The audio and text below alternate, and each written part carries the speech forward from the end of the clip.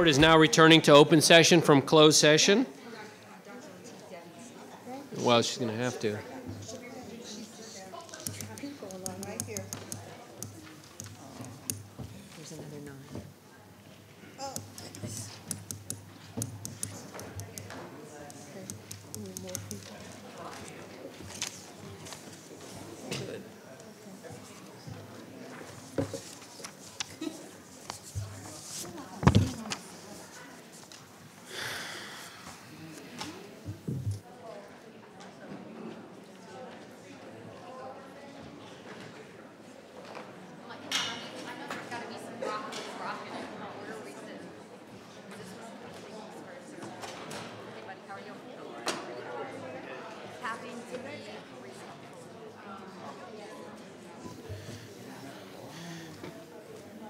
We're going to move on to the, um, there were no closed session action items, so we're going to move on to the adoption of the closed session consent agenda. A motion is in order. Mr. Chairman, Ms. Jessie, I move that pursuant to Virginia Codes 2.2-3712, the closed session of Prince William County School Board meeting of January 2nd, 2019 be certified by adopting the following resolution. Now therefore be it resolved that the Prince William County School Board hereby certifies that to the best of each member's knowledge, only public business matters lawfully exempted from open meetings requirements were discussed in the closed meeting to which this certification resolution applies. And two, only such public business matters as were identified in the motion convening the closed meeting were heard and discussed or considered by the school board. Ms. Jessie, we're- we're, um, you're one ahead on the closed session certification. Can you do the approval of the closed session consent agenda? 701, sorry. Excuse my me. fault. I'm sorry. Th- They're going to have to, uh, please ask that they refresh because since we moved people around on the dais, everyone's not logged in yet. F5. Thank you.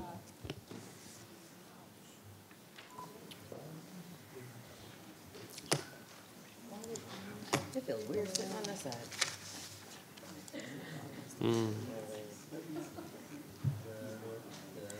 Okay, so again, we'll go back to 7.01. That will be the um, Hold on. adoption of the closed session consent agenda. Hold on, I got to get in. Okay.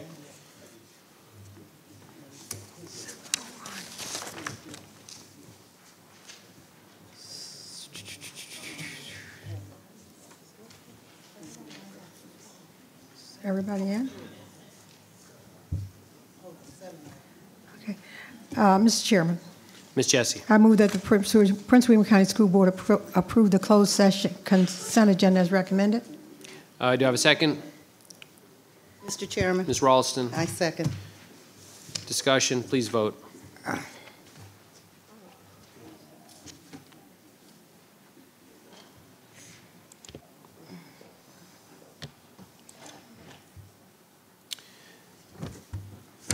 We're going to move on to the uh, adoption of the closed session cons- um, uh, certification. Ms. Jessie, if you want a motions in order, go Yeah. ahead.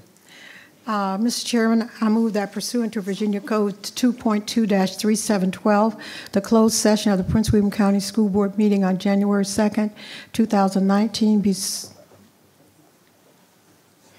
Thank you, guys. Be certified by adopting the following resolution. Now therefore be it resolved that the Prince William County School Board hereby certifies to the best of each member's knowledge, one, only public business matters lawfully exempted from open meeting requirements were discussed in the closed meeting to which this certification resolution applies, and two, only such public business matters as were identified in the motion convening the closed meeting were heard and discussed or considered by the school board. Do I have a second? Mr. Chairman, Ms. a Williams? second. Discussion? Please vote. The last vote was 8-0 on the approval of closed session consent agenda.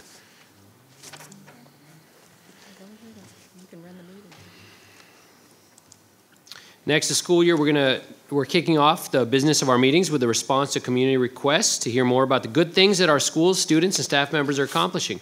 We are working with the schools and our communications team to spotlight a few of the good news items at these meetings and elsewhere with the term Positively PWCS. Tonight's presentation comes from the Brentsville District and will be introduced by Mr. Gil Trenum. Mr. Trenum?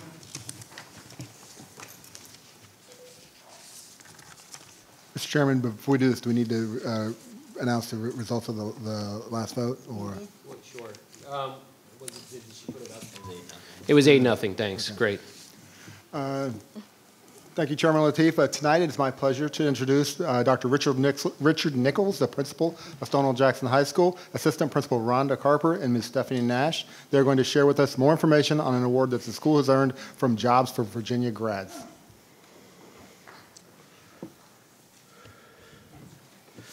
Uh, Good evening, Dr. Lateef, Dr. Walts, uh, Mr. Trenum, members of the school board. Uh, We're pleased to be here this evening to uh, share with you some good news uh, from Stonewall Jackson High School to help our students uh, graduate from Stonewall Jackson High School. Uh, Four years ago, Stonewall was given the opportunity to apply for a competitive grant application uh, called the Jobs for Virginia Graduates through the Department of Education. Um, And I'd like to introduce Ms. Rhonda Carper, our assistant principal, who was the one who uh, got the grant started and applied for the grant. And our current JVG teacher, Ms. Stephanie Nash, also the math uh, code department chair. Um, The other member who was not here, who retired, and who also started the program was our teacher uh, administrator, Mr. Michael Stafford, who started the program uh, but has since retired and is living in South Carolina. Um, So basically, what the JVG program uh, does for students is it gives them an opportunity um, to make sure that they are going to complete all of their graduation requirements on time, uh, and then once they graduate, that they will have an opportunity to gain full employment, um, and that is through the work of the teachers uh, in the program. And so Mrs. Nash works with our counselors and other staff to, to recruit and select students. This year, she has 35 students uh, in the program. Um, Students generally are selected on a criteria um, that they are at risk of not graduating from high school without the additional support that this program provides. Uh, The program is part of a larger program nationwide called the Jobs for American Graduates. Um, And so JVG is the state branch or affiliate of that program. Uh, It's a public-private partnership, a 501c3, uh, and the students, as I said, do benefit uh, from a matching grant. Stonewall Jackson receives $25,000 per year uh, to, to run the program and support the students in the class.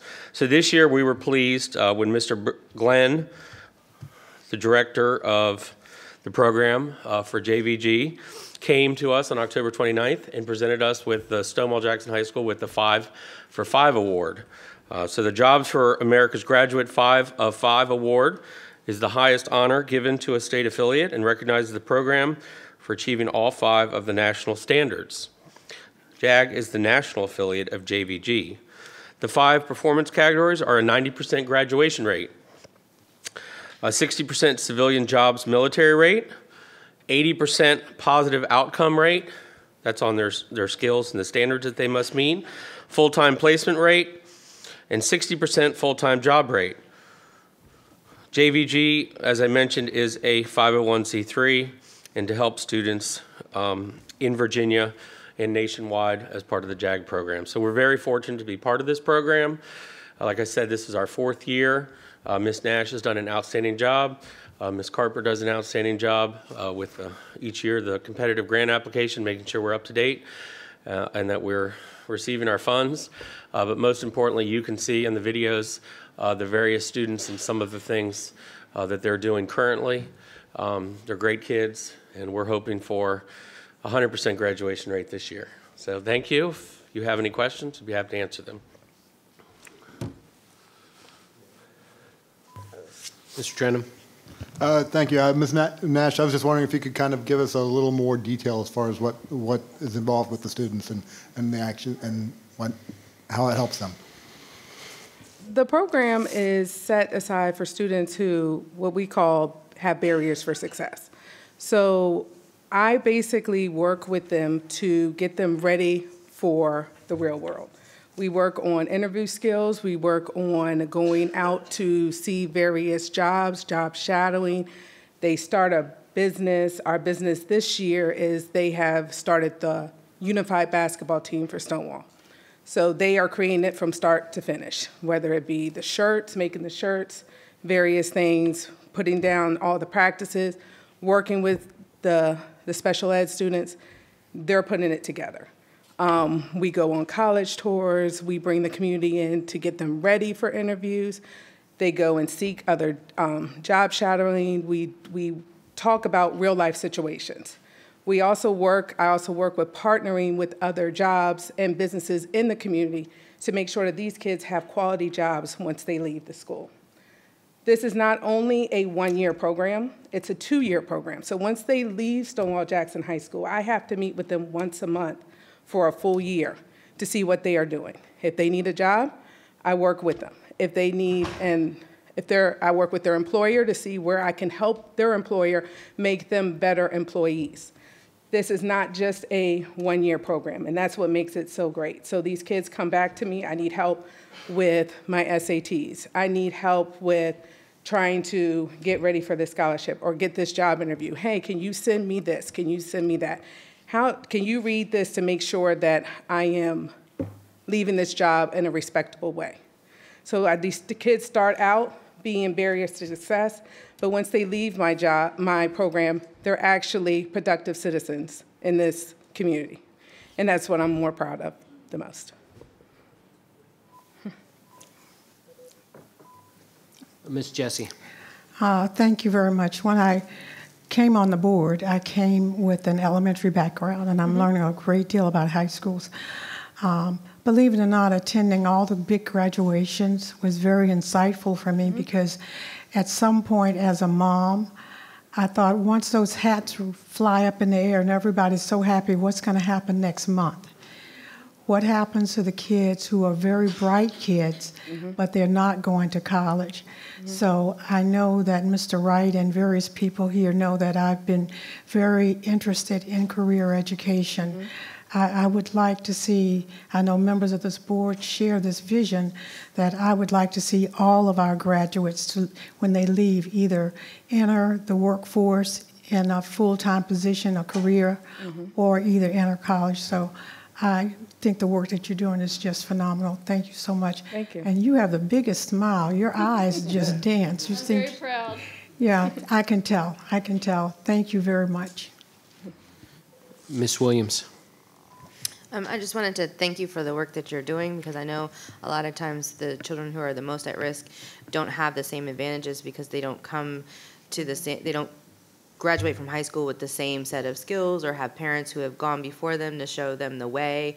So um, I think that the work you're doing is critical. You're eh, eh, not only benefiting those students directly, but any generation that comes after them because you've laid a new foundation um, for continuous good citizenship. So thank you for that time and um, for getting this grant. It's it's really exciting. Mr. Trenum.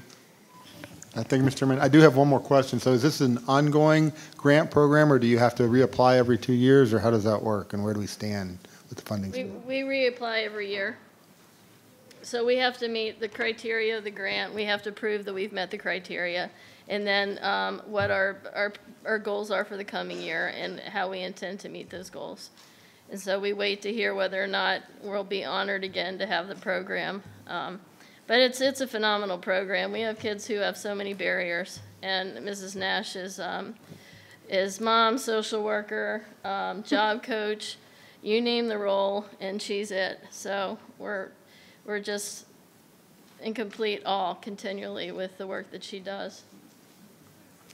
Thank you also very much for uh, sharing this great news about Stonewall Jackson High School, and congratulations again on your award. Thank you. I'd like to.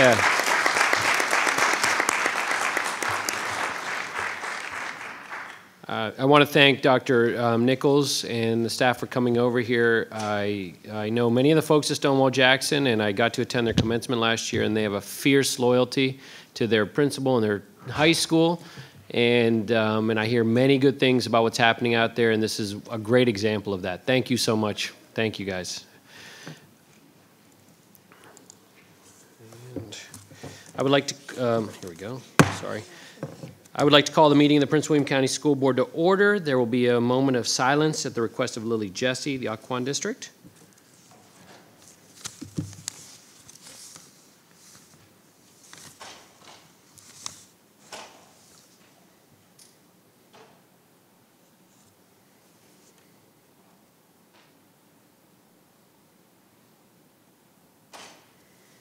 Thank you. We'll move on to um, the Pledge of Allegiance. Do we have a student who would like to lead us in the pledge? They can come up to the microphone, introduce themselves, and Lead us in the pledge.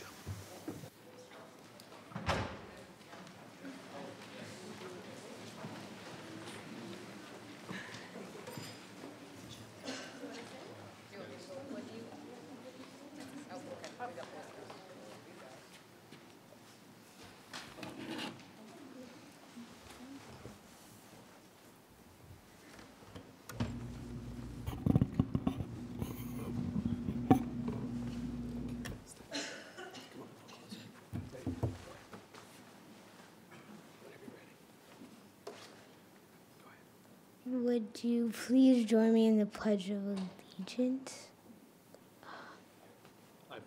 I pledge allegiance to the flag of the United States of America and to the republic which stands, one nation, under God, indivisible, with liberty and justice for all. Say their name and where they come from.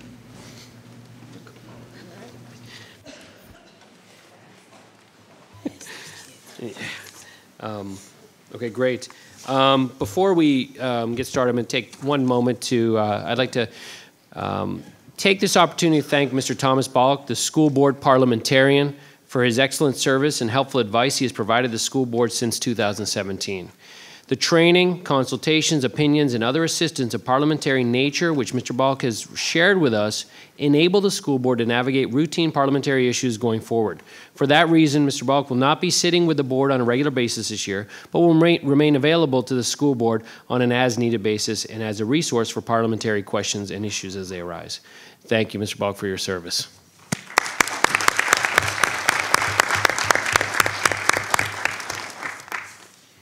Okay. Next, we're going to go to the annual organization meeting. Um, I need um, 12.01. This item is for action. This is, um, can I have a motion? Mr. Chairman, Ms. uh, Williams? I move that the Prince William County School Board approve the annual organization meeting agenda as recommended. Do I have a second? Mr. Chairman, Yeah, Ms. Raulston? I second. Uh, Any discussion? Please vote.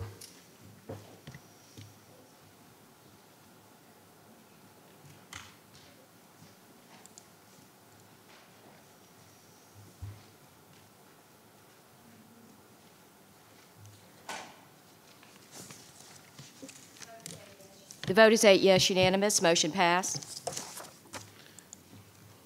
Okay, great, thank you.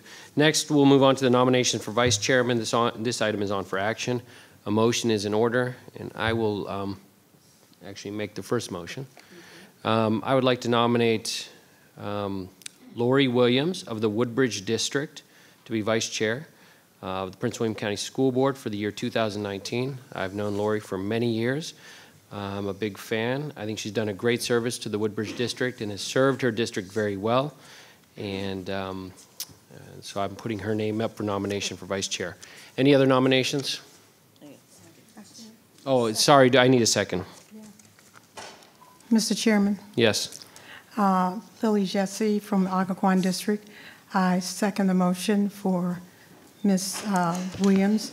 Ms. Williams has been very active in various organizations, including the Virginia School Board Association, and uh, has been an active supporter of many projects uh, on the school board and has served with distinction. Thank you.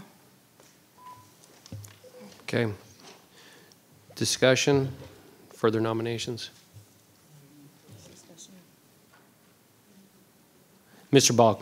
Uh, According to the policy that was adopted, uh, what happens is that the first nominee can be debated and then is voted up or down, and only if that first nominee is defeated is then another motion in order for another nominee. Discussion? Okay. Please vote.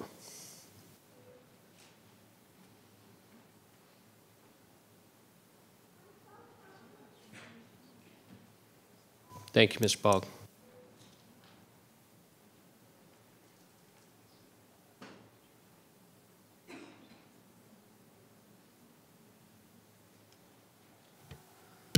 The vote is three yes, Lateef, Jessie, Williams, five no, motion failed.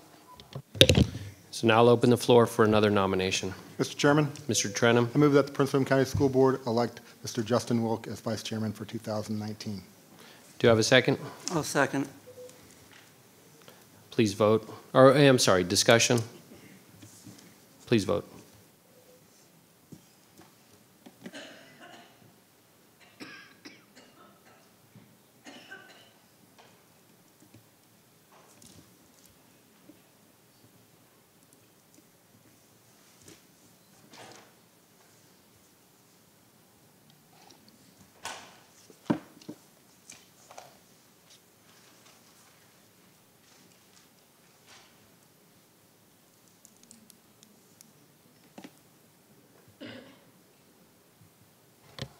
The vote is seven yes, one no. Williams, motion passed.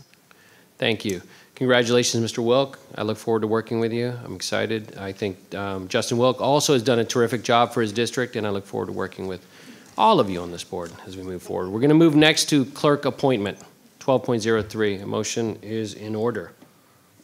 Mr. Chairman, Ms. Williams, I move that the Prince William County School Board appoint Deborah H. Urban as clerk of the Prince William County School Board for 2019.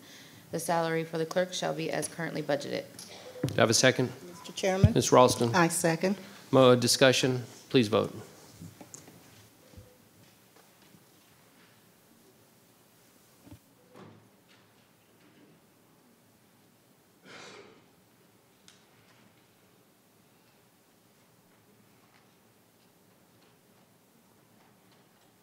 The vote is eight yes, unanimous, motion passed.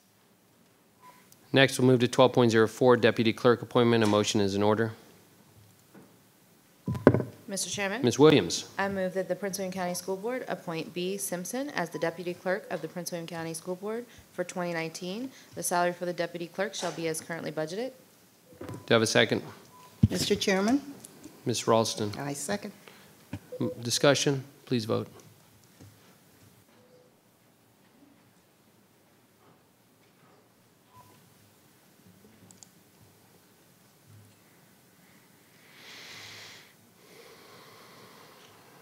The vote is eight yes, unanimous, motion passed. 12.05, corporate sur- surety bond for the clerk and deputy clerk. Items on for action. The motion's in order. Do I have a motion?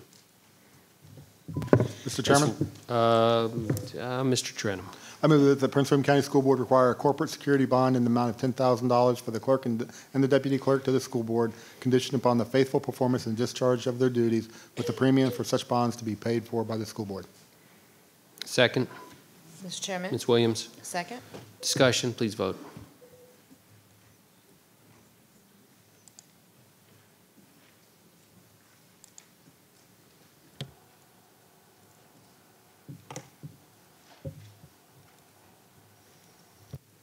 The vote is eight yes, unanimous, motion passed.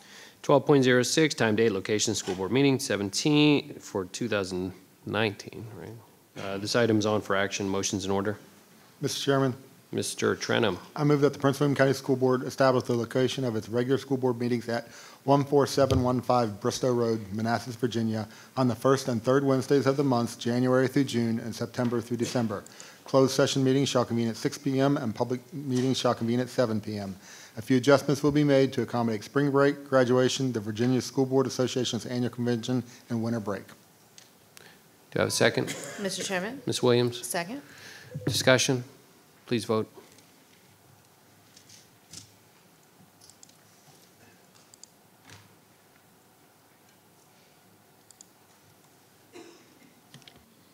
The vote is eight yes, unanimous, motion passed. 1207, superintendent's designee to attend school board meetings. This item's on for action. A motion's in order. Mr. Chairman, Ms. Williams.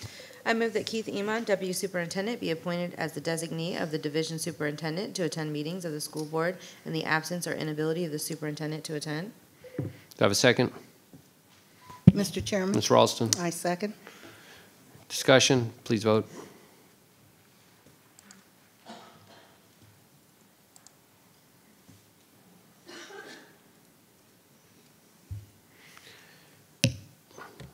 Mr. Balk, since you're here and it's your last night on 12.0. Vote is eight yes, unanimous, motion passed. Great. On 12.08, do we got to read all that?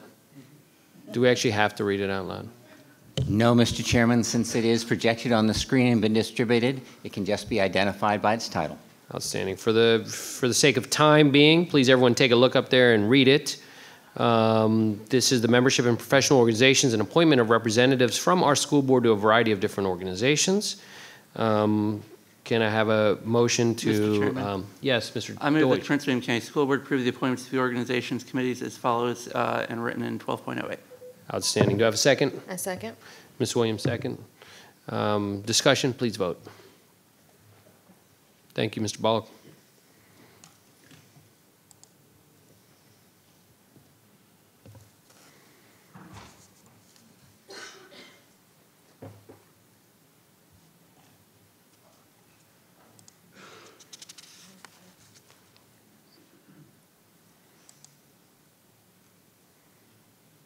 Can we do the same thing, Mr. Balk, on 13? Excellent, you're a good man. I'm waiting for the vote. Hold on, I'm waiting for the vote from Debbie. I'm still waiting for people to vote. Who needs to, vote? okay. Dr. Lateef, Mr. Deutsch, and Mr. I voted. I'll hit, I'll hit F5, but I voted.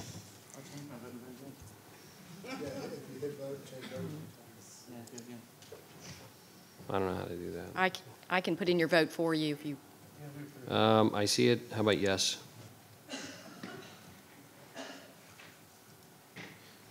the vote is eight yes unanimous, motion passed. Excellent. Approval of agenda. Moving on to the approval of public meeting agenda. Motion's in order. Do Mr. Chairman, I move that Mr. Prince County School Board approves public meeting agenda as recommended. Do I have a second? Mr. Chairman? Williams. A second? Discussion, please vote. Mr. Chairman, Ms. Ms. I believe uh, Dr. Walts has something. Oh, coming yes, Dr. Walts. Yes, the administration requests deferring uh, 20.01 milestone communications deed. That should be taken off the agenda. Okay, I, I think that was already moved to board matters. Right, it should be removed completely. Okay, so we'll remove completely, but that won't affect this current vote on the consent agenda. It does? Got it. Why, why? Because it's not on consent, I don't think. Oh, okay. Do we need to fix that, Debbie? Yes, sir. Okay. Do I need to hit refresh, or we need to hit refresh, or no? We will. Uh, Just wait for me to take it off, and then I'll Got let you it. know. Oh, I see, that's for the approval of the agenda. Which one was it?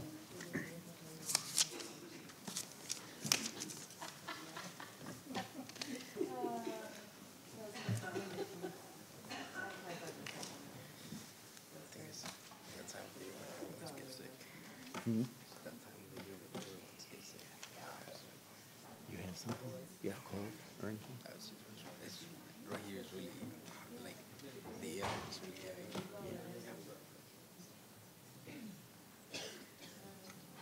Yeah, there's some people with colds and coughs. Our security guard out there has cold. Really? Yeah. Cold and cough season. Yeah, yeah. Yeah.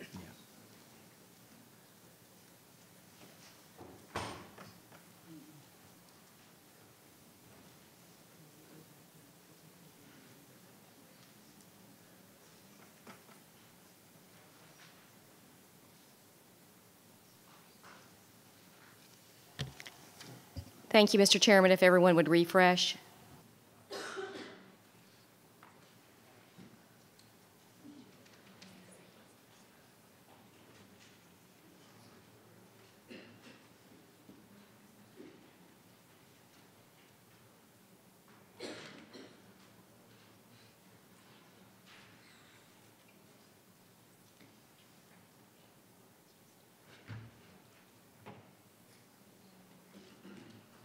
The vote hasn't popped up yet.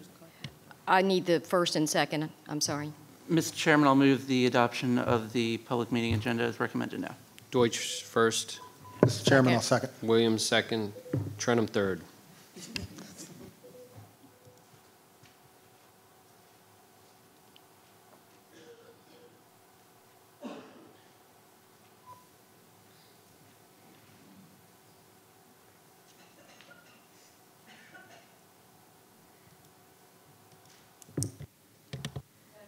Vote is eight yes, unanimous, motion passed. Moving on to the adoption of the consent agenda, a motion is in order. Mr. Chairman, Ms. Williams, I move that the Prince William County School Board approve the public m- meeting consent agenda as recommended.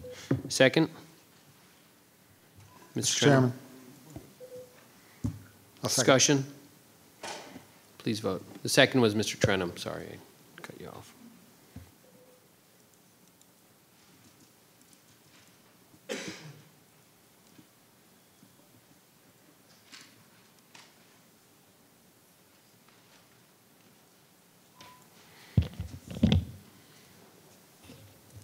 Vote is eight yes, unanimous, motion passed. During this time on the agenda, the student representative and alternates will speak and have an opportunity to introduce themselves and share their interest. Um, Today, we have Mr. Vilfredo Villatoro from Garfield High School sitting in for Sasan Faraj. Mr. Vilfredo. Okay. Good evening, everyone, and Happy New Year. Taking into account the recent winter break, I hope everyone's full of energy and ready to make this 2019 a year full of valuable experiences and accomplishments. Tonight, I'll be speaking on behalf of our student representative, Sasan Faraj. Despite not attending tonight, Sasan has taken the time to write great part of the following report. Reflecting on the last four months and start of the new year, it is important to go over some of the overarching topics of the student body. Successfully, the student representative and the alternates have, signif- have significantly established dialogues in the last four months with high schools such as Osbourn Park, Battlefield, Colgan, Patriot, Garfield, Woodbridge, Potomac, and Hylton High School. It has been quite difficult, yet very gratifying to have developed multiple conversations with the schools mentioned previously. To, through these meetings, we have observed a vast range of perspectives and concerns in which we have tried to present them to a school board based merely upon our commitment to give a voice to a student body in general. In the context of a new budget and adjustments and the continuous innovations of schools in Prince William County, students have stated the importance of open space in schools, especially those who lack windows. The root of the argument is, in fact, the lack of interaction with the environment students have. To understand this, we can summarize in the fact that students barely go outside the building, but only during PE or fire drills. Some students have stated that it's a need, yet others have said that it's more of a want. But both sides agree that schools should promote students taking benefit of the green spaces we currently have, as well as developing infrastructure that brings natural light into the building, such as windows. For instance, students claim that seeing sunlight during a long day of testing and learning can provide energy to get through the rest of the day, especially during winter when students wait in the dark for their buses and go to school without seeing any sunlight. Being exposed to sunlight during the day might even have an, might even have an effect in their academic performance. It goes on to say that schools such as Garfield and Woodbridge are primary examples of this need. Overall, some fresh air and sunlight are always good, especially after a difficult day. Another topic among students is the concern about the diversification of lunch options. This has been mentioned at most of the past board meetings, and I greatly appreciate that the board members have looked into this. During our meetings with Garfield, Osbourn Park, Woodbridge, and Potomac High School, we have explained that lunches are selected upon priorities. Top priority is nutrition rather than taste. Students have completely understood the statement, yet they claim that certain minorities are not benefiting from the current lunch selection. Examples are students with allergies, vegetarians, and other students who, due to religious background, would like to see more accommodations. Schools with higher populations of students with dietary restrictions should have more variety in, within the menu because going to school and having the same meal repeatedly can damp the education environment a school produces. Many students have the option to change what the, their main course is for lunch. However, there are students who are sub- subject to the same lunch every school day. Moreover, at the meeting with Hylton High School, students brought up that sometimes lunches would, lunches would run out of out before the end of the day. As we continue to make or run through the high schools, we will see if there if this is an overarching trend. Making sure that students' concerns are presented to a school board is the first step to reaching social accommodations. Lastly, is mental health. Students appreciate the county's efforts to reduce the number of students per counselor in the high schools, the recent creation of new positions, and the, continu- uh, the continuous funding of programs that allow not only dialogue but the the establishment of new policies. I'll clear examples of how, how students feel um, the difference within their schools. Decreasing the number of students per counselor helps counselors create more time for each student, given that there is still a relatively high number of students per counselors. As students continue to, to support the idea of annual mandatory in-person training for teachers about suicide prevention and depression. That being said, the Student Summit, a students' conversation on mental health, is, it is is this Saturday at Hylton High School. All the student representatives will be attending. This summit will provide a more insight into students' perspective perspective of how mental health is addressed within the county. Another claim was the cross training regarding mental health among schools. For example, providing certain teachers or coaches with advanced training based on the fact that when students are encountered by a problem, they are more likely to go to have more confidence and trust trust in a coach rather than a counselor.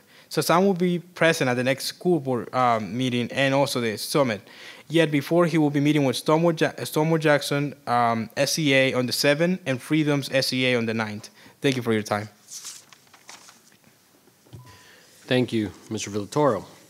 Next, we'll be moving on to, Annabelle's not here, right? Okay. Next, we'll be moving on to citizen comments on the agenda and non-agenda items. It looks like we have, oh, it's like 36 people um, that signed up in advance and, um, and at the door.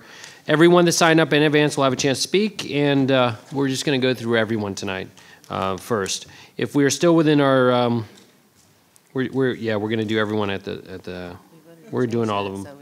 Yeah. I will call the first 10 names and ask you to take a seat in the front row. Uh, Lisa Terry, Rebecca Relihan, Eloise Relihan, Colin Relihan, Rachel Freeman, Tara, Tara Turner, Mike and Wendy Haddock, Elizabeth George, Robert Buckley, Michael Butler. You have three minutes to speak, and the clerk will keep the time. The lights on the monitor will indicate your progress. The yellow light will signify that you should sum up your position. Red indicates your time is up, uh, and you should stop. Please use proper decorum and manners while at the podium. If you do not do so, you'll be asked to step aside. Please give your name and address for the record when you approach the podium. When it does turn red, I will ask you to sit down, and it's not personal. It's just we do have a lot of folks here, and we want to get through everybody. Our first speaker is Lisa Terry. Good evening. My name is Lisa Terry. I live at 107 Edge Hill Drive in Occoquan, 22125. I have two uh, children who attend Occoquan Elementary School. Sorry.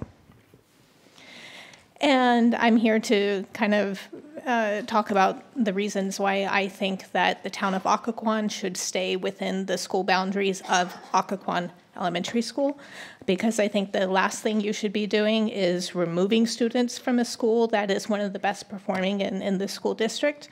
Also, I've been attending some of the community meetings, and something that the facilitator has mentioned is that the reason that they've had to do extensions on the west and moving kids west is because there wasn't land available on the east side to build a new school.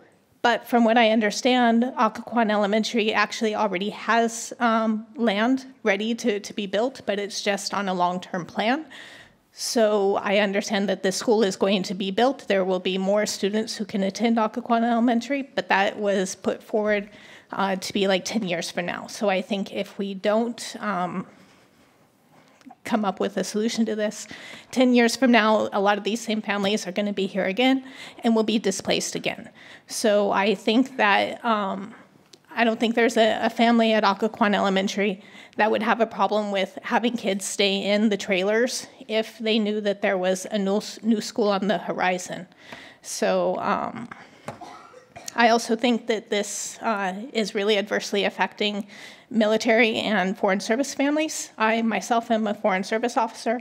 My kids are, you know, subject to having to change schools when I have to, to PCS. So it's because of my service to the government. But when we come back to the US, then now they're having to, to be changed from another school kind of unnecessarily, I think. And I also have a special needs child. I haven't heard anything about how these changes, uh, what's going to be done for, for kids, especially like on the spectrum, who um, have a really difficult time dealing with, with change.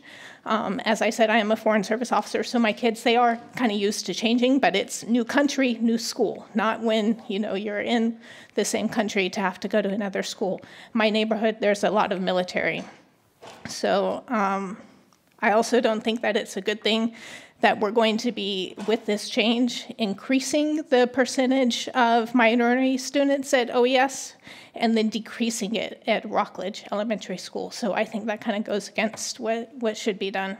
And then I know a lot of people have talked about the distance and having to have all these kids onto Old Bridge Road, whereas right now they just kind of cross the street It's also going to make it really difficult for parents without transportation to be able to get to the school in case of emergency or for um, student events. Thank you. Sorry. Rebecca Relihan?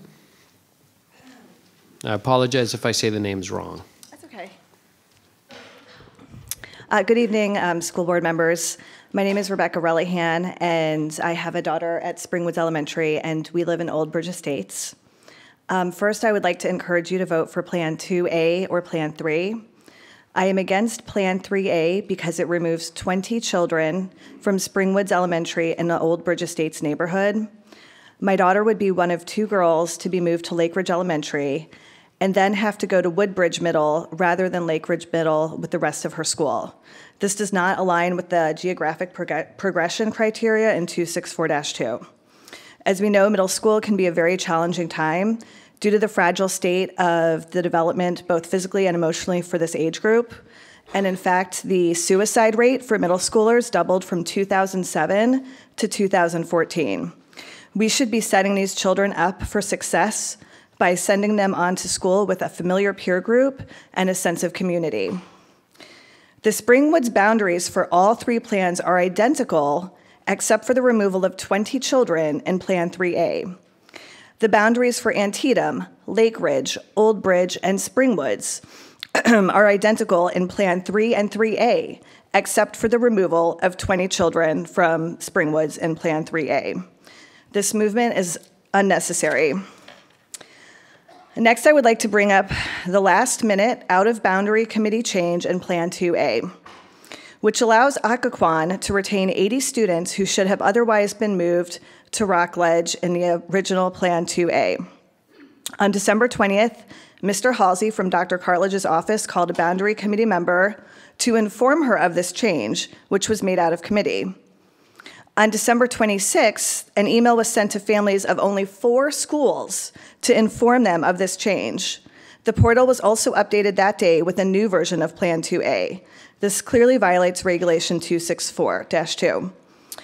Since this regulation has not been followed, I emailed asking that Springwoods be given the same consideration as these Occoquan students. I have yet to hear back from Dr. Cartledge. One boundary committee member emailed me and was completely unaware of this change. Given this incident, I feel strongly that the school board should give Springwoods the same consideration and keep our children at Springwoods Elementary, especially because Springwoods has added an addition, and unlike um, Occoquan Elementary, Springwoods is not overcrowded. Um, thank you so much for your time and Happy New Year. Eloise Relihan?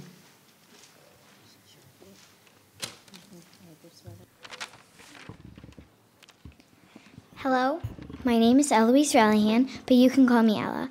I am in third grade at Springwoods Elementary and I live in Old Bridge Estates. I am here to ask that you vote for Plan 2A or Plan 3. Please do not pick Plan 3A or Plan 3. Uh, um, because it moves 20 kids out of Springwoods.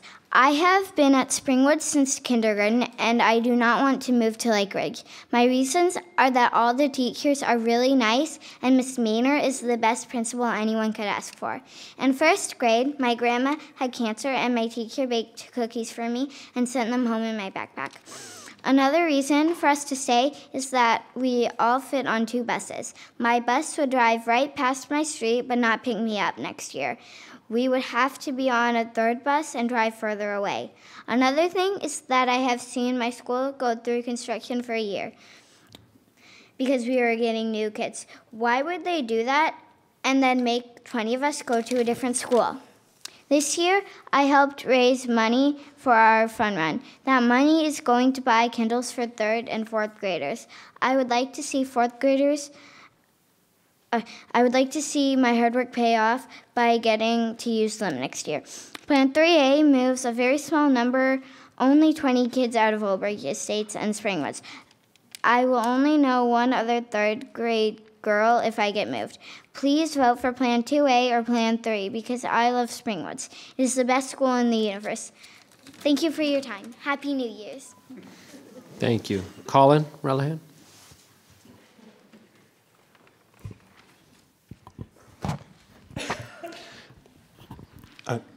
Thank you. Uh, Good evening, members of the school board. Um, My name is Colin Relihan. Uh, I'm Eloise's dad and a uh, Springwoods Elementary parent. I'm here to discuss the elementary school boundary process as well, um, particularly the negative effects that Plan 3A would have on the Springwoods and Old Bridge Estates um, communities. Um, First of all, just want to note that Old Bridge Estates, we, we think, was blindsided by Plan um, 3A.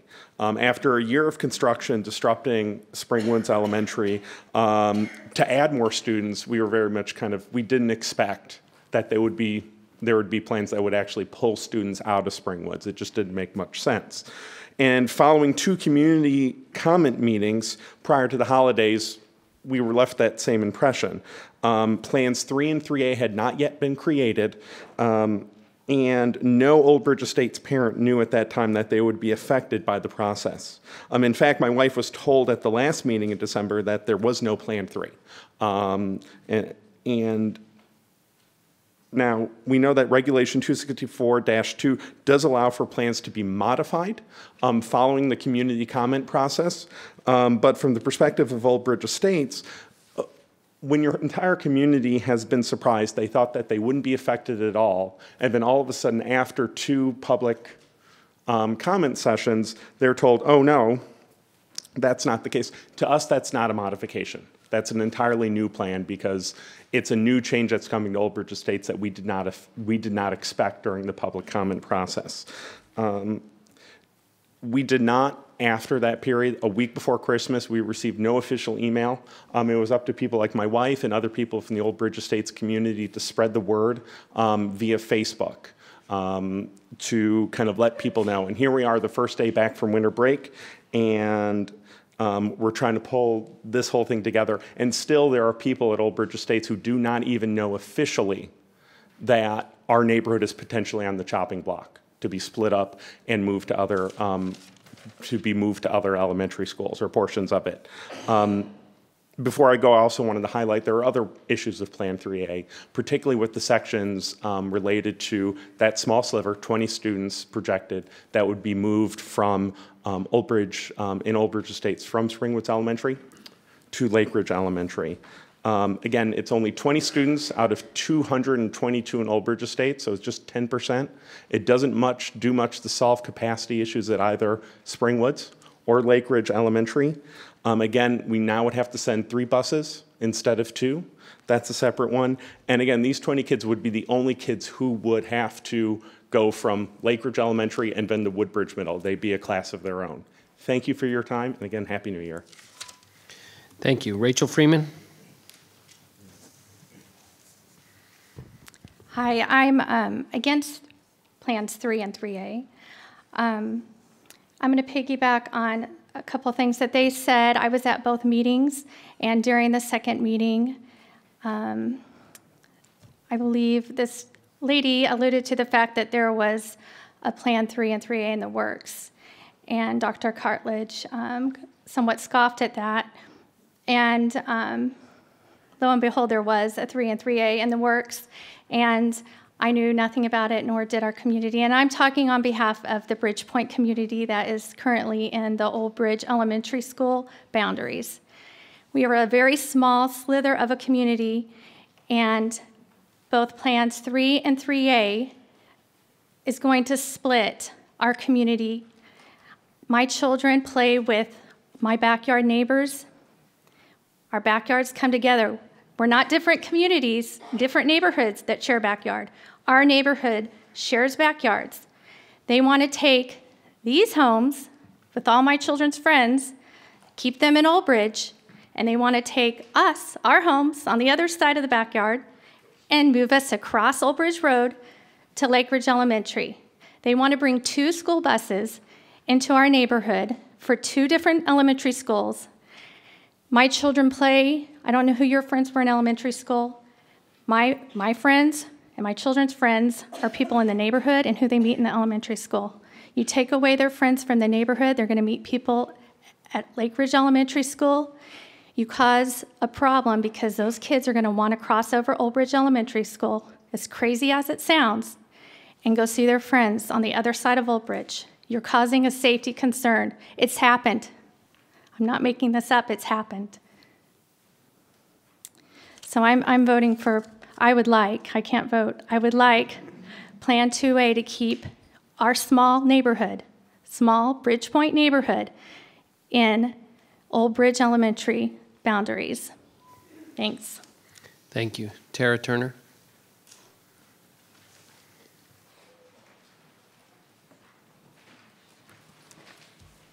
Good evening. My name is Tara Turner, and I'm here um, to talk to you about the Westridge boundary. I'm in the Occoquan district. Um, you should have a handout from me. It looks like this, if you can just reference that um, back and forth as I'm talking. So, um, I'm here to talk to you today about 123 children who are going to be systematically isolated um, by all three of the plans that are currently on the table. We really believe that this has been unintentional, um, but we can't ignore it as parents, and this is something that can be easily rectified. If you can look at the map that's on the middle right hand side of your handout, it looks like this.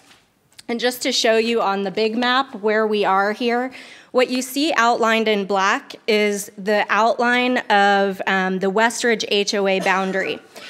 Though everybody within those um, that black outline is zoned for Woodbridge Middle School. And outlined in red, you can see the little island that has been created from our neighborhood um, that is going to be sent to Springwoods Elementary. Little Eloise wants to stay at Springwoods, and we'd like to stay at Westridge. Um, so, you know, I really think that there are some some ways to make this happen, um, and we've talked about them. You'll hear from other Westridge parents tonight. Um, but this little island that has been created, these kids are going to be sent to Springwoods Elementary in a sea of kids who move on to Lake Ridge Middle School. Our kids are zoned for Woodbridge Middle School. And so we're really creating this systematic isolation of kids who are going to be pulled back and forth um, between peers. So they would become their own little island, um, making it difficult for them to form lasting connections um, with others their age. And we already know this to be a very vulnerable stage of life. As you heard someone say earlier today, suicide is the leading cause of death in adolescence, age 15 to 18. So this is a, this is something I can I can guarantee that every single one of you are sitting here today because you wanted to make a difference for kids. And sometimes the bureaucracy of things get in the way, the politics get in the way. But right here, right now, you have a chance to take take this little sliver, this little island. There's there's solutions being presented to you right here in front of you. Um, and this is something that is achievable. This is something that we can fix. And we don't want to be systematically creating um, an, an isolation for children. And this little red section, just a little fact, is the lowest income um, area of our HOA. And so these are kids that are more likely to be from single parent homes. They're more likely to have households with two working parents. And we know that a lot of people have that. But when you systematically create a situation of isolation for them, they may not, the parents may not be as available as they need to be. Not every child is equipped to cope with an isolation like this, and we can change this. You can change this. Thank you. Thank you. Um, Mike and Wendy Haddock. My name is Mike Haddock. My address is on file with the clerk. This is my wife, Wendy, and we're speaking on the boundary change proposal. Mr. Chairman, ladies and gentlemen of the board, we ask you to come to a decision on the 16th in the best interest of what's important to us as parents, families, and homeowners. Our daughter is a second grader at Old Bridge Elementary. One version of the plan keeps us aligned with Old Bridge, but two would move us to another school. After attending both town hall meetings and reading the committee's final report, we are left wondering why. It is most certainly not a capacity issue. All three proposals stabilize Old Bridge Elementary at 90% capacity, and keeping a neighborhood the size of ours within the Old Bridge boundary is not going to have significant impact. The committee's report presents very balanced and engineered figures, but it absolutely fails to address issues important to us as residents, homeowners, and parents, which should also be very important to you as our elected representatives. As homeowners who specifically bought a house because of location and schools, we're asking Who has looked at how this is going to affect our property values if we realign to a school that is further away and lower performing? As parents, we ask how is this in the best interest of our daughter to move her from a high rated school where she excels to one that has a 40% performance gap according to published data? All we can see coming from this, based on what's been presented, is a significant step down in the quality of education our daughter will receive, and that's unacceptable, especially when there's no justifiable reason for it. Our neighborhood should be kept with Old Bridge as was intended. It stays well within the capacity level of the school, it does not adversely affect our property values, it has little impact on your demographics, and it doesn't force us to accept potential hardship by forcing us to look to other alternatives to preserve the quality level of our daughter's education which, by the way, should have been a primary factor all along, but seems to have been lost in the noise. Please give this careful consideration. We don't think a case has been made to reboundary our neighborhood away from Old Bridge Elementary and ask that it be kept that way in any plan you approve. We believe a child's education should be the number one priority of this board and the entire school system as a whole. When you look at these plans in detail, we strongly urge you to ask yourself this question Would moving these children be in their best interest? If you cannot answer yes with strong, supporting, factual evidence, then we feel you must leave the children in their current school. The priority must be on the children, not statistics and perfectly uniform bar graphs. Instead, the children must be our focus we urgently request our neighborhood remain zoned for Old Bridge Elementary, which is done in Plan 2A. Thank you for your attention. Thank you. Elizabeth George? My name is Elizabeth George. I live at 3499 Beaverford Road. I'm a resident of the Old Bridge Estates community. I have a sixth grader at Woodbridge Middle School who spent all of his elementary career at Springwoods, and I have a second grader at Springwoods. Um, I am in favor of Plan 2 a or Plan 3, as 3A takes 20 students, including my second grader, who, to my knowledge, would be the only second grader removed from Springwoods Elementary School and would send them to Lakeridge Elementary School. He is currently zoned as a Woodbridge Middle Schooler, so when he would go to sixth grade, that's where he would go. And to my knowledge, none of the other Lakeridge Elementary students would go there with him from his class. Um, I have I'm a former Prince William County um, strings teacher. I taught at five of these elementary schools along Old Bridge Road. I know they are excellent. Um, and so I think at the community meeting, many people got up and said, We love our school, and, and we love our school too. And I think that speaks to the communities that they have created. I think that speaks to being together as a community. Our community is, is wonderful. Just as the woman said earlier, you know, the kids that have share a backyard are going to be separated from each other. We spend time with people on the other side of Beaverford Road because our side is, is so small.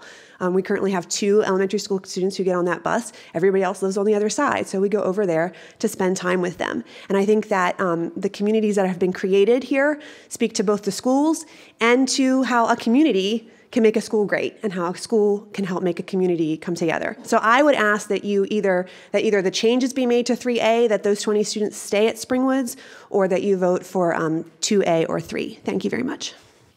Thank you. Robert Buckley. Hi, my name's Robert L. Buckley. I live at 2514 Pembroke Court in Lake Ridge, uh, Virginia. Um, I believe the whole boundary change thing is a sham, a travesty. Uh, it pits school against school, and, and, and right now it forces 300 students from Rockledge to go to different schools. Rockledge is an excellent school. The parents, the staff, the students have worked really, really hard to make it a school of excellence. It has, a, I believe, stability is the success for uh, any education. There's many other options left to uh, for filling up these uh, empty classrooms and stuff in Antietam and stuff like that. You could um, expand the uh, amount of languages at Antietam to attract other parents into that.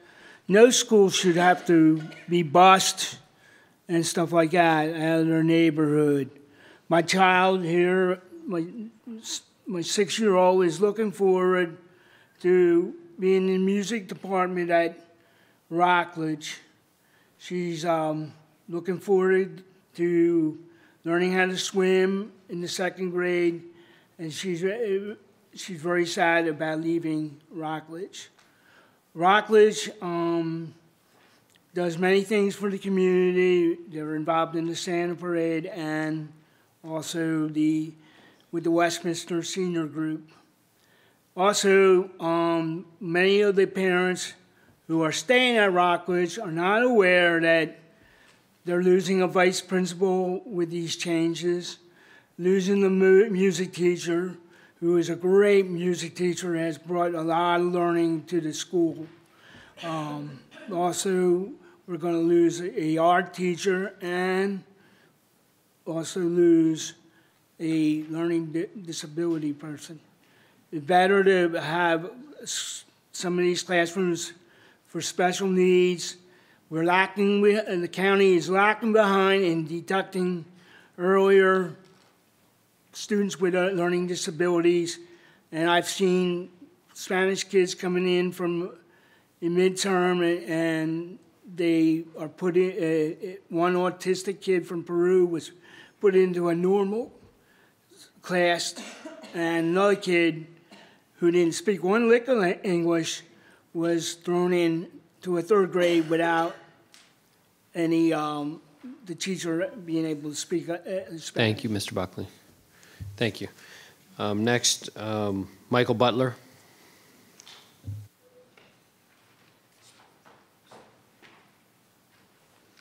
Good evening. Uh, my name is Michael Butler. I am a resident of the Lake Ridge community and a proud Springwoods parent. I'm not here tonight to tell you an opinion on the plans. My home isn't affected. In any of the plans that are published, my daughter goes to the same school. My son will go to kindergarten in the same school next fall. I'm more so here because of what I've observed over the last several weeks. I keep hearing the words, it doesn't make sense. I keep hearing people asking, why? I don't understand what's happening to my child. Why are we leaving this school? I love where I am. It, it's confusion and a lack of understanding. Parents and all of you that are sitting up there care the same amount about these kids. We each care about these students as, as our own in our communities. What we don't have is the transparency that's been in the plans. There's a lot of transparency around the reaction. I can give a comment, I can send an email, I can attend town hall, and maybe my feedback's heard. Maybe the walker stays with the school. Maybe the neighborhood isn't sliced. But we shouldn't be talking about differences in plans. Those are just reactions. We should be talking about the process that produces the plan. If I were in your shoes, and I'm not, I don't envy it, I would want to look at the process, the methodology that led to the creation of a plan and say, is this good?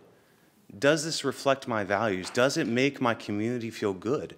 Because if it doesn't, the plan comes from it needs to be viewed with skepticism. Not that it isn't that, it lacks integrity, not that it isn't mathematically sound, and it may still very well be the best of a set of bad answers.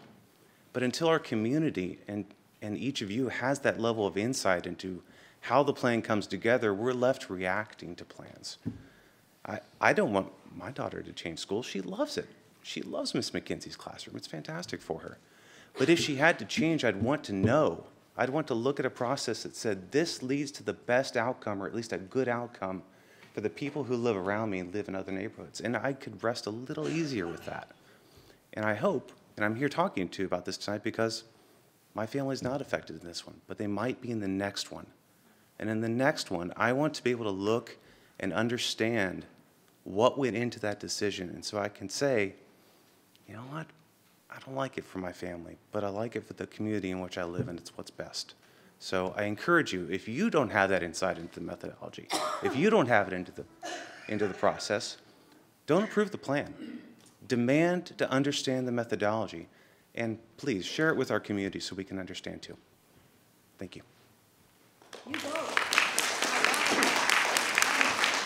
Thank you.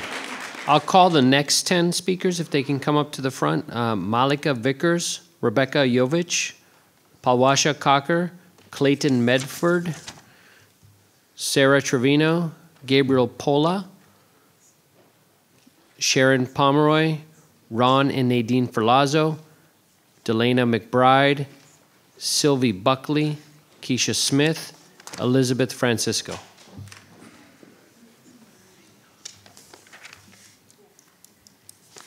First will be uh, Malika Vickers.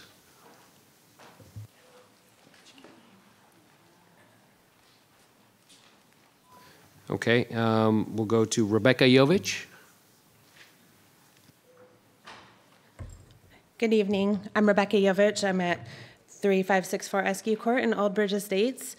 Um, I'm a resident currently zoned for Springwoods, which is one of the schools that's undergone a 13 classroom addition with construction this year. I'd like to request your support for Plan 2A or Plan 3, which are also in the committee's final report as the most preferred plans um, from the committee.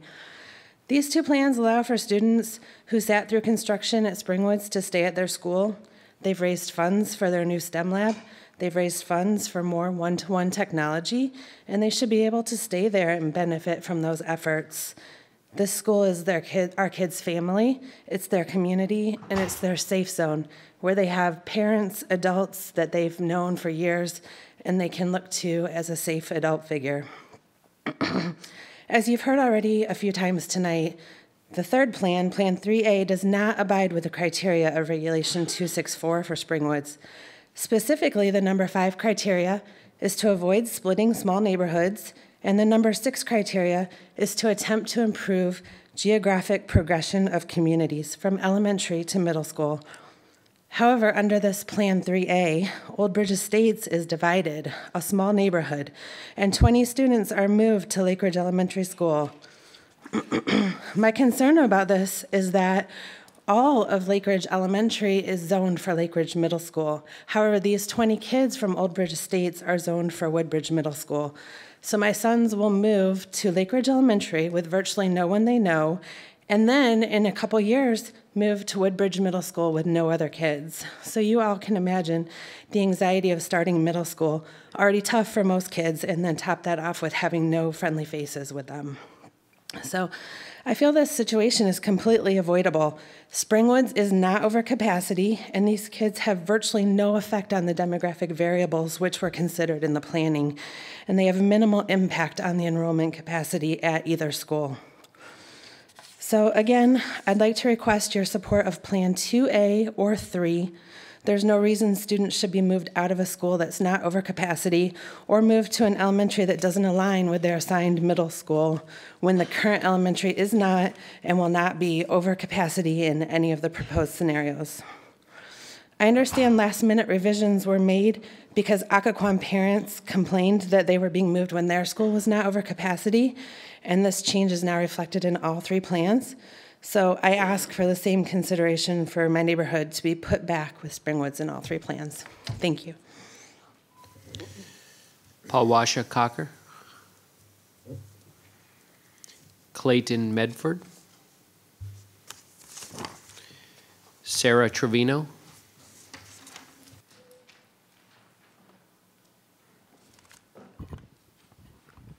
Uh, good evening. I'm Sarah Trevino. I, uh, my daughter attends Rockledge Elementary School. She's a first grader there. And for the sake of transparency, in all three plans, my family stays at Rockledge. But when I learned about the plans and the effect that it would be having on my school community, but also the whole of the Lake Ridge community, I felt like it was my obligation to speak against all three plans, specifically how they affect the Rockledge uh, community. In all three plans, we lose 50% almost, 48% of our current students. And we will be having students come in from Occoquan, but not enough to fill our building to the point that we won't be losing essential staff members.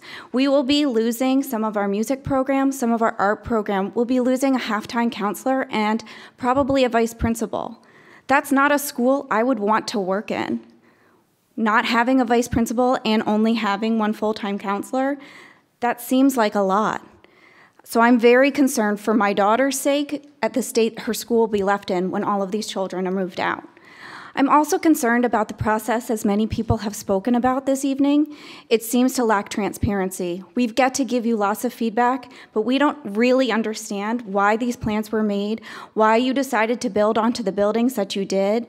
Um, and we just get to sort of deal with the aftermath of it all and try to advocate the best that we can for our families. I ask that you take a little bit of time. I don't know if you can do that. I mean, you're the board, you probably can do a whole lot more than we can. Um, but to take some time before you take this to a vote and maybe look at a different plan. There were changes made after we were told no more changes could be made.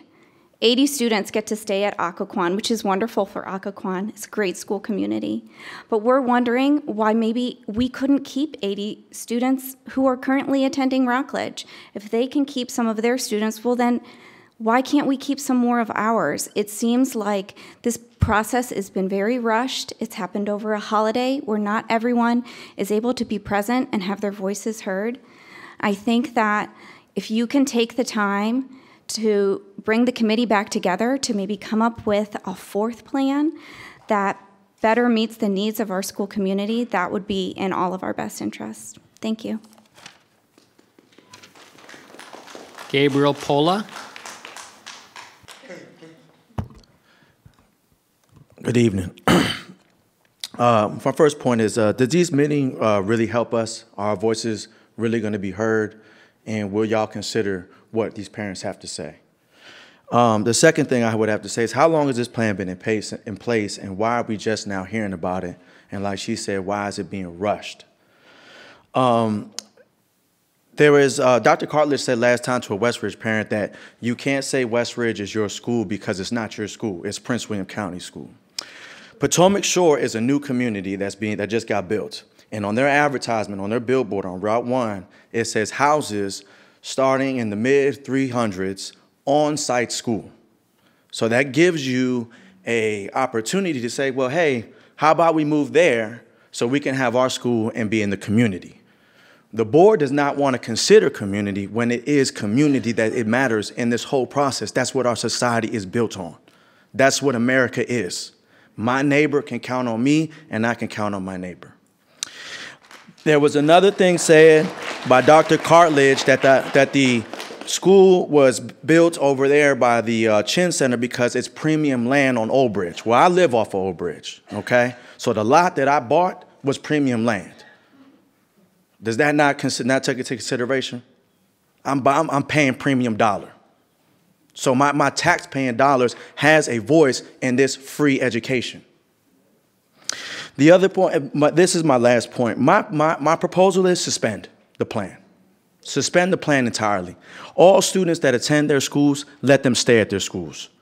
Any first, any first household students, if they have a kindergarten starting this upcoming year and they live in these proposed boundaries, let them start at these new schools. But if they have, uh, if they start at this school and if they have a sibling coming to start, let them stay. Let us worry about the transportation. We'll get our kids to where we need to get. We don't have to bus them. We can find out how we're going to go.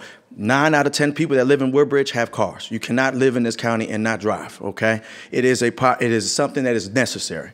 I ask that you really consider what we are saying because we have all elected y'all, okay? We go to the polls, we elect the people here for our voices to be heard. So I really would like for y'all to consider our kids' future. And when I mean our future, uh, their future, their mental health as we as parents, we try to give, we are delicately putting their foundation together. It is a delicate process, and you are trying to uproot their foundations, and it's not right. It is not right. Please consider the mental health of our children. Please consider the effects that may have, that they may have. Because not all kids, just like adults, not all of us are built the same. Some handle change, some don't. Some hold on, some let it go. Thank you very much. Thank you. Sharon Pomeroy.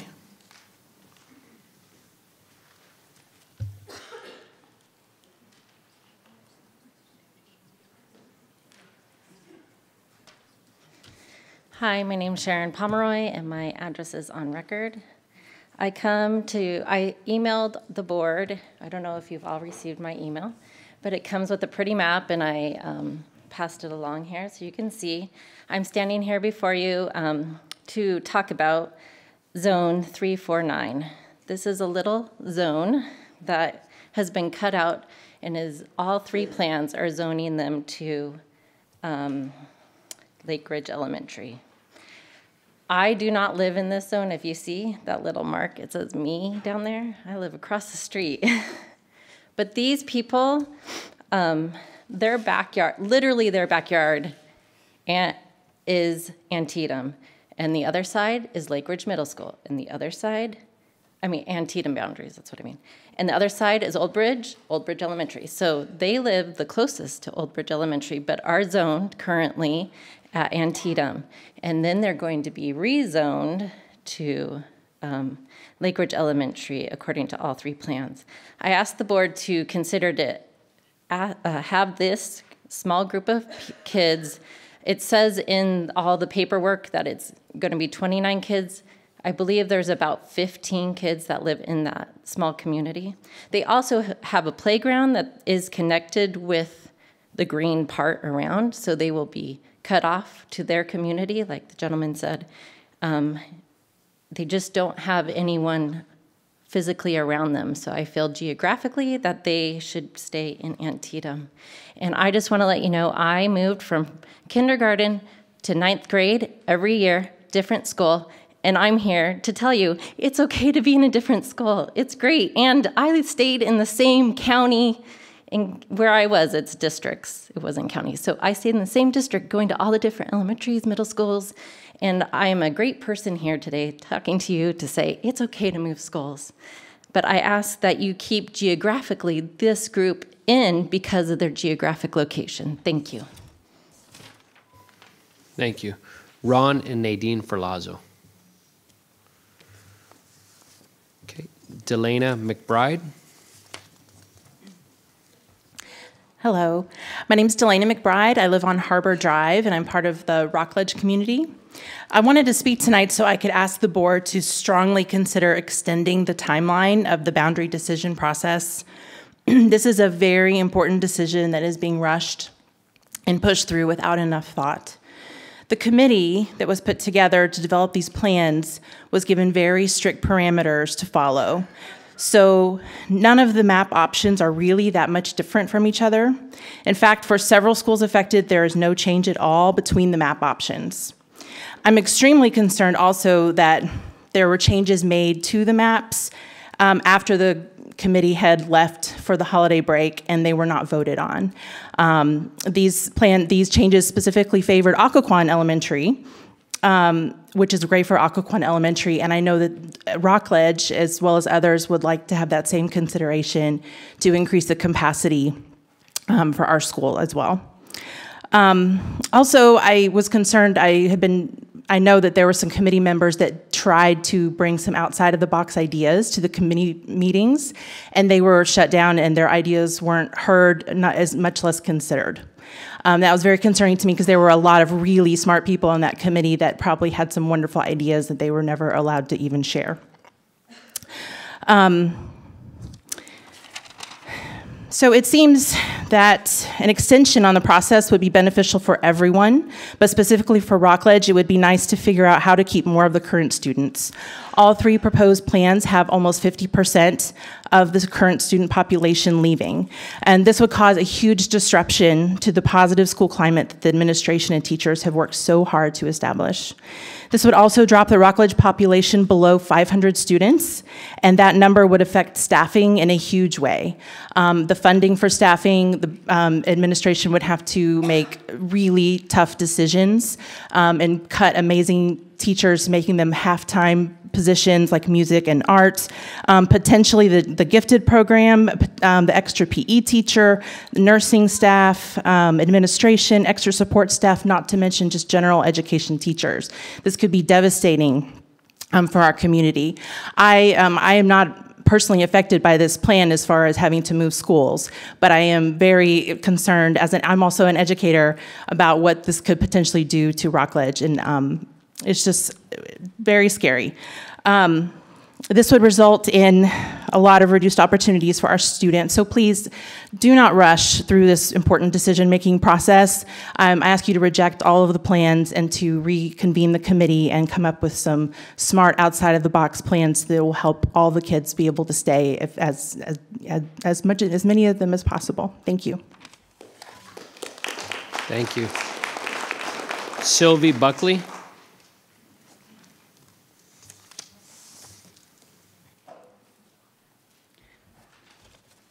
Thank you for opportunity to speak for all of you. As a mother and I'm working at cafeteria hostess at Rocket Elementary School, I'm not allowed to talk, but I still have one more to go. So I need to talk so you can hear my voice. Thank you. When I labored my son very premature, 26 month, I didn't know that it would affect my son's education. When Patrick went to Rockledge, we didn't know that anybody. So we didn't realize that he had learning disability and she had to repeat the kindergarten. But it was a blessing because the next kindergarten was Mrs. Jagobelny, with on the first grade, Mrs. Simpson, second grade with Mrs. Johnson, third grade with Miss Knott. My son is perfect. And then without any help from nobody, no counselor, no nothing. And then she got reward.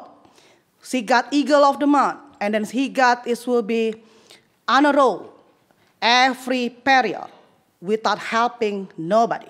That's the way Rockledge is helping us. But I understand a lot parents said that, yes, my kid is miserable. Yes, my kid is miserable too for the whole year. And I push my son to go to the school because he doesn't have any friend at all on the fourth grade. And the teacher is brand new teacher, she PhD teacher, okay? And then she's worked at the Georgetown University at Washington, D.C. And when we bring it, she just look at me like, hey, that's the way it is, Mrs. Buckley. How I feel? Nothing. So I complain with my husband because I'm concerned. Because like a lot of parents said like, yes, if you move your kid, the kid is miserable. Yes, I push my kid the whole year miserable at the Rockledge. But what we gonna do? Nothing. Just go and sucking in, okay? And on the fifth grade, when my son went with Miss Travis and Mr. Statman, I want Mrs. Oden over there become my our son teacher. But since Patrick got learning disability, so Patrick have to go to Mr. Statman and Miss Travis. I cannot believe how growing he is. When we got the graduation, how many reward that we got from school. And Miss Travis and Mr. Stama did perfect. And everybody said like, wow, your premature now is getting, you know, success. Thanks God for that.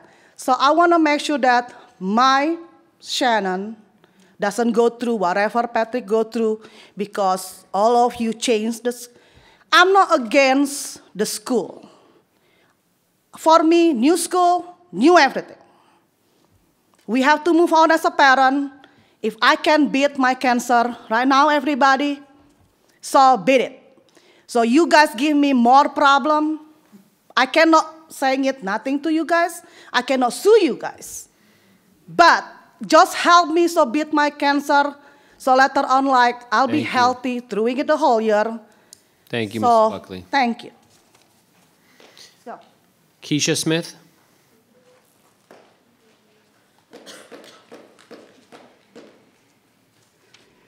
Hello, my name is Keisha Herbin Smith, and I um, my address is on file. I live in the Somerset um, neighborhood in the West Ridge community.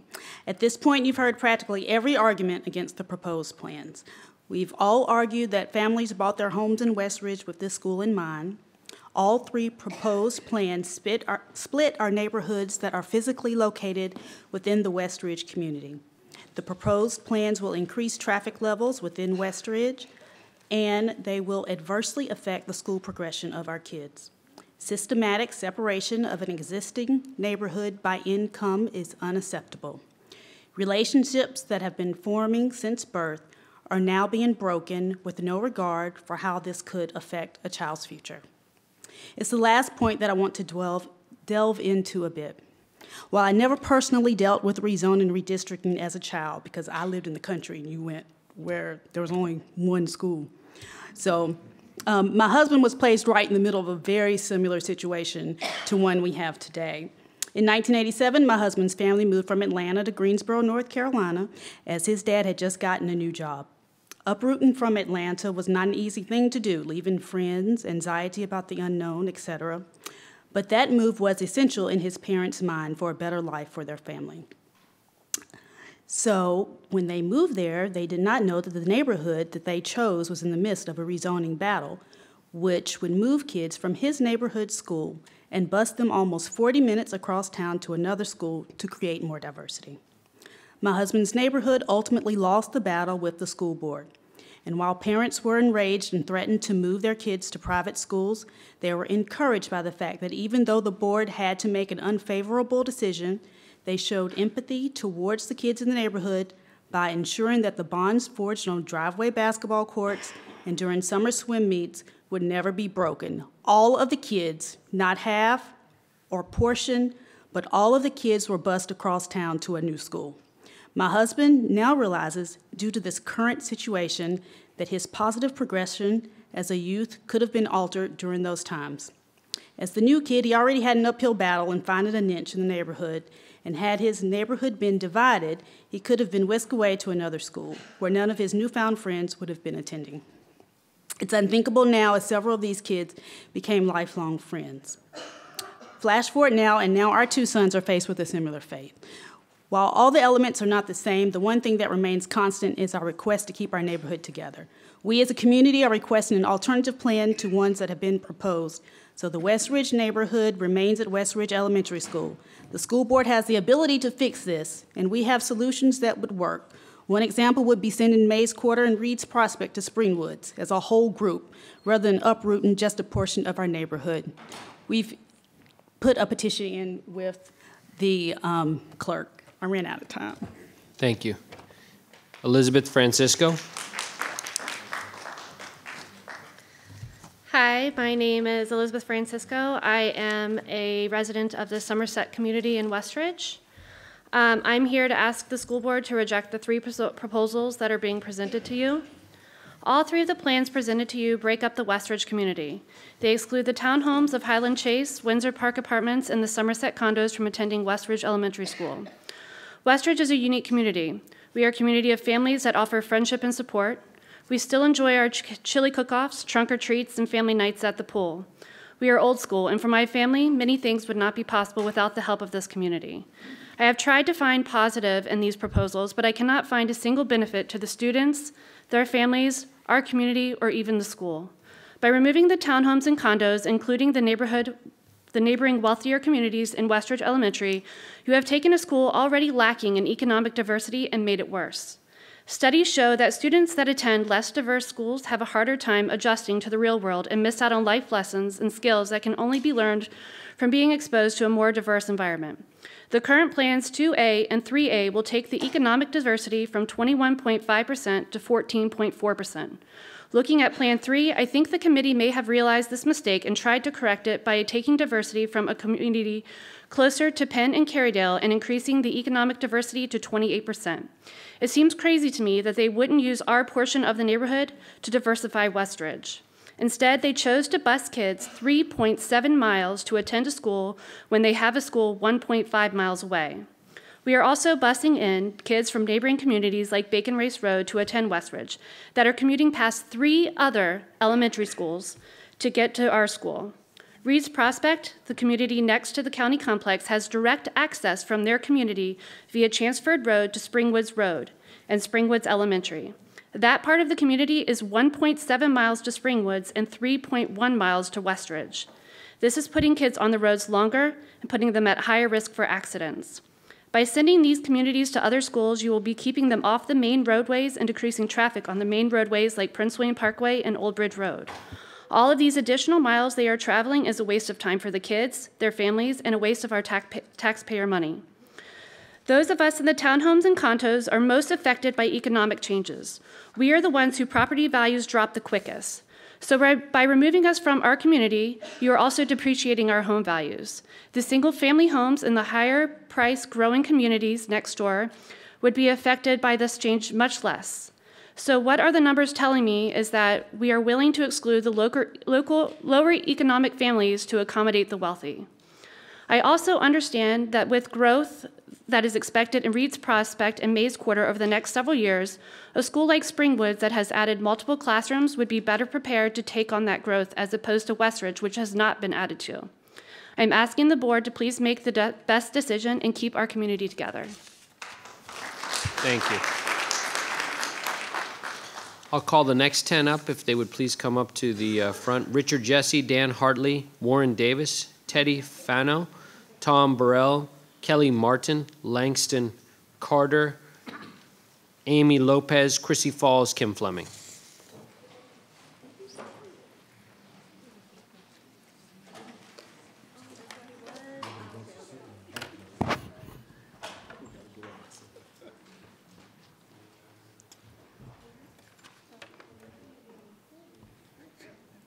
Good uh, evening, board members. My name is Richard Jesse. My uh, address is on file.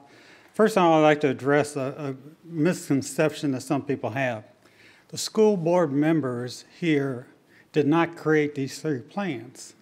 These plans were created by the school system and the committee. The school board members, because of their own rules, have basically said they cannot be involved in the creation of the three plans. I think that should change. The other thing is that the ownership of the plan right now was the school system and the committee. Now it is moving to the ownership of the school board. You have the opportunity to address the concerns of the parents, and you have an opportunity to create a plan that you feel fits the need. I have been to many of these meetings, and I can tell you, I don't remember any boundary meetings where at the night of the vote, the members of the board changed the plan. And the committee had no, the community had no opportunity to discuss these changes. So you can look surprised, but if you check and go back and look at the records, almost every boundary meeting at the night of the, the vote, they changed to, they changed the boundary plan. You have to understand the board here, you will get blamed or you will get praised for whatever you do. And you can accept one of the three plans, or you can modify the three plans or make a different plan. But you now will become responsible for it. They will not blame the committee. They will not blame the school system and Dr. Walts. They will blame you. And this is election year, so I think you should be listening to that.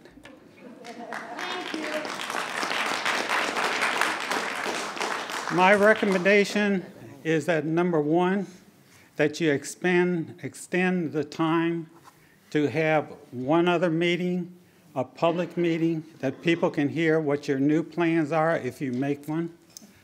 So that's one thing. The second recommendation is the school board needs to change this process. You should be involved in the making of the plans rather than waiting until the last two meetings to hear it and then. And this whole system that occurred during the holiday, I use a nice word, sucks.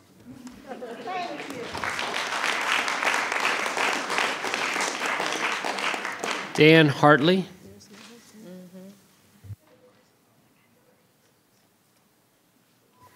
Uh, Warren Davis.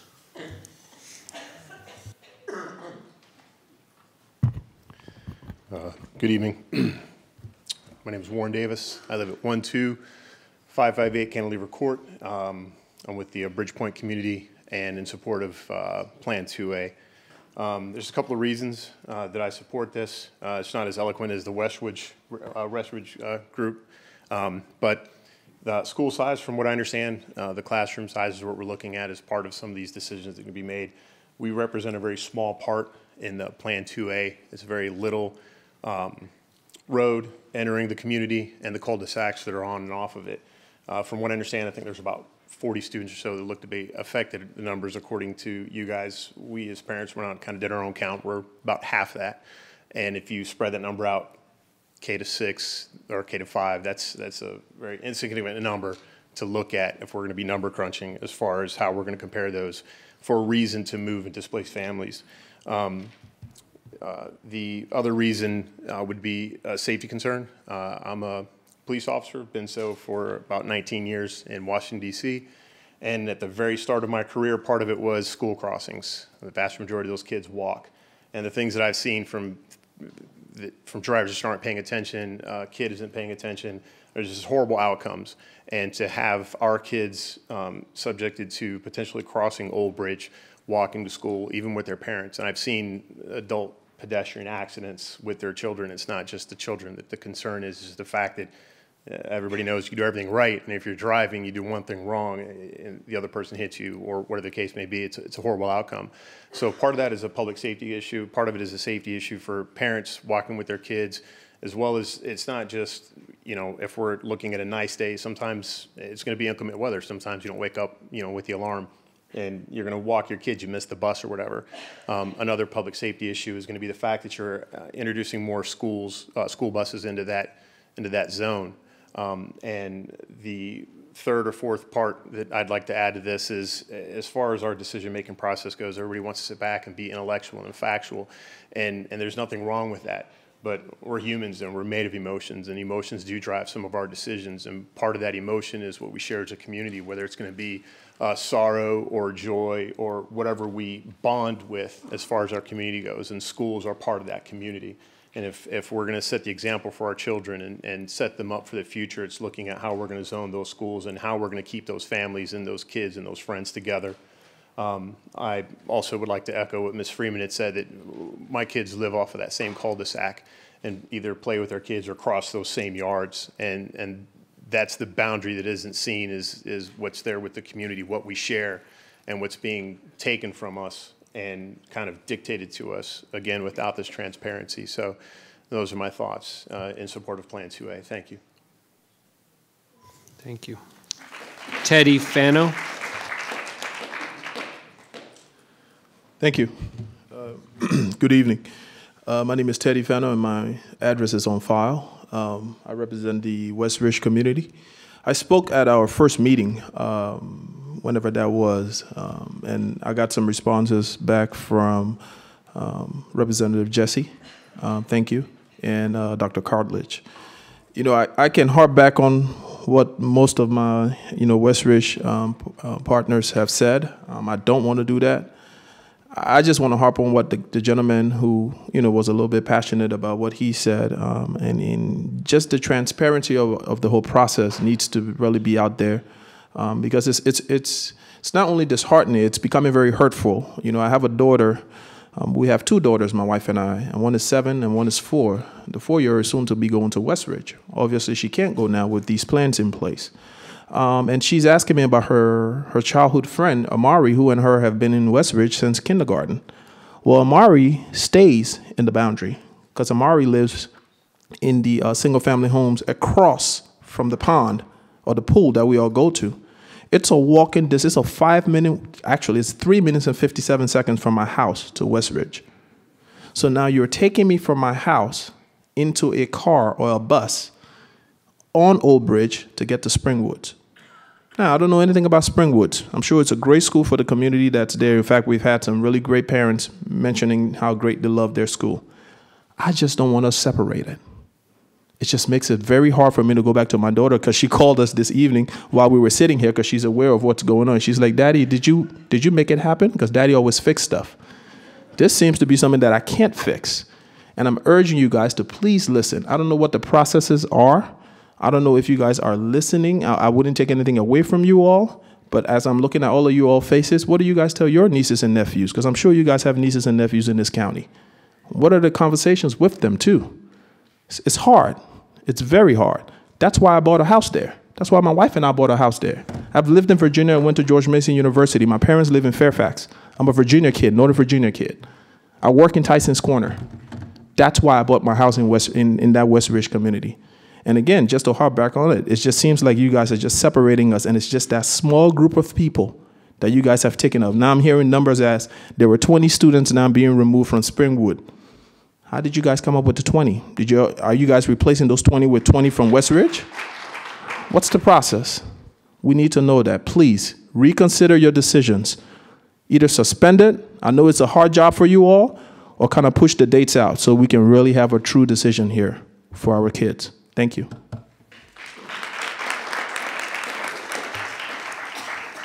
Tom Burrell.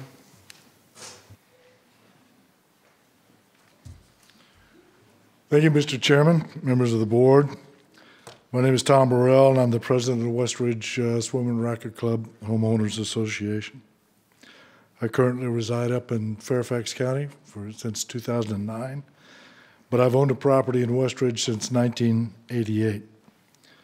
Uh, I've been actively involved in one position or another on the Board of Trustees since 1993. So I think I've got a, a feeling for what the community wants. I'm here tonight representing the 1,533 families that currently reside in, in Westridge. In particular, the hundreds of families impacted by the boundary change proposals that will be pres presented to you tonight. I want to express our substantial opposition to all three of the proposals being brought forth because all of them cut a piece of Westridge uh, out of the boundary for Westridge Elementary.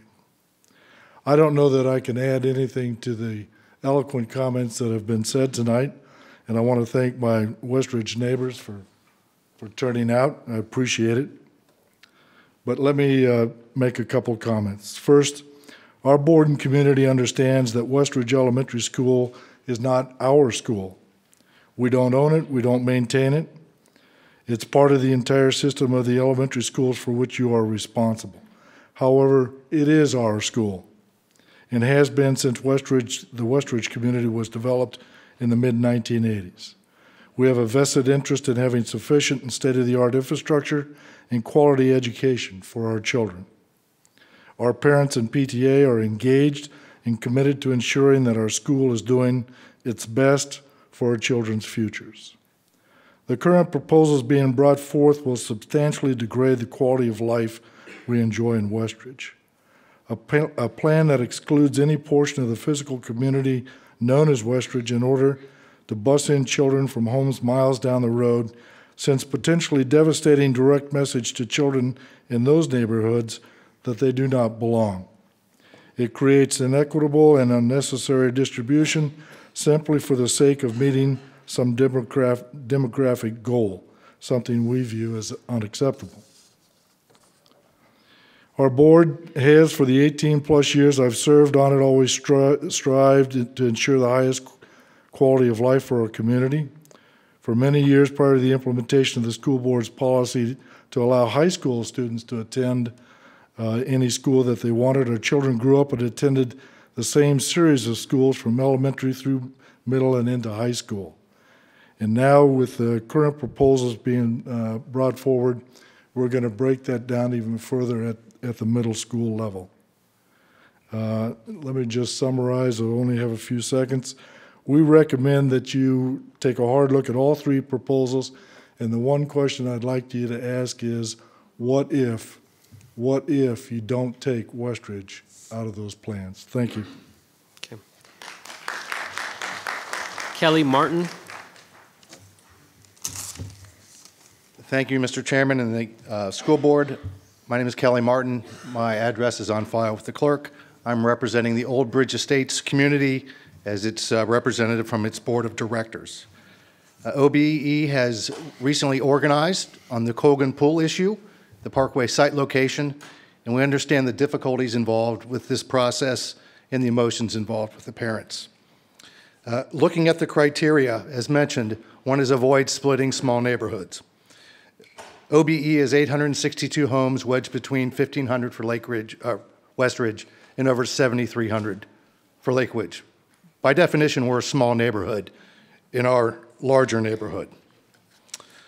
Uh, this plan 3A would also carve out Um, As I mentioned, 20 people, sending them to a different geographic progression, that would violate the criteria in 264-2. Another criteria, excuse me, is to facilitate efficient transportation. Plan 3A would take those students up Smoketown, eastbound on Old Bridge in the middle of rush hour, whereas now they get to turn left on Old Bridge and go up Spring Woods counter to traffic. So Plan 3A would violate at least three criteria stated in 264-2. As also mentioned, Springwoods, after the additions and no boundary, will go to 70% roughly capacity. So you're taking 20 kids out of the schools where they're in, when there's plenty of room for them, and they're building more room for them. It just doesn't make sense again. So the plans don't, other plans don't split these similar neighborhoods. Old Bridge should not be treated unfairly. So on behalf of the Old Bridge Estates neighborhood, if had to, we would choose 2A or, or Plan 3. However, as also noted, we feel that the process uh, has not been transparent, particularly with the additions of Plan 3 in between the last public hearing and this meeting today. So our recommendation is that the board move to delay the vote and reconsider the plans, and I would suggest that the community be given scoring against the criteria for the different plans so they can understand why the decisions were made. Thank you. Langston Carter.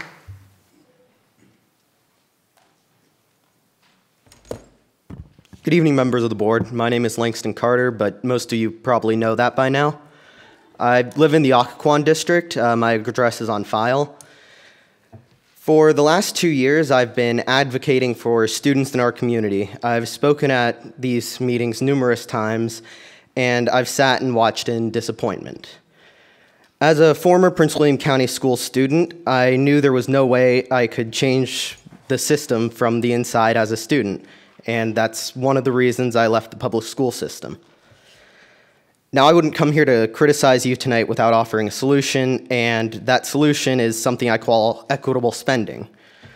You're failing our community and our students, particularly students of color. When spending equitably, you look at the state, the economic state of all of our public schools and their students, and then you focus the money and resources on the schools that have more students who are facing economic disadvantagement.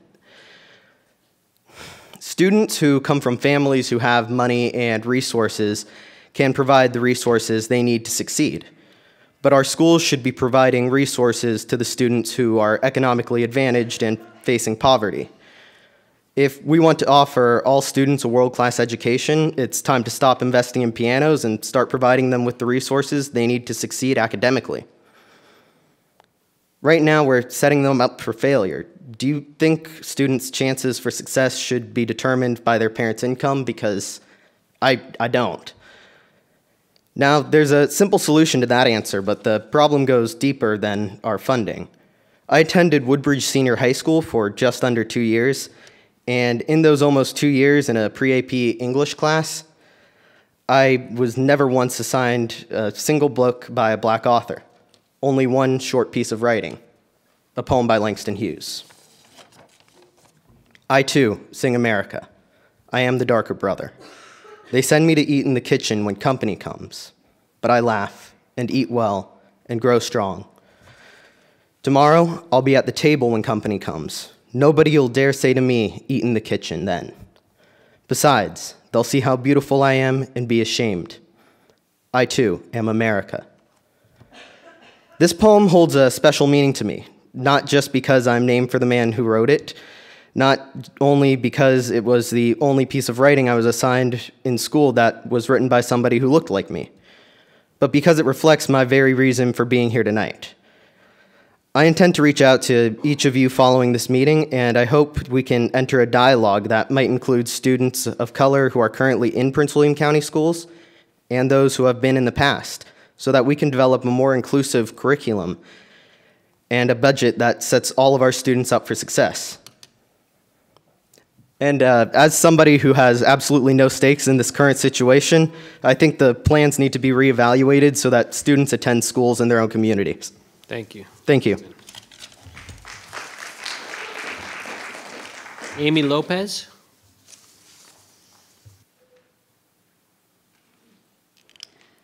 Good evening, Dr. Walts, Chairman Lateef, and members of the board. My name is Amy Lopez, and I have been a resident of Lake Ridge since 2005. I am here tonight to address my concerns with respect to the boundary proposals for the Prince William Parkway Elementary School and classroom additions throughout our region. Thank you for your attention and your time to this unbelievably difficult and very emotional matter. I am deeply, deeply concerned about the recommendation. Tonight, I came in with the concerns over plans 3 and 3A, but after hearing many of the parent cries, I'm concerned with all of them. The plans 3 and 3A moves a few streets within my neighborhood in order to meet, as stated by committee members, capacity requirements that I just don't see. My children attend Woodbridge High School, Lakeridge Middle School, and my youngest is a first grader at Old Bridge Elementary School, our neighborhood elementary school. Our home resides in the Plans Zone 360 of the Prince William Parkway Boundary Recommendation. And along with Zones 359 and Zones 376, we are currently under consideration of being moved across Old Bridge Road to Lake Ridge Elementary School. Aside from the emotional ties our neighborhood families have to Old Bridge Elementary School, moving these three zones, which estimates less than 40 students in the 21 22 school year, would move a very, very small sliver of homes within an entire neighborhood who is currently all attending the same school. While it can be said that, they, that any school will promote community, our neighborhood is our community. Our neighborhood attends the same school, and thus we are all part of the same school community. These kids play in the woods together, they walk to school together. I believe splitting these zones from Old Bridge Elementary School would damage the community our neighborhood has worked so hard to establish. Our kids can safely walk to and from Old Bridge Elementary School without even leaving the safety of one continuous neighborhood. For the sake of the children who will be affected by this needless change, in order to maintain the well being of these fewer than 40 projected students, as stated in the three year plan, which doesn't affect capacities whatsoever, we're talking K through 5. I respectfully request that all the plans under review which require our very small portion be moving to another school not be considered as a viable or thriving option. When I walked in tonight, I was going to urge you to approve Plan 2A, but after hearing all of these parent voices crying for no change, I urge you to hit the pause button. Thank, you. Thank you. you, Ms. Lopez.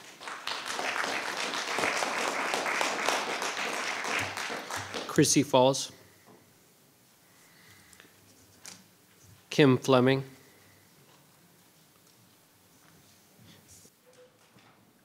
So I'm going to go ahead and call the next group up. If they would like to come up front, would be Sonja Dorland, Stuart Davis, Elizabeth Hernandez, Heather,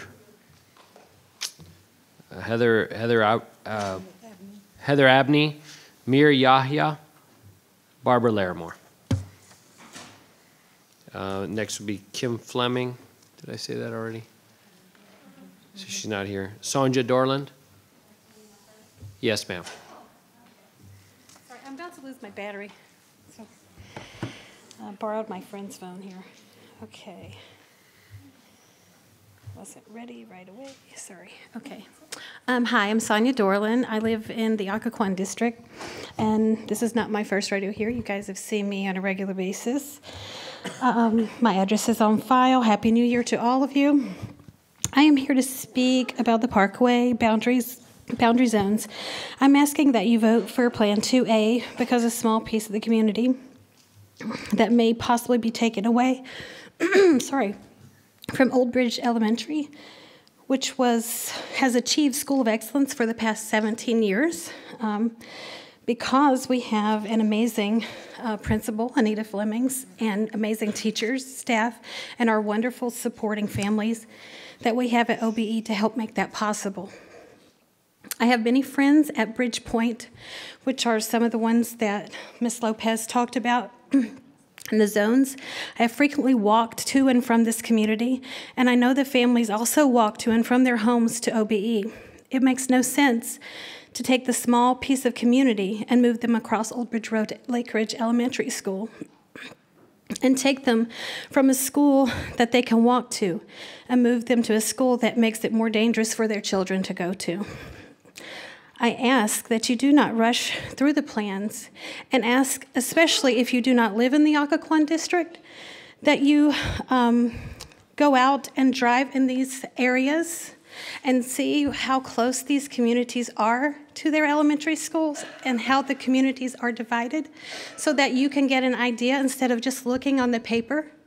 Because I actually feel for the, the Westridge people I can see that even on the map as where the Reeds Prospect is not even a part of that community, but they still yet go there and they're being sliced out. Um, I also ask, um, I'm sorry, I lost my place after I said about Westridge. Uh, I have friends there too. So please listen to the families that have taken their time away from their families here tonight and to take their considerations into your voting process. Thank you. Thank you. Stuart Davis. Good evening. Stuart Davis from 3720 Beaver Ford Road in Old Bridge Estates. I'm also the president of the Old Bridge Estates Homeowners Association. I've had three children either go through or graduate from the Prince William County system. Like everybody else from Old Bridge Estates, I'm here to talk about Proposal 3A. It splits Old Bridge Estates in half, splitting neighbors, the summer swim team, the Cub Scout pack, and friends from each other. What it also does is split the community uh, economically in half. We have about 900 town, townhouses and 700 single-family homes in the community. This proposal puts the townhouse families at Springwoods and almost the entire single-family home group at Lake Ridge.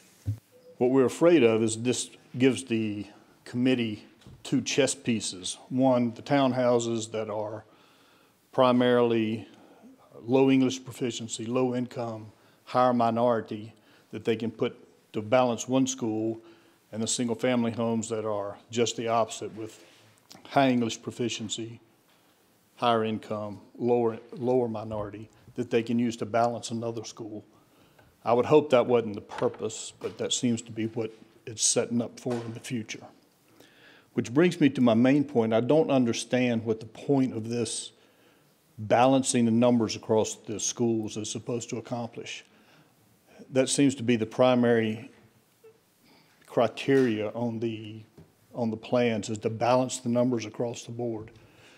I don't believe that having a 45% free lunch versus a 50% free lunch in a school is going to improve the education quality or a 73% minority versus a 70.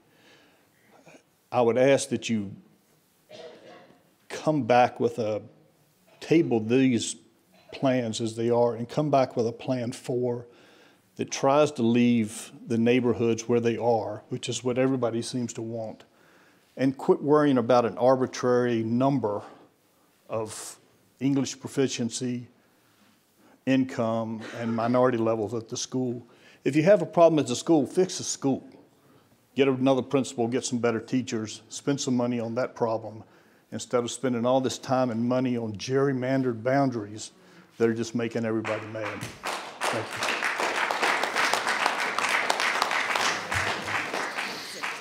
you. Elizabeth Hernandez.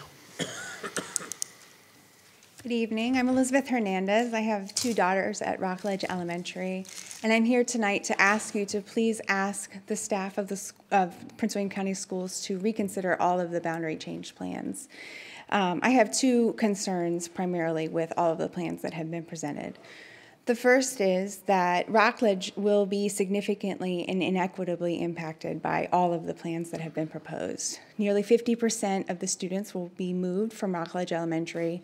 The staff uh, will be significantly impacted, and um, this is inequitable. Um, this this is I my children will probably unfortunately have to move from Rockledge, and I uh, feel so sorry for parents and students who are still staying at Rockledge with the impact that will be significant um, from losing an assistant principal, a counselor, um, moving to a halftime music teacher, and a halftime art teacher.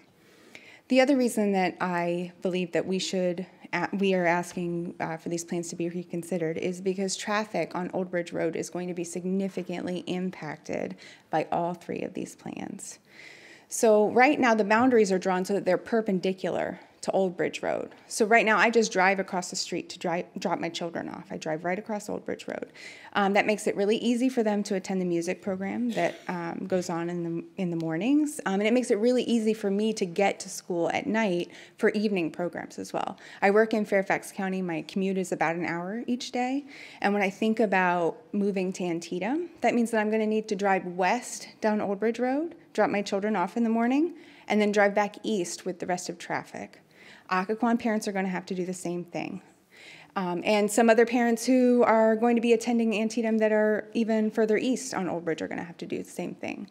I called Supervisor Anderson's office and spoke with her about this, and she, and I asked her. I know that uh, the Board of County Supervisors has been working to mitigate traffic concerns on Old Bridge. Um, I asked for her opinion about this change and how uh, her office might be able to advance measures to mitigate the traffic. She said that plans were about a decade out. So we have about 10 years before any traffic plans or any decongestion of the traffic on Old Bridge is going to occur. So I think we should not have any plans that are going to significantly impact traffic in the ways that um, all three of these plans do. So I would ask for um, the vote on January 16th to be delayed. I would ask for um, the staff to please reconsider and present the community with other plans.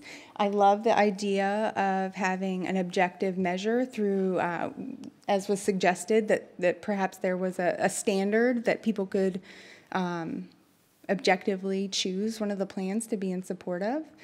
Um, and I really want to believe that this system works. Um, and I would just implore you to, this is not going to be the last boundary change that happens. It would be a really great idea to get it right this time. Thank you. Heather Abney.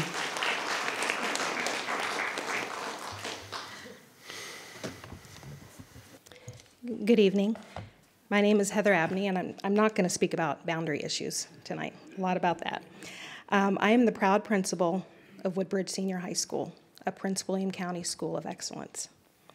It is hard to believe that three years ago today, I was about to embark on what would be the most challenging yet most rewarding chapter of my life. A day that can start off with a student coming up and giving me a big hug because she's in the top 5% of her class and she just got accepted to UPenn, to a few years later, a few hours later, walking down the hallway and having a student come up to me and say, Mrs. Abney, I think I will take you up on that offer to get a bag of food from the food pantry. A student who I had just finally, um, I was finally able to get him to um, realize that we're there to support him. And in a meeting where we were having a tough decision, is Woodbridge the right school for you, or do we need to look at the GED or look at an alternative placement? He said to me, Mrs. Abney, my mom's dying of cancer. My dad's not in the picture. I don't have anyone. I looked at him and said, We're here for you and we're going to support you.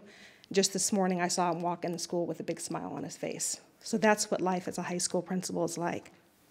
On January 3rd, 2016, I walked into Woodbridge Senior High School, one of the largest and most diverse high schools in the state of Virginia, and a school that had been previously led by great leaders, a school that, beca- that because of their leadership, ran like a well oiled machine a school achieving academic success, and a school embraced by the incredibly talented students, the dedicated alumni, the local businesses, the families, and most importantly, the entire Woodbridge community. And I think a lot of them are here. I think this is like the Woodbridge community here.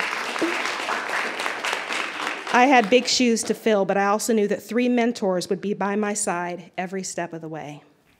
Three mentors who love Woodbridge as much as I now do, and three mentors who continue to watch me from afar, guiding me and supporting me through every triumph, and most importantly, through the challenging times. Pam Brown, Alan Ross, and David Huckstein, the three former principals. Thank you. I know that very few board meetings take place without the mention of Woodbridge Senior High School lately. You have heard from so many, but you haven't heard from me. I thought that as the new year gets underway, that tonight would be the perfect time. The turf field appear, appears to be a popular topic, and I want to formally thank you for approving the stadium project for our school. I'm already working closely with John Winley and John Mills as the planning is underway. Like any construction project, I know there will be challenges we face and tough decisions we have to make.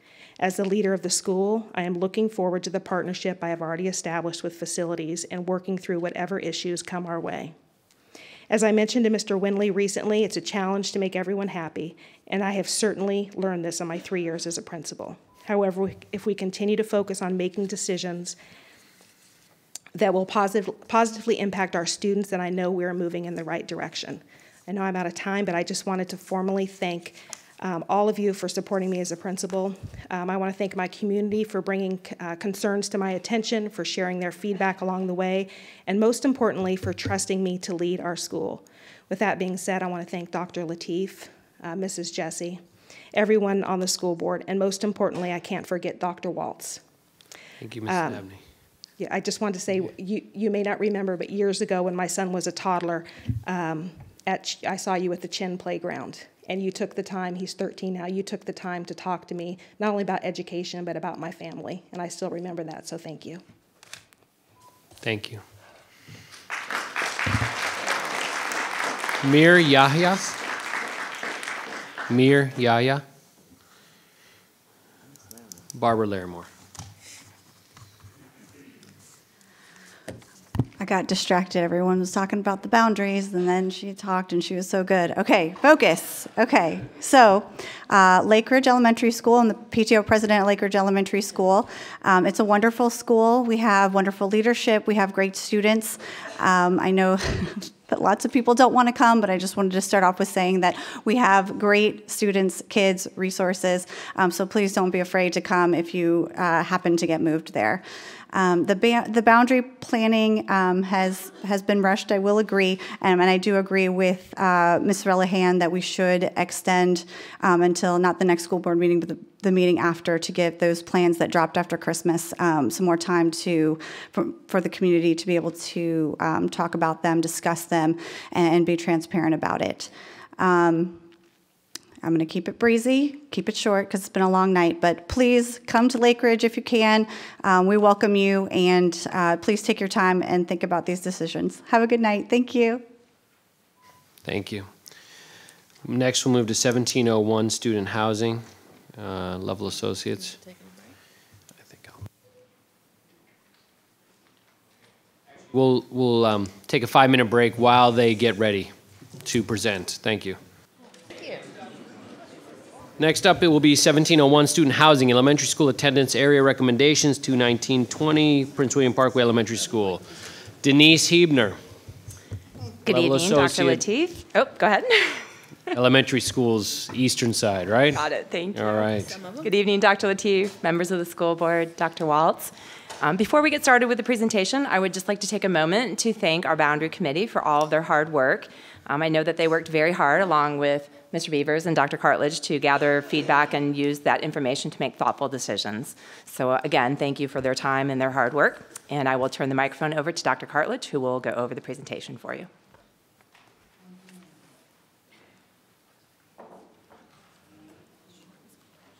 Thank you, Mrs. Hubner, for the introduction. Good evening, Chairman Lateef, members of the school board, Dr. Walts. It is a pleasure to be here this evening to present to you the recommendations of the Prince William Parkway Elementary School Boundary Planning Committee. I'll begin the presentation with a brief discussion on the current and projected capacity utilizations in our project. Then I'll move on to mention the future capital improvements that are scheduled in this immediate area along Northern Route 1 corridors and the Old Bridge and Prince William Parkway corridors. Subsequently, there will be an overview of the boundary planning process. And lastly, I'll present the recommendations of the Boundary Planning Committee. The presentation will first shift its focus towards the existing schools in the greater Lake Ridge and Woodbridge areas and their respective capacity utilizations. On your screen now is a map that demarcates the attendance areas of the 16 existing elementary schools within the scope of this project. These will be affected by the opening of the Prince William Parkway Elementary School and by the construction of classroom additions at Lake Ridge, Springwoods, and Antietam Elementary Schools. Each of these will be adding 13 classroom additions. It'll also be affected by the construction of a 10 classroom addition at Minnieville Elementary. The tabulation of student enrollment projections are presented here in the presentation and these are based on the current attendance areas for each listed school. The program capacity that we've provided is 2019 program capacity, and that is what is being used for the planning purposes. It was updated to reflect all educational programs that were present at these schools on September 30th of 2018. I do want to mention that a second update was made to Occoquan Elementary's program capacity after the boundary planning process began. Shortly before winter break, it was brought to our attention that the square footage of classrooms that were associated with a classroom addition in 2003 were erroneously printed on the floor plans that we had in our files. As a result, it turns out that four classrooms were actually large enough to accommodate general ed instruction. It was the result of this, rather than uh, public preference or request, that prompted us to update the capacity of Occoquan Elementary by 79 students. Moving on, I'd like to also point out that among these 16 elementary schools, there are 61 portable classrooms present that are being used for educational purposes. When planning sees the presence of portable classrooms, it suggests to us that the number of students attending these schools exceed what the permanent structure is able to accommodate. It's a little bit easier to look at these figures graphically. Uh, these numbers are reflecting what was just shown to you in tabular form, but it's very clear to see that uh, among these schools, they're overcrowded. Uh, they're not just projected to be overcrowded, they are overcrowded. We have 61 trailers here. Nearly one in three portable classrooms in the entire division are found among these 16 schools. The problem is here today, and we're going to be coming with proposed solutions to leverage the additional space that we are going to be welcoming next year. Uh, just to kind of bring your attention to some of the most overcrowded schools, Old Bridge Elementary is projected to be 140% of capacity next year. Penn is close behind at 132%, and Occoquan is at 130%. Occoquan's is based on the new updated capacity that has those 79 seats added to it.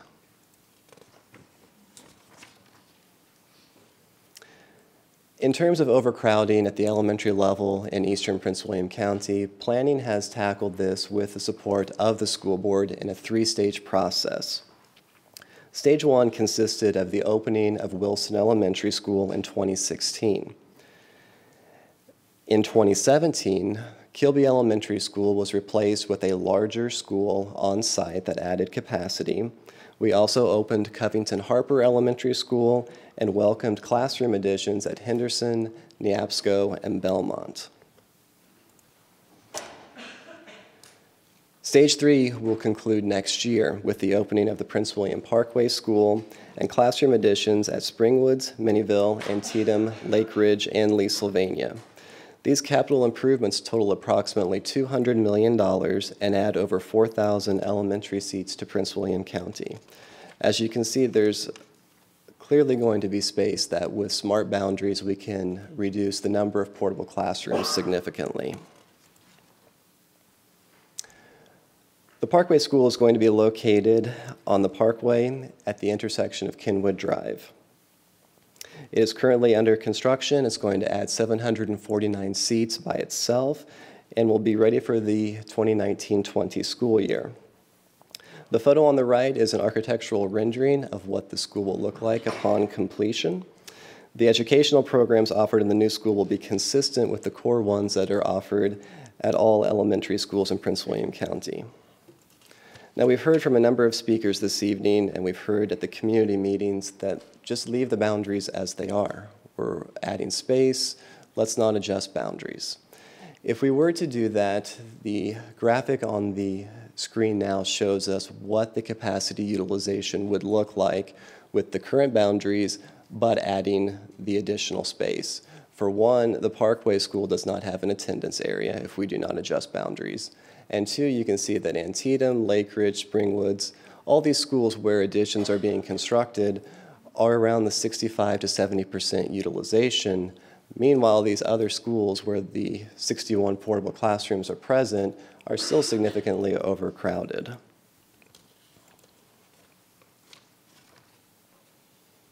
We're going to shift into the part of the presentation that talks about the process, and we've heard this evening about some questions regarding this process. What does it look like? Was it carried out um, as identified? School Board Policy 264 gives a general overview of what the boundary planning process looks like in Prince William County schools. The Code of Virginia gives a public school division the power and authority to establish pupil assignments to its schools. Regulation 264-2 was essentially the roadmap that helped us navigate this process and gave guidance to the Boundary Planning Committee. Over the course of the next few slides, I will discuss these in greater, greater detail. Policy 264 allows for the creation of a boundary planning committee when working with elementary and middle school projects. Throughout this process, public input is gained uh, by a, a multitude of ways, including community meetings, the Boundary Planning Committee, emails, phone calls, and chance interactions. A final report was prepared that includes three recommendations for the school board's consideration. The committee's role in this entire boundary planning process has concluded with this report, and that is provided to you on board docs and is available to the public online. We've also posted it on our boundary portal. It's important to mention that school boundaries are ultimately based on the need to provide for instructional effectiveness and the health, safety, and general welfare of all students.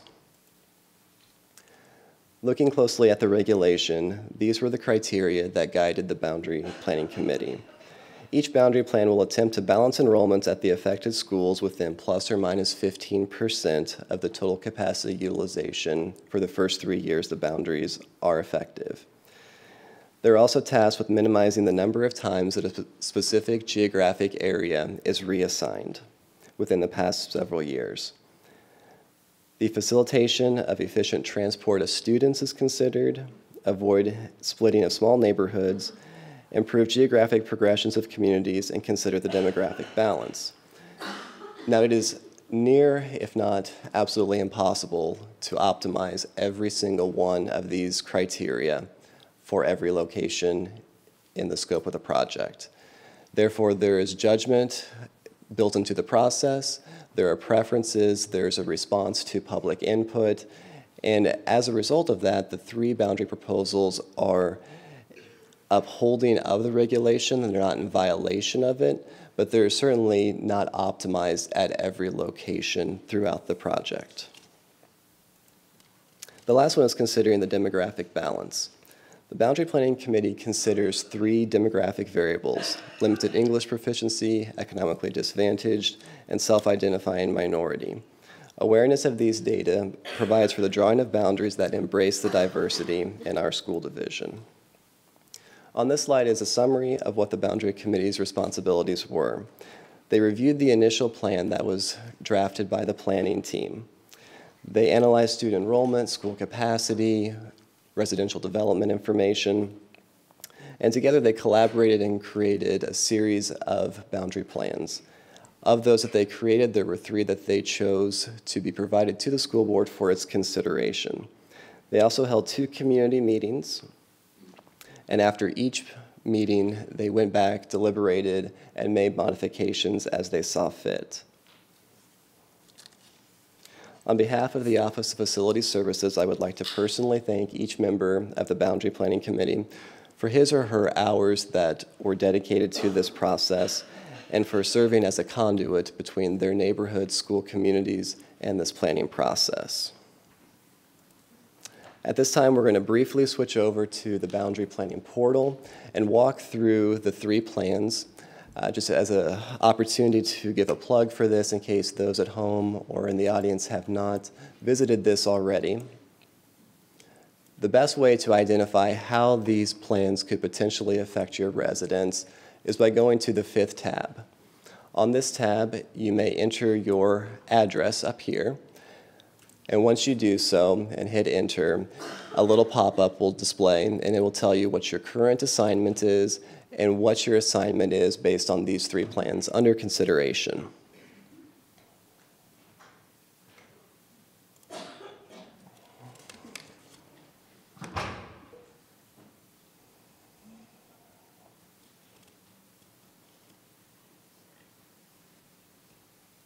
And I am told we upgraded our bandwidth.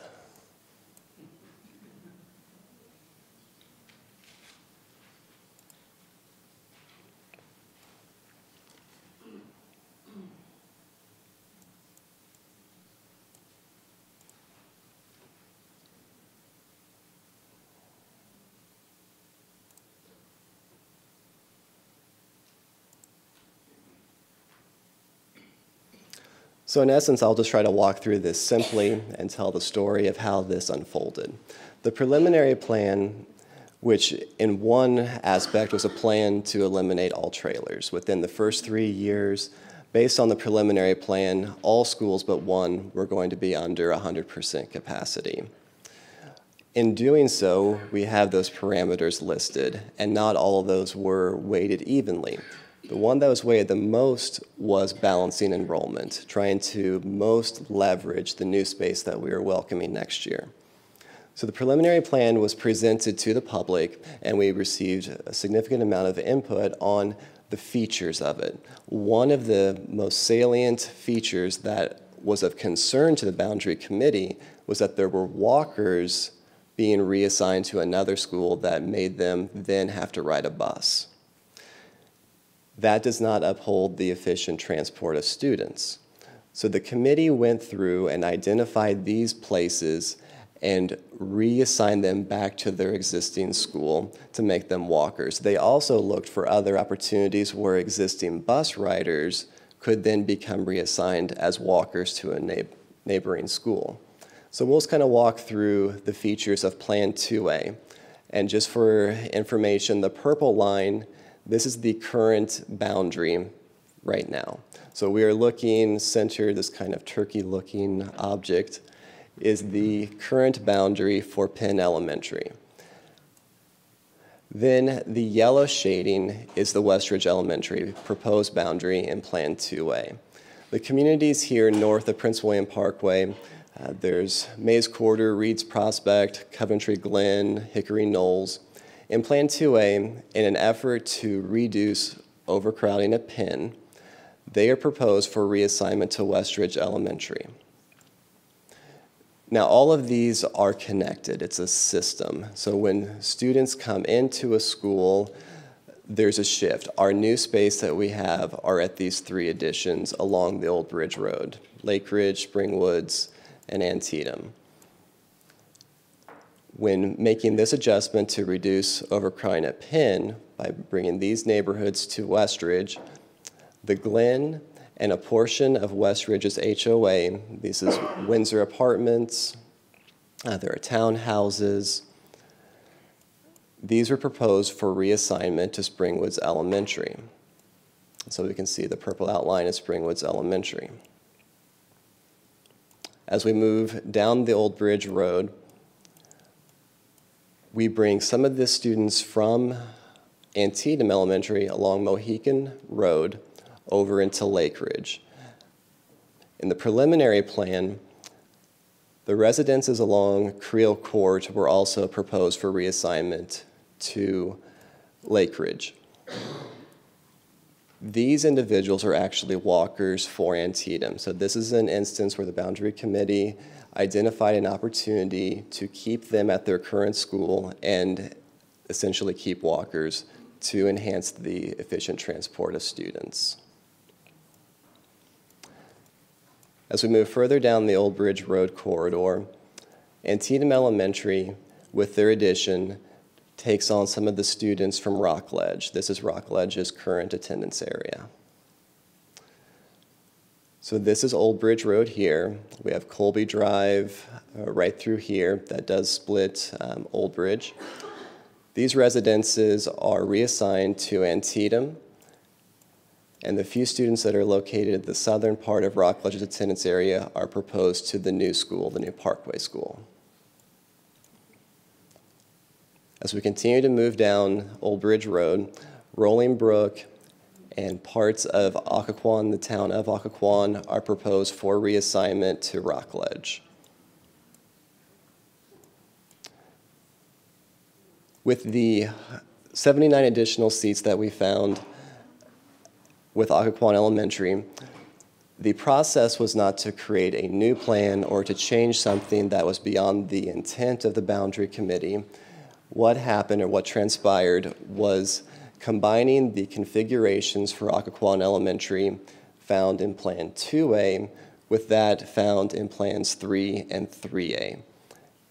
Both of these, central to these plans was the sentiment to keep more of Occoquan's existing students at Occoquan Elementary. So in doing that, 70, approximately 79 additional students, current students of Occoquan, were able to remain at Occoquan Elementary. As we move across the 95 corridor, we have Kilby and Belmont. In essence, after the addition was constructed at Belmont, there was still additional space for it to accommodate more students. And in doing so, Woodbridge Station was brought into Belmont Elementary. This, redu this reduced some of the soon to be overcrowding at Kilby Elementary despite the larger school that was constructed on site. As we continue to move south down the Route 1 and 95 corridor, Vaughn Elementary's attendance area currently is all of this. It extends up Prince William Parkway, and most of the attendance area is west of 95, while the school itself is east of 95. There is an opportunity here to reassign this portion of Vaughn's attendance area to the new Parkway School. In doing so, Vaughn's attendance area then shifts over to like Marumsco Acres. Um, you have the Bayside area. Those are reassigned to Vaughn Elementary. As we continue to move south, we have Potomac View and Featherstone Elementary. In the preliminary plan, the A streets, the A stage streets like Arizona, were proposed for reassignment to Potomac View. The committee identified that these are walkers for Featherstone Elementary. The portions of the current attendance area that have like Idaho Street, Oregon Avenue, these students are already provided busing transportation to, to Featherstone.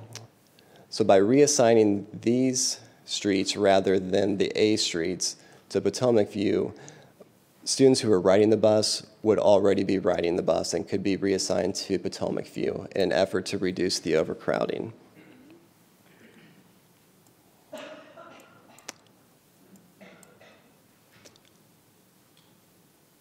Minnieville Elementary is also having a 10 classroom addition constructed. The H streets were proposed for reassignment to reduce overcrowding and to better leverage the 10 classrooms being constructed at Minnieville.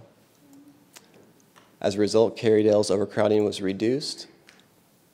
And our last school to discuss would be Penn Elementary.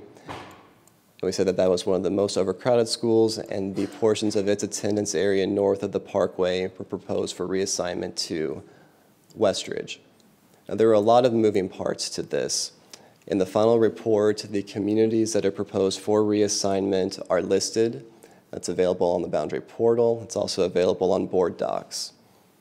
The changes between Plan 2A and 3 and 3A are uh, somewhat minute, so we'll briefly go through those.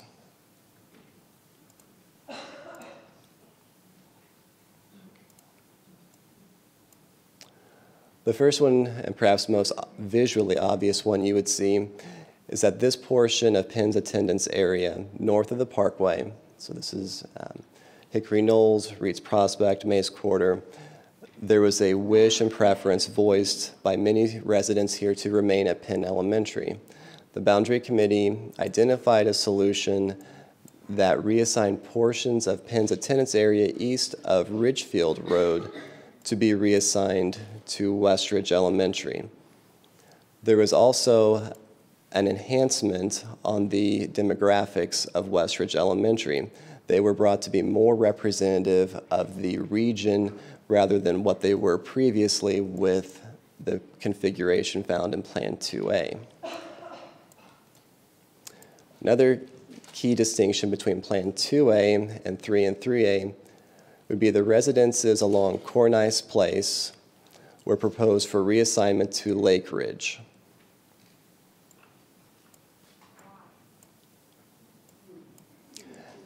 I hear a why in the audience, and it's a perfect time to address it. With the balancing of enrollment, we are tasked with a plus or minus 15% rule on total utilization. With, a, with an addition on Lake Ridge and not bringing more students into the school, the school falls below the minimum threshold of approximately 79%. As we're moving along, the other key distinction between 2A and 3 and 3A are the reassignments of the southern part of Old Bridge. We heard from residents that Jenny Lane preferred first and foremost to remain at Old Bridge Elementary, but if they were to be reassigned and reassigned to the Parkway School, that the portion of the attendance area along Falk Lane also be reassigned as well. In doing so, we also heard from a number of residents at the Woodbridge Mobile Home Park and voiced their preference to remain at Old Bridge.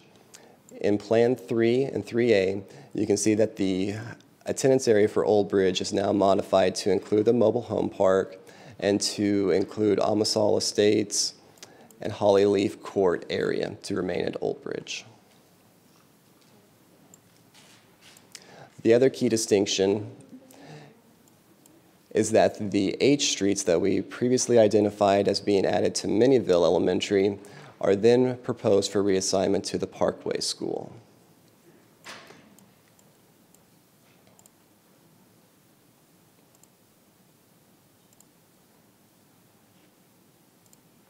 Our last plan is Plan 3A.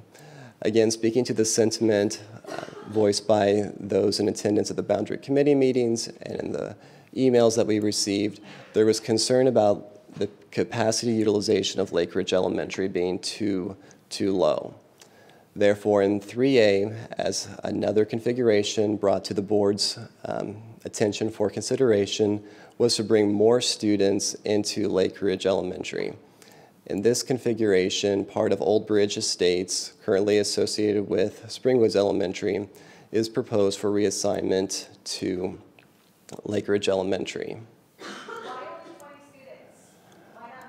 And lastly, in Plan 3A, the configuration that we saw in 2A with um, Mays Quarter, Reeds Prospect, those are brought back to Westridge Elementary. So at this time, we're going to switch back to the PowerPoint presentation to finish that.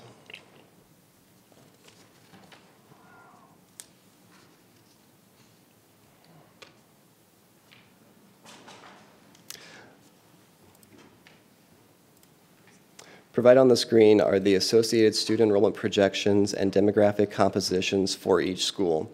In a few slides, we will present this information graphically so it's a little bit easier to digest. Again, recall that the Regulation 264-2 charges each boundary plan with a balancing of enrollment of plus or minus 15%. That is based on the 94.8% that is shown in the third year, right here. So if every single school was balanced only on enrollment, it would be 90, each school would be 94.8%. When we apply the plus or minus 15% rule to that, our range becomes between 79.8% and 109.8% of capacity utilization.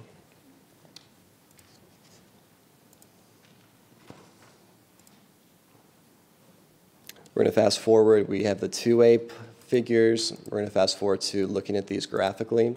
Those are provided in the final report for your review.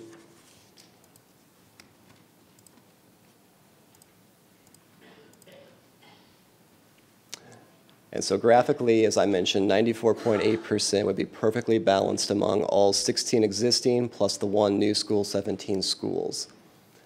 As we can see in Plan 2A, 3, and 3A, most of the schools are brought below 100% capacity utilization by drawing the boundaries in any one of these three configurations. And I think that there's significant progress that we are able to show thanks to the Boundary Planning Committee. Recalling what Occoquan Elementary's capacity utilization was, recalling Penn's, and now looking at what those are now, that's a significant enhancement. Continuing forward, we have provided side-by-side comparisons for you to try to identify just the changes between the two plan, excuse me, between the three plans by isolating two plans at a time. So we have 2A and 3 here compared of the schools that differed among those plans.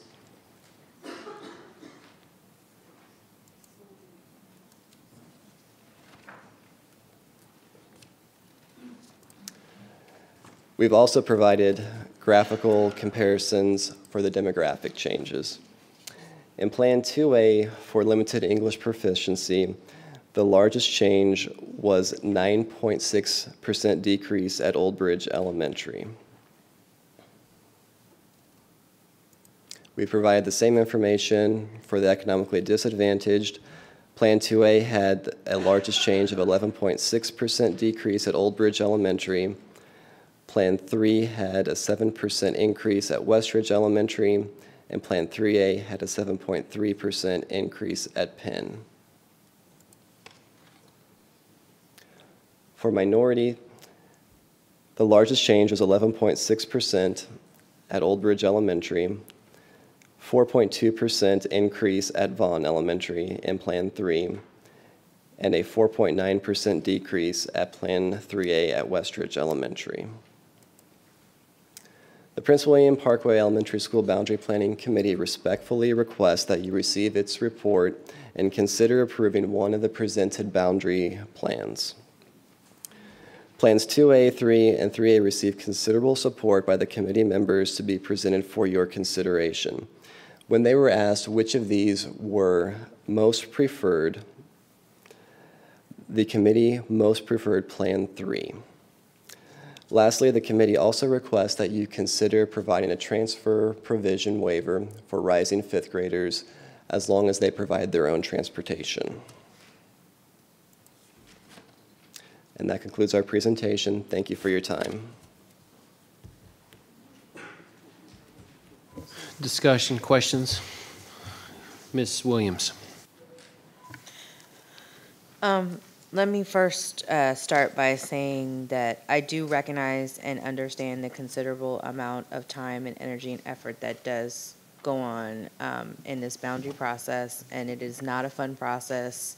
Um, I don't think for anyone, but especially for your office. Um, having sat in this position for a while, I do understand um, what an interesting position this puts you in.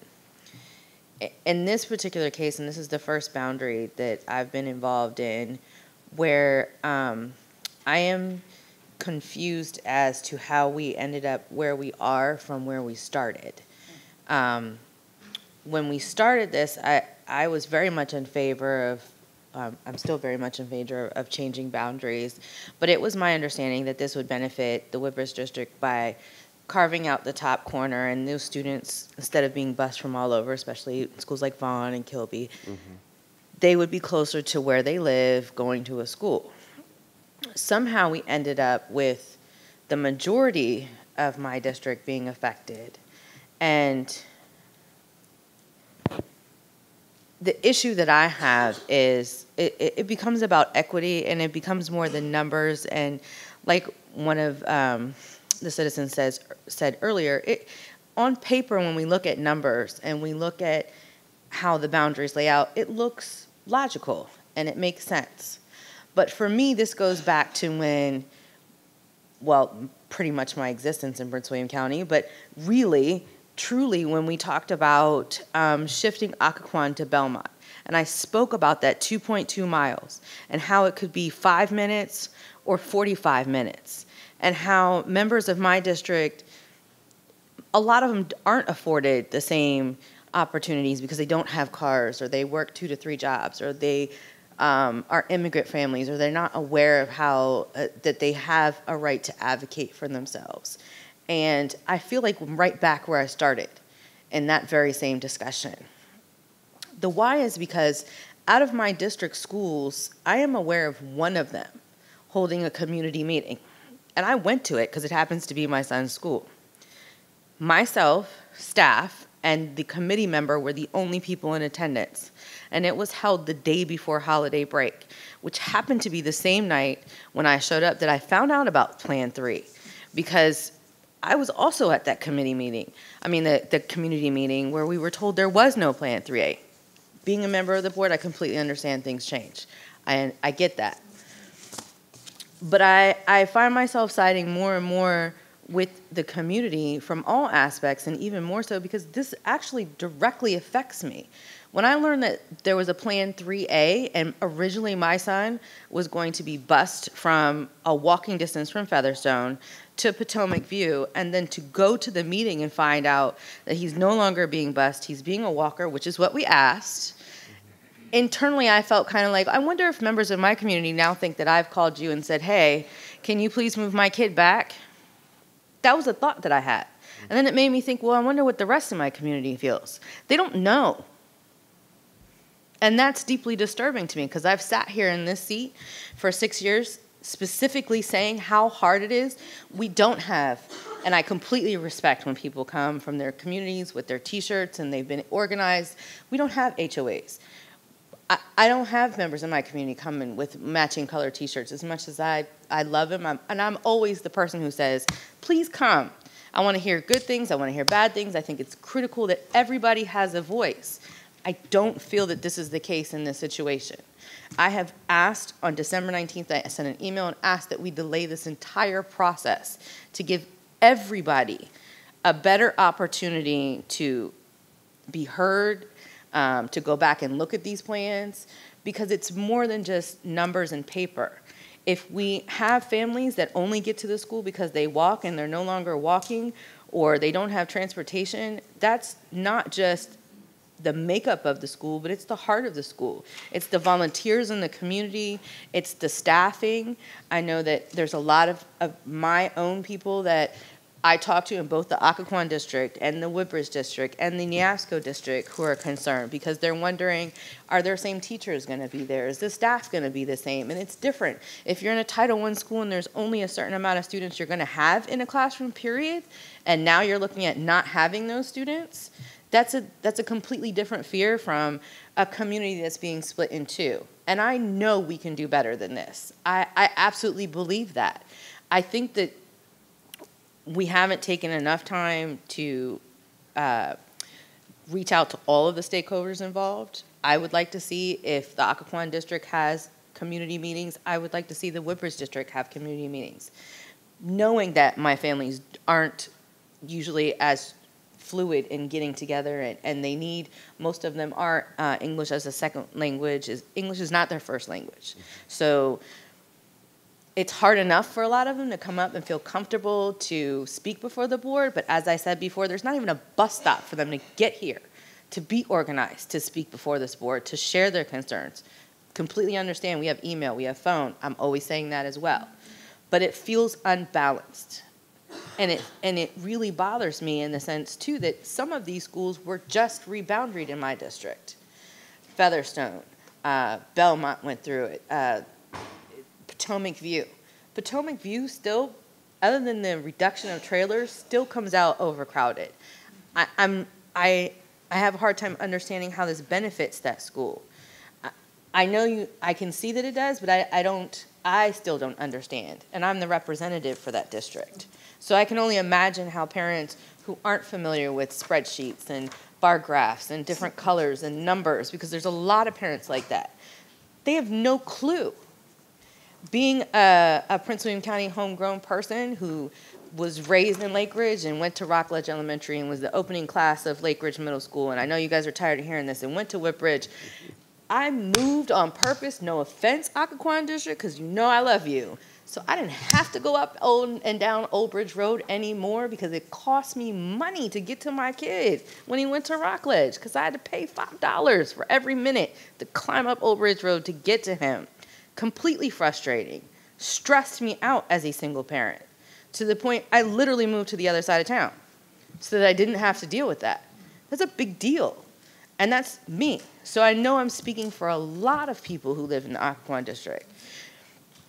God bless you for living there still. I know that as a school system, the traffic is not our fault. Um, I'm sure Supervisor Anderson knows that I know that because I say it to her frequently.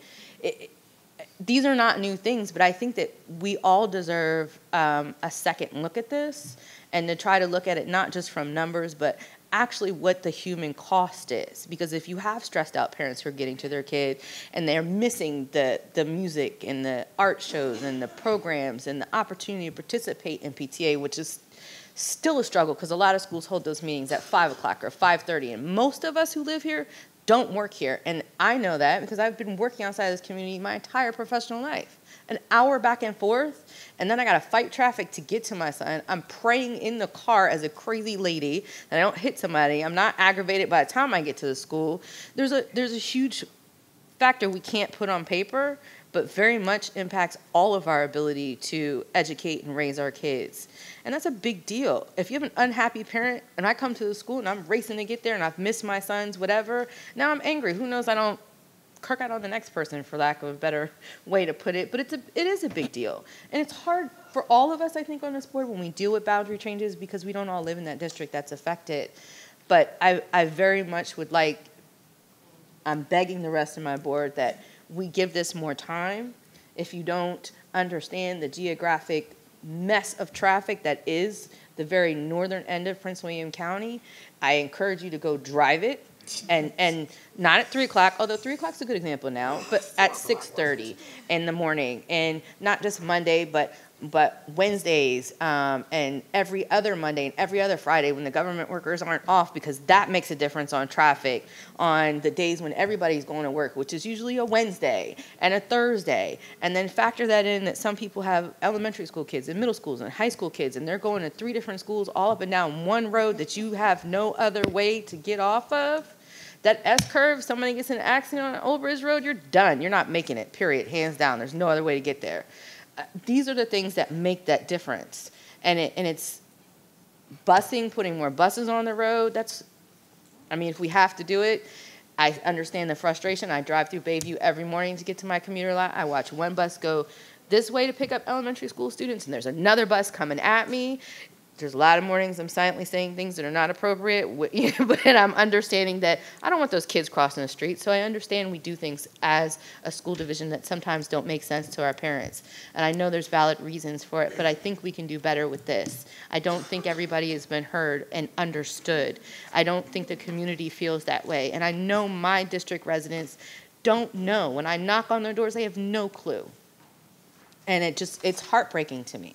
And I don't want anyone to feel either that just because I have an elementary school kid who goes to Featherstone that I have more of a personal stake than my neighbor does, or the person on Idaho does, or the person on Belmont Bay does, because it's equal to me. And I just want to make sure that we've all had time to really understand this process. Everyone has really been heard, and I'm asking the division again if you have, if we could expand those community meetings to include the Woodbridge district and not just the Occoquan district.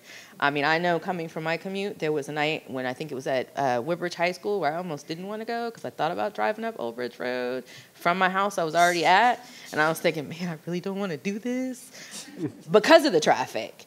Um, you know, I, it's a huge deal. It's it's a financial, it's a mental toll, and if we're going to make this much changes and and it's going to impact this many families, I think we can. Um, I hope that we can take some more time and hear back from people, especially when it comes to 3A, because it did occur over the holiday break. And if I'm sitting on the board, I didn't know till I showed up, and thank God my principal had um, enough foresight to hold that community meeting.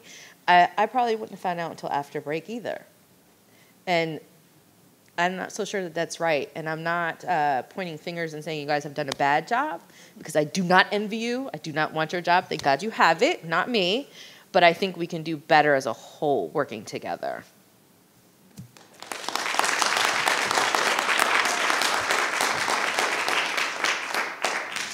Ms. Jessie.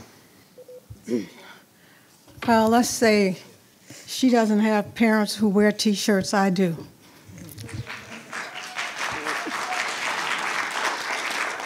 Um, First and foremost, I want to thank the committee and members who designed the plan and that were being presented. Are there committee members here tonight? Would you please stand? I know you don't want people to know who you are.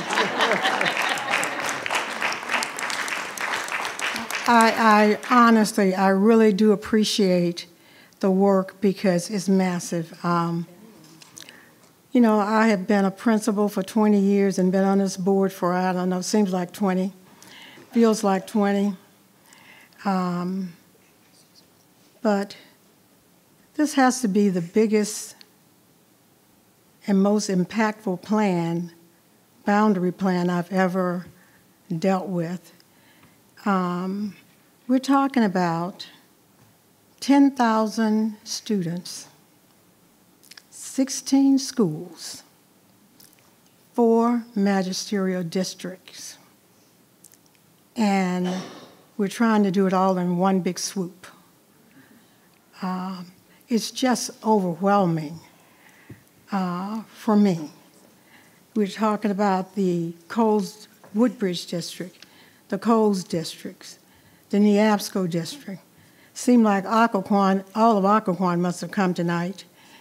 Um, and I, I want to give a shout out, which is kind of interesting, because one of my students from Vaughn, Gabe Polar, I just want to tell you that I must have taught you well, so now you're here protesting.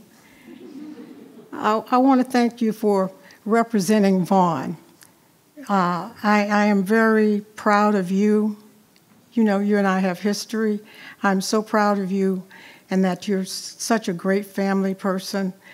That's just, and the other person I really want to thank is the man who um, comes every night and, like Mr. Trenum and I think Willie Deutsch, loves Excel sheets.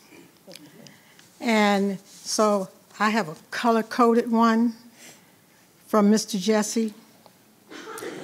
Uh, he does a lot of my, uh, uh, you know, board members don't, we don't, we don't get to get staffers and people who can do all these reports. So I want to thank uh, you for listening to him and offering to meet with us to go over all of these sheets. Um, I, I, actually wrote my notes because it's so important to me tonight. Um,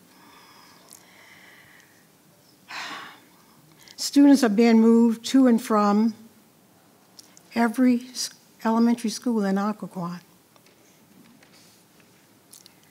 Uh, a total of seven of these districts are my district. When we looked at this initially, my thought was that we were looking at a new school on the Parkway and we'd move some kids over there. I have three schools that have additions, Lake Ridge, Antietam, and Springwoods. I thought we'd move some people in there. And I asked, please don't, if you can, and I know Mr. Mallard and several of you, I said, try not to move the people who are already there out. And I remember either you or Mr. Mallard, I'm not sure, said, Lillie, that's going to be hard. I just felt like if I'm already there and all of a sudden now I have to move, that's going to be a problem. I've offered to meet with every school in my district, and I have met with each one of them. I will be meeting with Rockledge tomorrow. I've tried to listen. I have driven during the holiday break. I've driven to these boundaries. I've looked at Cricket Lane. uh, I went to 12803 Occoquan Road because this gentleman sent me a note saying, come to see my house, and I know why, because he's a hop, skip, and a jump from, from Occoquan Elementary, and his, he's not going there. Um, when I look at this, these were my three plans. One, I wanted a plan that would minimize the number of students being transferred from their base school. I wanted to determine if all of this hoopla and all these people, if there was a common thread of concerns from parents and communities. And I also wanted to look at the long-term impact of this. I have learned from the best. And I have to tell you, Mr. Trenum, they know how to do it. They get in there and they, I'm a hands-on person, I always have been. This is my, what I see as the common concerns. Too many schools are being moved at one time, creating anxiety among parents and students. It's just too many. Parents are not being given time for feedback. The last, the last two signs were put on the website a couple of days before the holiday, and then they're just being presented. When I saw the plans jump up on, uh, you're packing your clothes, you're getting ready to go to grandma's house, and all of a sudden there's a boundary plan. Students in schools that are not part of the original plan are being asked to leave their school to make room for other schools. I just didn't anticipate that. And, and I understand why Rockledge, for example, at first Rockledge was losing 70%. Now it's down to 50. If I'm a principal in that school, I'm thinking, whoa, that means I have new teachers or no teachers. I have teachers leaving. I have kids coming. I don't know these kids. I've got a plan for these kids. I've got unhappy people everywhere. Rockledge students are being asked to move further south on Old Bridge Road, I think to Antietam, creating a traffic nightmare. Thank you, Gabe. Uh, Occoquan residents who live on Occoquan, 0.1 mile, that would be 12803, that place. The town of Occoquan, a historical site and a historic part of this school, are being removed from this school. Westridge students are being moved to Springwoods in order to receive students from Penn. Westridge was probably just sitting there thinking nothing's going to happen to us, and now they find that they've been moved out of their school so that others, others can come in. Same thing that happened with Rockledge. Westridge students are asked to become walkers, and I went over there to look at Somerset. And you guys know it better than me, but it seems like there's no walk there's no sidewalks in certain instances, and it's a long walk. I clocked it, I looked at it. Uh, small clusters, uh, there are several small clusters. Cricket Lane, uh, Old Bridge Estates, those people have been writing me, I've been writing back. Um, Mr. Cartledge, you know, uh, could you stand, please, just for one second? You know, I, I said to this man, I said, I think you are a nerd and you understand all this stuff along with my husband and Willie and probably this guy. But this stuff is not user friendly. If I'm a parent, I don't know if I really even understand it if I went in there. But you did a good job with it. And all the color codes is really, I just want to thank you because I, I, I honestly know how much work. So now, finally, my recommendation. Um, I think, like Ms. Williams and the parents, that we really need to look at the timing of this. Uh, the Occoquan piece was very significant because I've been asking for consideration for Occoquan Elementary to build something on that land, I think ever since I have been here.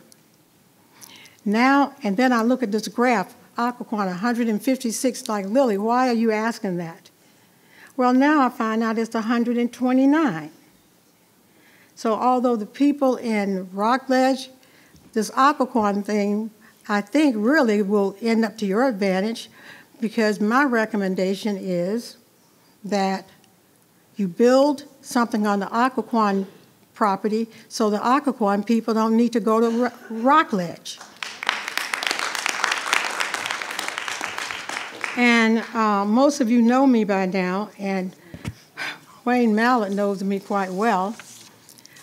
And he knows that I'm very persistent. I want to thank you for saying to me, I will do uh, a study, a feasibility study at Occoquan, but I would like for that to be considered immediately.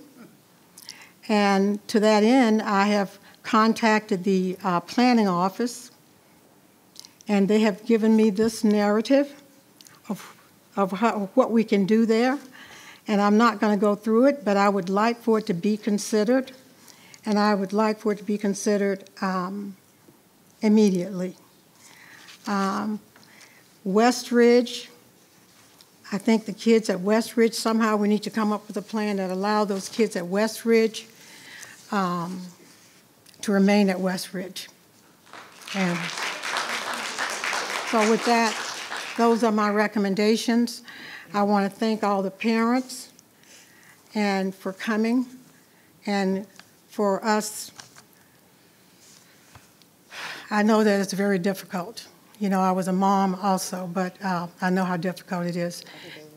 So with that, those are my recommendations. I recommend that we do have some type of um, extension or change of plans.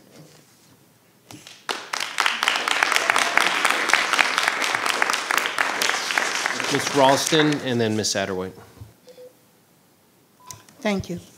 Uh, I just want to apologize to you. I was not even aware that I thought it was three schools that were in this. I look up and there's nine schools? 16. 16, but nine. There are two, there are three in your, three in your district. Yeah, three. So that makes it quite interesting. Not because it's my school, but because we didn't know. Uh, that's, sometimes that happens. The last time that I talked to you and asked you to do something, you did it, and then I was really sorry for that because then that turned out to be a fiasco. So what we, what I'm really looking at at this moment is that because I just have a, a couple of schools, I have three schools out this time, which is different, and I appreciate you. Thank you very much. Um, I think that if we can figure out how I can keep as many as possible away from Penn at this point, because Penn is overcrowded and has a bazillion, it seems like, uh, trailers. So I'm more or less looking at that, and I understand we will be on, let's see, the add-on addition at Minnieville, right? So we, yeah, go ahead.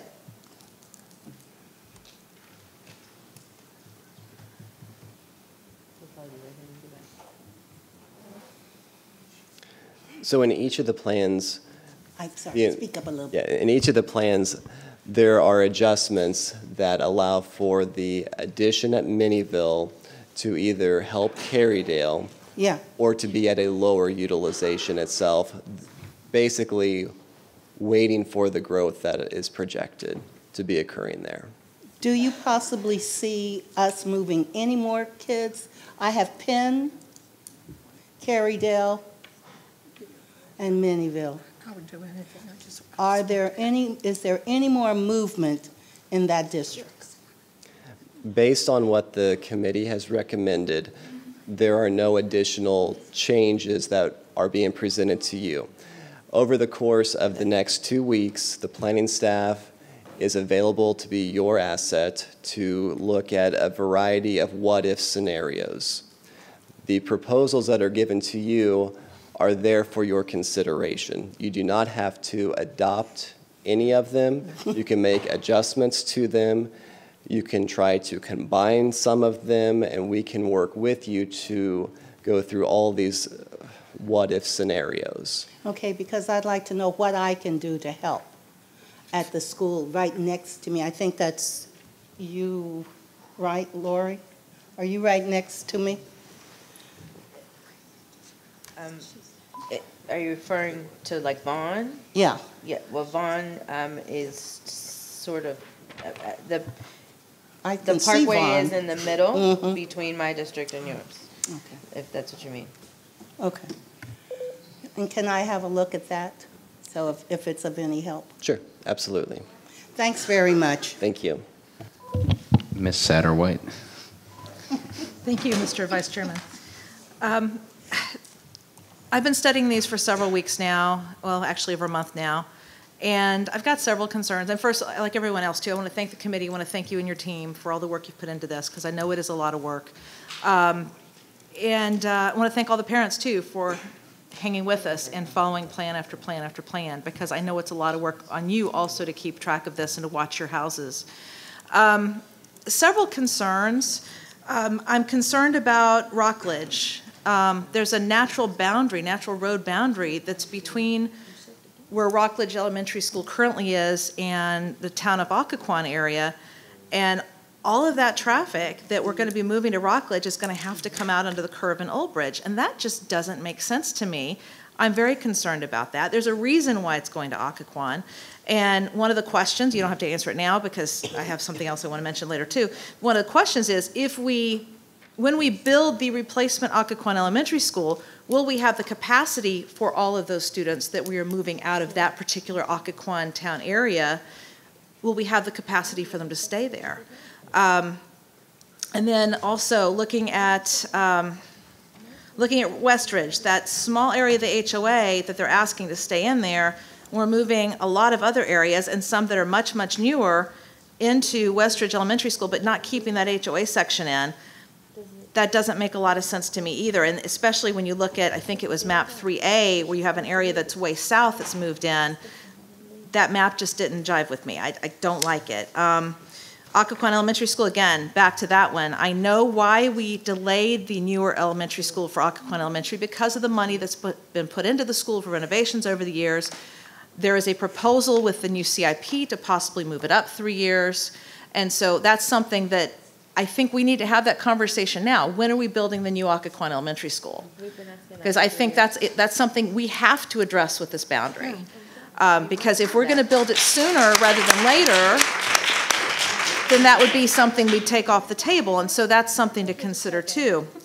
Um, Vaughn Elementary School, looking at those boundaries, it looks like the Vaughn Elementary School boundary is the same in all of them. And I will zoom in on this as much as I can. And I look at it and I'm like, it just doesn't make sense. I know it's hard with Kilby and Vaughn and Marumsco to be so close to try and get a compact boundary, but can't we do better than that? Because it's it's it's like a puzzle and the pieces don't fit.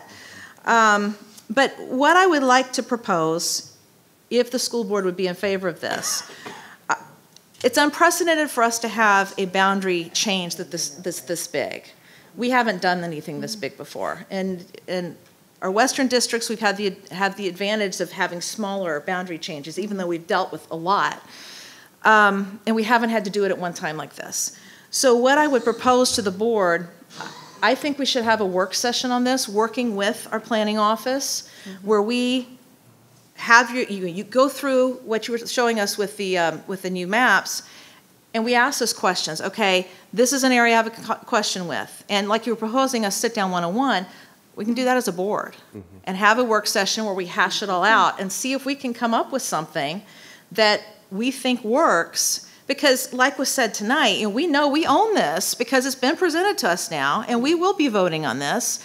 And you know, as a parent also who's gone through the boundary changes in the past, um, I know it's difficult. I know it's difficult to move your kids. I know my kids ended up. My son is my youngest, especially. Okay, I've told this story before. The boundary changes. My youngest, when we moved here, we thought, oh great, we'll have one child, military family. We'll have one child who's going to go all the way through one elementary school, and then the boundaries changed, and we're like, really? Um, he ended up fine. So we know we have awesome schools. But I also know that you are all passionate about your kids. And even for everybody who's watching on television who couldn't be here tonight, who's watching on computer, we know they're passionate about their kids too. And I get it because I've been there. I advocated, I went to the meetings for my own child's boundary back in the day. We were a smaller neighborhood too. Bigger neighborhoods went out. But that's where there's some fine tuning if we can possibly do it. I'd like to see some tweaks. There are parts of each map that I like. I don't see one map I like. And that's what I'm hearing from fellow board members too. So, you know, to all of you, I, to my fellow board members, I proposed to you a work session. We could do it following our CIP work session next Wednesday, or if we're going to delay it, we could do it the last Wednesday night in January. Um, I am hesitant to delay the process too far because we are getting into budget, and budget is busy enough. But I think it would be important for us to have those conversations and have that special focus on this. Thank you, Mr. Chairman. Thank you. Um, I think. Were you next? I'll go to, I'll go to Gil Trenum, then Dr. Walts, and then, Thank you, Mr. Chairman. Um, Ms. Jessie, thank you for uh, uh, the kind words that, back in 20 2011, actually, I guess we did in 2010, we, we did the boundary processes for the Linton Hall Quarter Schools, and that involved a total of one, two, three, four, five, eight different schools in my district at one point, and it was painful. Um, But, but we got through it. Uh, I, I do have one question uh, Mr. Cartledge as far, that I'll get to later. But first off, I want to uh, address the, the, the parents and the community members as far as, as a board, we, we do hear you. Um, boundary processes are never fun. Uh, I've done a number of them, and they are always painful. Um,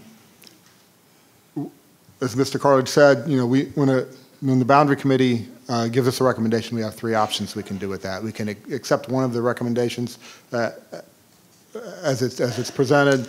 We can um, uh, take one or two of them and modify them, or we can reject them all and send them back.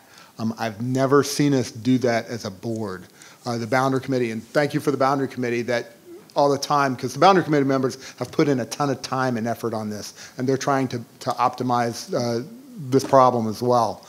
Um, uh, I've never seen us just send it every, everything back because the boundary committee has done a lot of work already, and for us to, to completely throw away all that work is, is not necessarily the best, the best option. Um, I would suggest if we, if as we have a board to decide we want to take these and modify them a little, that we make sure that we get those out to the community uh, for feedback before we bring them back to the board. Um, I think that would be important. The other thing I want to tell you as community members is, like I said, we, we do hear you and we do try our best. Um, I tell everybody, you know what, tell us what you want and make your case, make your best case possible. Um, but also understand that we're not going, at some point we have to make a decision and we aren't going to make, be able to make everybody happy. So um, it's unfortunate, but, but we do have to make a decision at, at some point in time. Um, I do like the idea of a, of a work session if the other board members agree to that.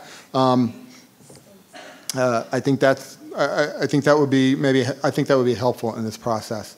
Um, Mr. Cartledge, I I do have one question regarding the, the plan, I guess, 3A that went out right before the, right before the spring break or stuff like that. What was the community notification process for those? Did we do anything, anything differently or, uh, I know, we- I know we posted it to the website, but was there any communication to the school as far as saying, hey, there's, there's another plan out there?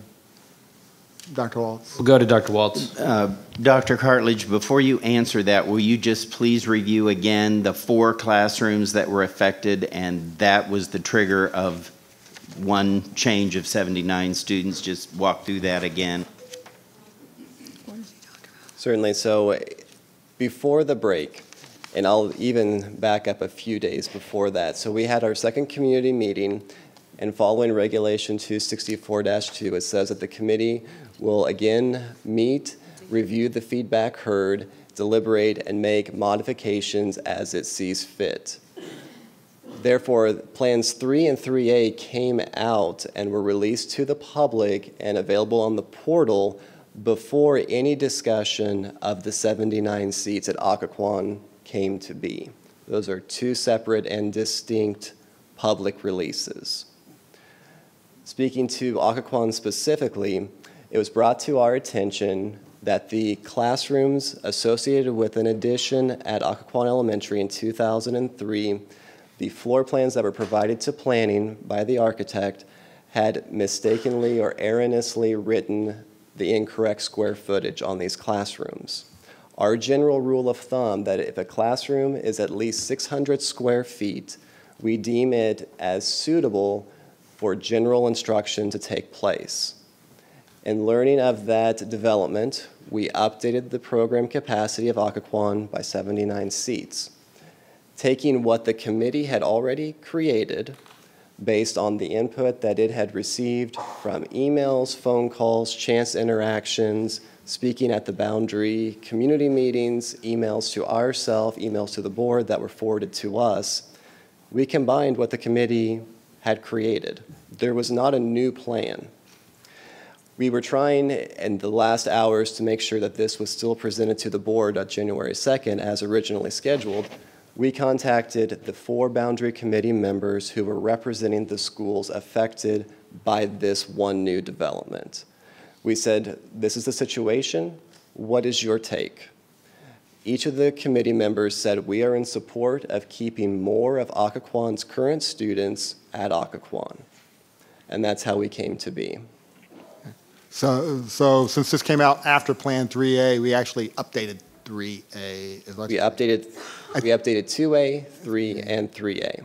I think, uh, and just from, I think from a perception perspective, I think that cost us some trust with the community because it felt like that we were changing things on the plans without involving them. I don't think there was any ill intent, and like I, I agree with you that you were trying to follow the, the intent of the of the community. I think in this case, maybe a, a a 3B or something like that that would have illustrated those differences might have been more appropriate. So that I think we can take as a as a learning process going forward. Like I said, I don't think there was any ill intent. I just think the perception came across um, uh, not the not the not the best and not the most helpful in that in that instance. So um, I don't want to keep rattling on on this, but. Uh, like I said, there's, there's a lot of work to go, and like I said, I, I think we definitely need to look at, oh, I do want to point, address a couple things I almost forgot. Regarding the grandfathering of rising fifth graders, obviously it's a recommendation that comes with, with every committee. I can't commit the board to any decisions on that, but I will say in every elementary boundary committee we've ever done, we've always grandfathered rising fifth graders to, to my recollection. So from that perspective. And we can look at other creative things as far as grandfathering, things like that, with providing transportation. That's something we can discuss as a board, because we have done those on certain instances as well. But I just wanted to uh, put that out there to kind of give some more context on things. Dr. That's Walts? like a I, I just, uh, again, Dr. Cartledge, if you could mention, as soon as it came to your attention, you brought it to the staff, you brought it to my attention, would you please explain what then was posted to the web where people go who are following this? Absolutely. After it was brought to our attention, we worked with senior administration to try to navigate these uncharted waters. Something like this in my tenure with the division has not happened, and we were making every effort to be transparent and timely with the process. We worked with community relations to draft a web story that was posted to the four schools affected by this development. Subsequently, there was an update posted on the boundary planning portal that shared the same information explaining the new development, how this has affected the three plans under consideration. And in each of the three plans, Occoquan's attendance area was the same. It was the combination or the combining of what was present in Plan 2A with that of 3 and 3A.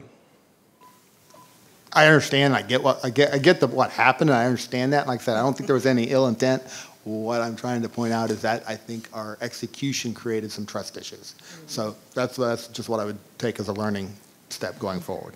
Let me go to Willie Deutsch, and then Williams, and then um, Jessie. Thank you, Mr. Chairman. Uh, Boundary processes are always fun. Uh, We've, I guess it's this time of year again, because every year on the board, uh, we've had another boundary, and they've all been, this is very large, but they've all been fairly sizable and involved quite a few schools. Um, Can we go, go back to, to the beginning again? Um, How many trailers did you say we're working on eliminating? We're striving to eliminate 61 portable classrooms, And how many trailers do we have in the school division right now? 207. Okay, so we're looking at a little under a third one in of three. trailers that we have in the school division we're possibly eliminating with this map. With smart boundaries, we can eliminate almost one in three. Okay. And then just so, just so I understand, how far over capacity at a school requires a trailer? Because we've got the 15% deviation mm-hmm. from the 93% average. But how far above, say, 100% do we start kicking in trailers? It's difficult to give a rule of thumb because with program capacity, the number of students that can be in each classroom fluctuates based on how many special ed, ESOL, those pre-K programs, a variety of, of matters contribute to pro- program capacity, as well as whether or not they qualify for the Virginia K-3 class size reduction grant. It could also depend on how the Correct, but we- we've built program capacity into the numbers we're looking at, correct? I'm sorry, The program capacity is built into the numbers we're looking at, right? correct, yes. Okay, so we've built in program capacity into our current projections. Yes. Okay, mm-hmm. so how far over 100% program capacity do we start using trailers? It's based on each school's request. It depends. It- There's really not a hard and fast rule that says So when how- it how do we reaches know- how do seven we- percent. May I? Sure. So let me give you an example of something that doesn't fit neatly into what you're asking. I understand the point that you're asking, but let's say, for example, every year we try to identify and try to expand the number of gifted centers in the elementary schools so that elementary students don't have to be bused to get their gifted services. So it might be as some, something as simple as we have the funding to have a gifted facilitator in another elementary school, but there's no classroom space. So that, that doesn't fit with the numbers of actual students going there, but that's a program need that may generate a trailer. That's one example. Okay. Um, All right, we can talk more later. Um, A Couple of questions on the maps. 2A, there's this funny green island off of Old Bridge Elementary School, right in the middle of the Prince William Parkway boundary. Why does, why does that exist? It's a commercial center. It's a function of the way the planning zone is crafted. Oh, but there aren't any kids in that green spot? It's all connected to a spot that most likely does have residential uh, component to it. Okay. And then we have the really big island in Plan 3 from Penn over to Westridge. Um, What, um, what, what's the point where an island that big is acceptable? In Regulation 264-2, there is no mentioning in the criteria to compactness, islands, peninsulas, or any other geographic features. What is working in Plan 3 is the committee's decision to incorporate public input and allow for Reid's Prospect, Mays Quarter, Coventry Glen, and Hickory Knolls to remain at Penn Elementary. In an effort to balance enrollment, and this also speaks to the demographic composition, there was an opportunity to look at the residences on the east side of Ridgefield to then be reassigned to Westridge to balance enrollment, enhance diversity. And the transportation is roughly a five-minute drive. I, I, can, can we have order here? A five minute drive. All right. Um, And I, in fact, did drive that at 8 o'clock on a weekday. I, The elementary schools do start after 8. Sure. I, I, I drive every single day to work and back from work along Old Bridge Road. Um, can you share with, um, we, we've had a lot of ideas about moving a little sliver here, a little sliver there, and uh, obviously all of those end up compounding into large changes. Um, but can you share with the board the um, numbers behind the different planning zones so that we can at least understand those as we look at those um, changes? The projected numbers per planning zone? Yes, those are already available on the portal By each planning zone? by each planning zone, That's just a P study. under Okay. supporting maps. Those are the P things. Okay, so we can, so we can walk through those.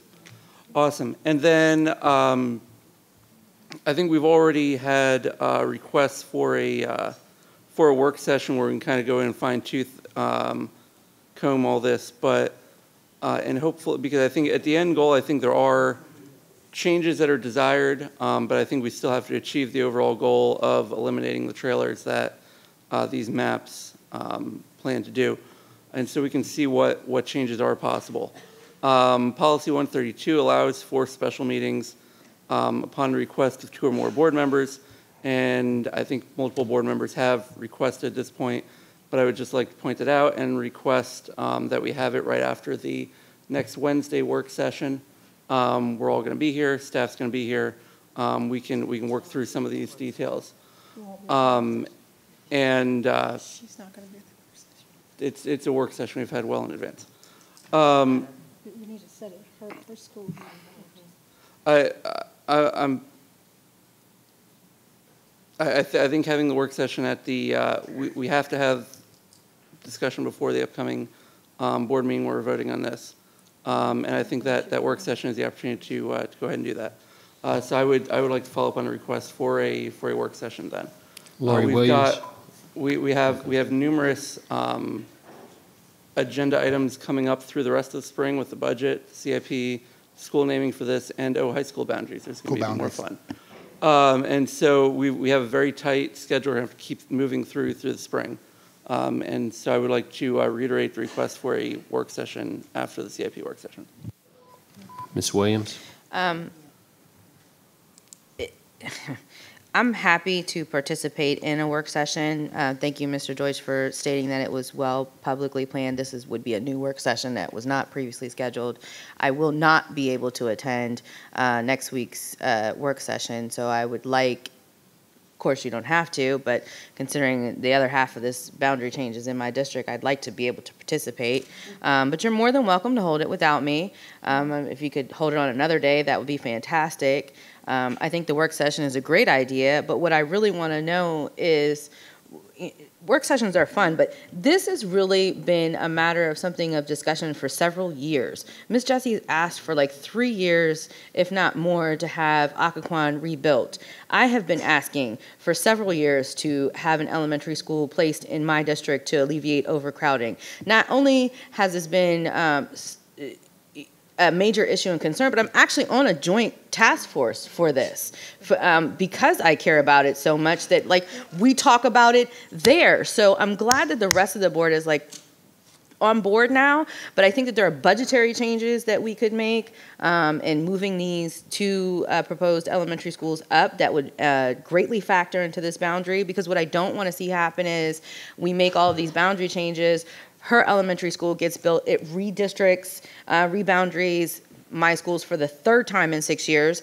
Um, my uh, new elementary school come online in my district, and you're redi- rebounding my kids again for the umpteenth time in six. I mean, like I've sat on this board for six years, and almost sing, uh, almost every single year, somebody in my district is getting rebounded for something. It feels like. Now, I'm not accurate. It's probably not every single year, but it it really feels like it. And once again, I said this before. I know I speak English, but it doesn't seem to make a difference until somebody else on this board says the same exact thing that I say. But these are little kids. This is not a high school boundary. This is not a middle school boundary. This is the very beginning of your educational career, your community, your family, everything. This is the only time in in your educational career where everything is awesome and amazing and you make friends and you have teachers and you feel love and it's a whole completely different experience which i know as going through it myself and because i have a 17 year old who's getting ready to graduate from high school and because i have a kindergartner who is feeling that joy right now so I cannot stress to you enough, work session or not, we have been asking, at least I have been asking for several years not to continue to go through this in my district. And I'm still sitting right back here. And I and I so appreciate my fellow board members for wanting to jump on board now and have a work session that's fantastic. I hope that I'm invited to come to the work session that's going to affect my district. Um, I know that we're on a tight schedule, but I think it's the least that the rest of the board can do. But it's really critical. I mean, it, in the Western, how many times are you, are you going to reboundary one of your elementary schools? Because for me, it's Featherstone, Belmont, um, Leesylvania, Potomac View. We're, we're going through it continuously. We did When a community that most of them English is not their first language. We don't have a paper that brought that brings us together. We didn't even get afforded a community meeting. Again with the public transportation. Again with having to go knock on doors and let people know that don't know. It's a big deal. A work session is needed, absolutely. If you don't understand what's going on, we should do that. We should also do something about it in the budget. And that'll make a difference. But that's my question. So if we build Occoquan Elementary School and we move it up in the budget, and we build my elementary school in my district that is sorely needed, am I gonna be sitting right back here again with the same kids who are still in elementary school and they're gonna be moved again? because that's what I'd like to not see happen. I love Occoquan. I love the Lake Ridge community. It's fantastic. Spent my childhood there. But you're talking about schools who are going to go through this now, and a bunch of them aren't going to see another boundary for a long time. Why can't we think outside the box, which I've been saying repeatedly, plan for long term, not continuously move these kids repeatedly when it's not necessary? We know the community said they're okay, and cl- clearly we've been okay as a board allowing these schools to be overcrowded. If it's another year or two and it keeps the community together, and these these little kids don't have to move, and we know we're going to approve an elementary school down the road, why are we doing this? What purpose does it serve? Whether I'm on this board or not, in the next year, I'm not going away. I'm still going to make noise, whether it's on this side of the dais or that side of the dais, for my kid for my nieces and nephews, for my godchildren, and for all the other people who I tell you again don't even have a bus stop to get here or aren't coming in color t shirts. It's a big deal. So please give my district the same respect that you're going to give every other district when they show up with their colored t shirts and their support because everybody can rock the same way and my district can't. So I would ask the board if you're going to hold a work session, please allow me to be there. And when you do it, please think about how many times you're going to move these little kids. Because when you talk about mental health, you're talking about some of some of the kids who don't have food to eat, completely dependent on going to school to eat. Some of them, I see them in the stores when I go to stores or speaking English for their parents and coming from places where you don't challenge authority. So keep that in mind just in case I'm not there at that work session. Keep in mind how many times you're moving my kids. And keep in mind, we have an opportunity to do great things together and to make sense and plan for the future. And I hope that we can put aside our differences and our comments and how we feel and look at this from the perspective of six, seven, eight, nine, 10, and 11 year old kids, their families that may not have cars, and who don't come and talk. Miss Jessie. Uh, I, I guess I feel the same way she does, but for a different reason. Uh, I don't know when the adjustment was made for Occoquan. I'm just glad that somebody admitted that there was a difference. Because I tell you what, I've been beaten up so many times about, you have 156% overcapacity. Why don't you want those kids? to-" And I, I couldn't understand it. I think I said to Miss Dr. Cartwright, I think it was you, I said, I don't understand how this capacities thing work. About maybe about a month ago, I said I, I really don't understand how Occoquan is at 156, but I only see three or four or five trailers there. I, I don't understand how it has capacity above Potomac View and Marumsco Hills when there are 14 trailers there. I just didn't understand how the whole formula worked, and I've been begging for people to con- consider Occoquan, these kids, and then the other thing is that, which I, is important to me, because all of my life, I've worked with kids who struggle. I've worked with special ed most of my life. I've worked with low income kids, people without t shirts, I guess we call them, all of my life. And so Lake Ridge is different for me. But I, I don't care about the income. I don't care if you're middle class or not. You have kids. And my job is to work with every kid, whether or not I can't beat up on you because you happen to be middle class and have t shirts. The Jessies probably would buy t shirts too if it was about their kids. So uh, I, I think that everybody's talking about time. Everybody's concerned about something about budget time. I'm not. I think we need to do what we need to do. We've heard these people tonight. You've heard from board members tonight saying we really need to stop and relook at this. And I don't know, we can't make a recommendation tonight apparently, but someone, either Dr. Walt's office or the planning office, or someone needs to come up with a time for us to do this and give these parents the right to make a decision. And I just want to thank um, Mr. Mallard because he was the first person to say, I think a feasibility study is feasible. It, just didn't make sense to me that we've got all this land behind Occoquan, and we're talking about waiting until 2028, and we've got kids in Vaughn, and Gabe Polar will tell you, we were a high performing school. We were, we were off the hook and Occoquan is off the hook. So when she talk about those kids in Occoquan, they are nationally ranked. So those parents, I don't care what their income is, they don't want their kids to leave Occoquan. I wouldn't. We should be sending people to Occoquan. Instead, we're talking about moving all these kids all around. So I, I, I guess we've both all been on our soap operas, but this has been. Um, I know people have met and looked at numbers and said, well, Lillie, you know, we don't want to have a meeting. We don't want to have this. We don't have, you know, uh, I'll tell you, my husband, who is an Occoquan resident, who is so left brain that I think he could organize all the spices in the house, has been looking at these plans for three, I don't know, for the last week. Every time I go in, he's looking at how can we make this better. I do have one question for you. Um, Oakwood, right across from Old Bridge. Why was that community not not go to Antietam? Why was that not considered? All you have to do is come out and make a right. I think the simple answer is that there were a variety of configurations considered by the committee that did not ultimately become a formal plan. As each of these criteria were looked at, that never came to be an actual plan that the committee wanted to move forward with. I, w- I would like for you to, to look at that because the reason being that if Oakwood, and I don't want people from Oakwood to just, but I, I would like us to look at all the possibilities because that would create um, a better situation for Old Bridge. And when Dr. Walts talks about trailers, there's no way, I think Old Bridge is at 140. She only has one trailer.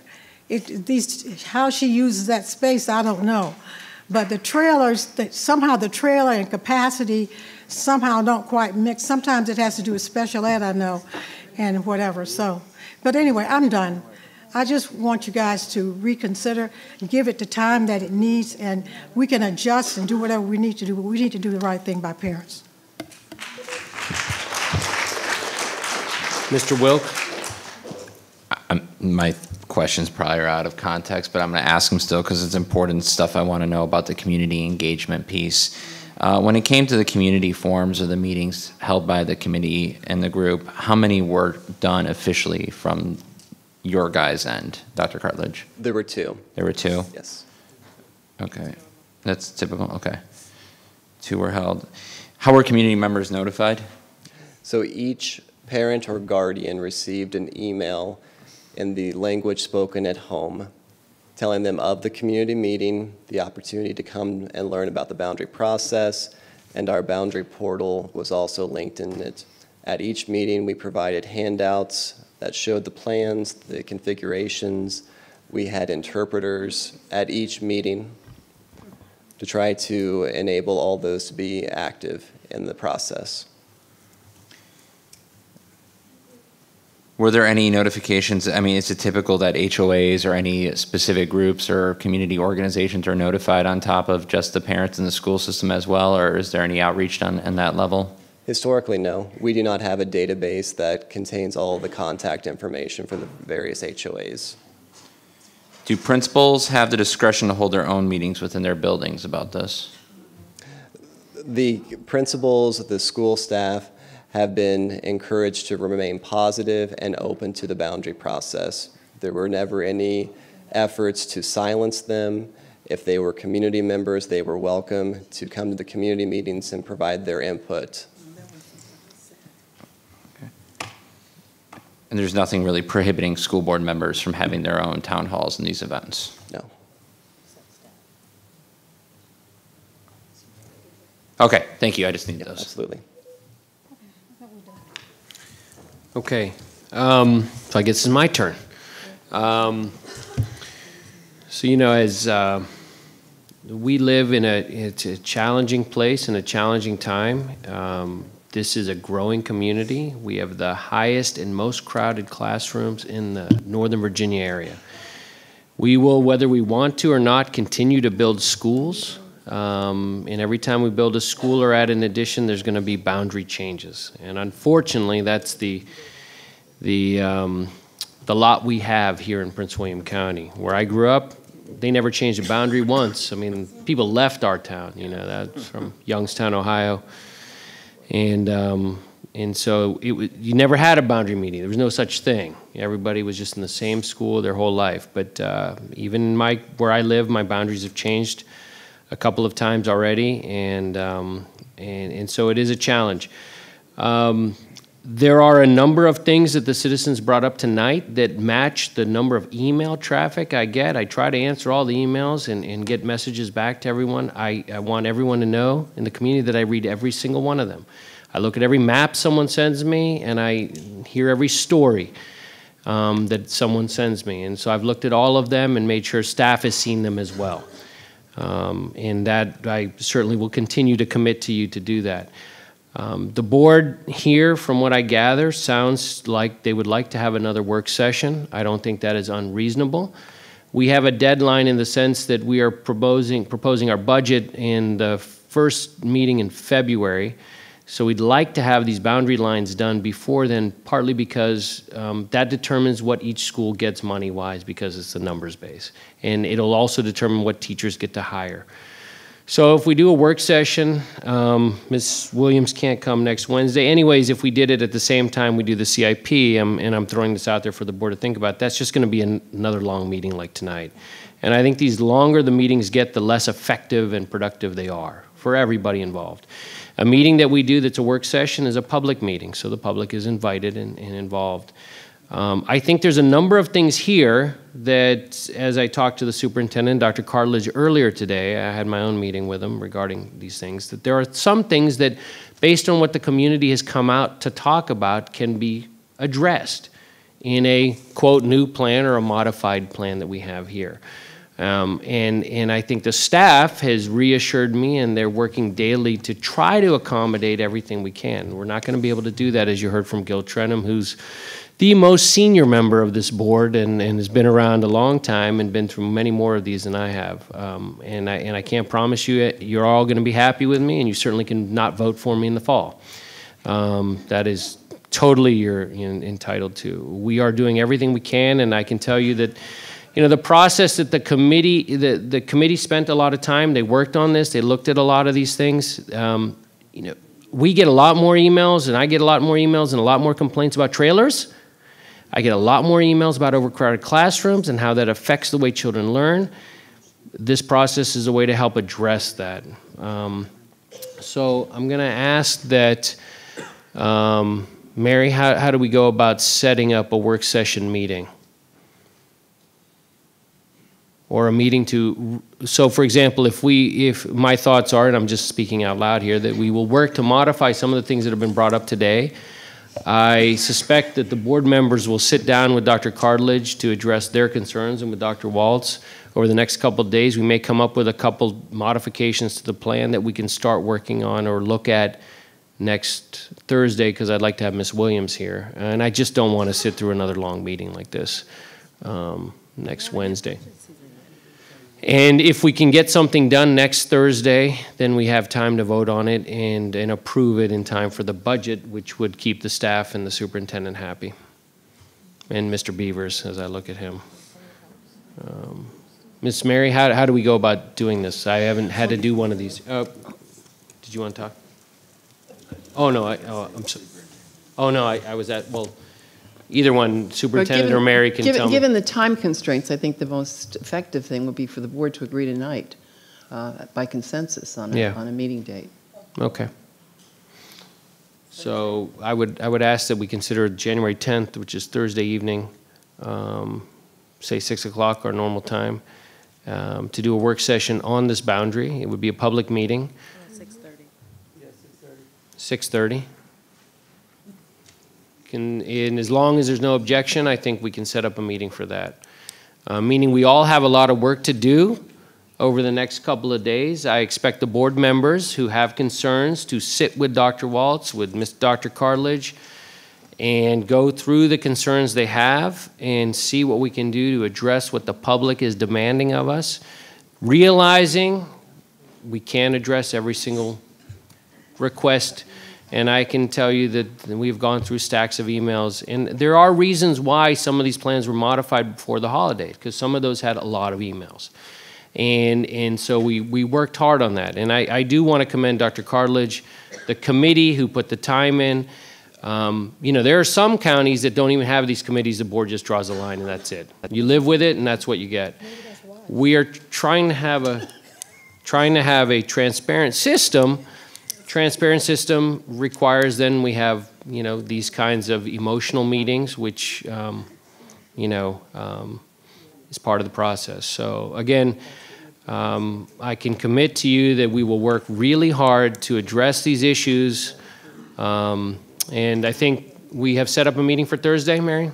No objections? Okay, so we'll move on. It would appear that, that's Yeah. correct, you're stating it, that the motion, that, that. that Clerk, by uh, Debbie, we're going to set up a meeting for next Thursday. There's no opposition to having a meeting for next Thursday for a work session, okay? Yeah, I'm going to see if I can find a space to meet. Yeah, we, well, we can use this spot right here. Well, it's probably booked. Okay. Well, we- we can, We'll figure it out. what kind of chairman am I if I can't even get my own room? What will the voters think then? All right, um, so I think, um, I will wrap up this discussion and thank all the citizens who came out tonight, and thank you. I understand this is very important, and we will try to do our very best to do right by, you know, whatever we can, but realize the whole purpose is this, is to address the highest overcrowded, most overcrowded classrooms in Northern Virginia. And that's the reality. You're living in the shadow of the world's capital. It will continue to grow. There will be new schools every single year. Our CIP meeting, which will be Wednesday, if you'd like to come to that, that's very exciting. Um, we'll address that. So thank you all very much. We will move on to whatever's next. Math textbooks, far more exciting. That's all. 1801, mathematics textbook adoption, Rita Goss.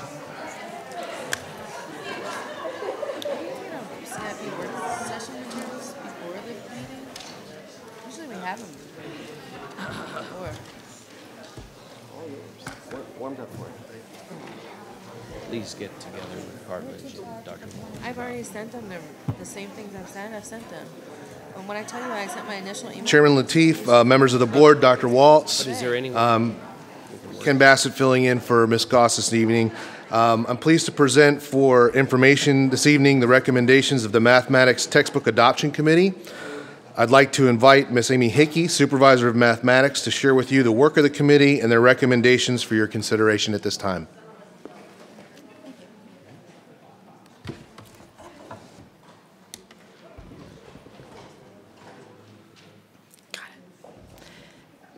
Good evening, Chairman Lateef, Dr. Walts, and school board members. It is with great pleasure that I'm here tonight to um, present to you the Mathematics Textbook Committee's recommendations for kindergarten through calculus uh, textbooks. I have to say I took great pride in working and watching this 57-member team come together to discuss across all grade levels the student needs and the teacher needs, and as they developed a mutual understanding of the criteria for which they would be using.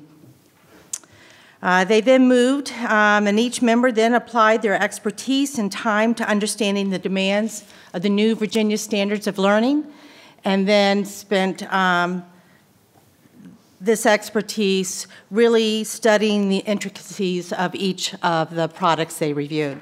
So let's begin. It was great to collaborate with our um, career and technology education team um, as we implemented this uh, regulation that guides this process. Um, our timelines and our, here we go, our timelines and our criteria uh, was jointly submitted to the school board um, and approved in February. March through May, we worked with the Office of Community, Community Relations to um, notify all stakeholders of our application process for forming our um, committees. Uh, in addition, we also wanted to notify the public as to the three locations of which our uh, textbooks would be on display for public review and public comment. Um, after we uh, formed our committees, um, we, the team uh, kicked off their meeting on May 21st, and then from there worked diligently through the, through the entire summer and through October and developing and reviewing uh, the textbooks and developing their recommendations for which I begin this presentation. So here you just see a summary of the courses that we um, uh, that each of the members considered um, as they reviewed textbooks. You'll see um, Advanced Placement Cambridge and International Baccalaureate um, because these courses also, um, the, each of these programs also have versions of these courses that go along with it. So this is just sort of a summary of all of them pulled together. Let's begin with our elementary. So with our elementary, uh, the committee is recommending the series Stepping Stones 2.0 ORIGO Education.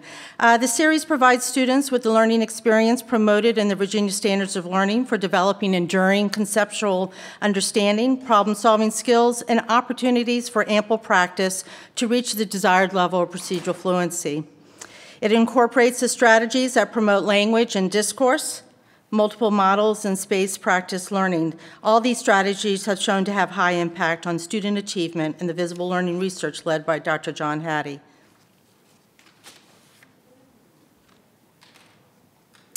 Moving to our middle school courses.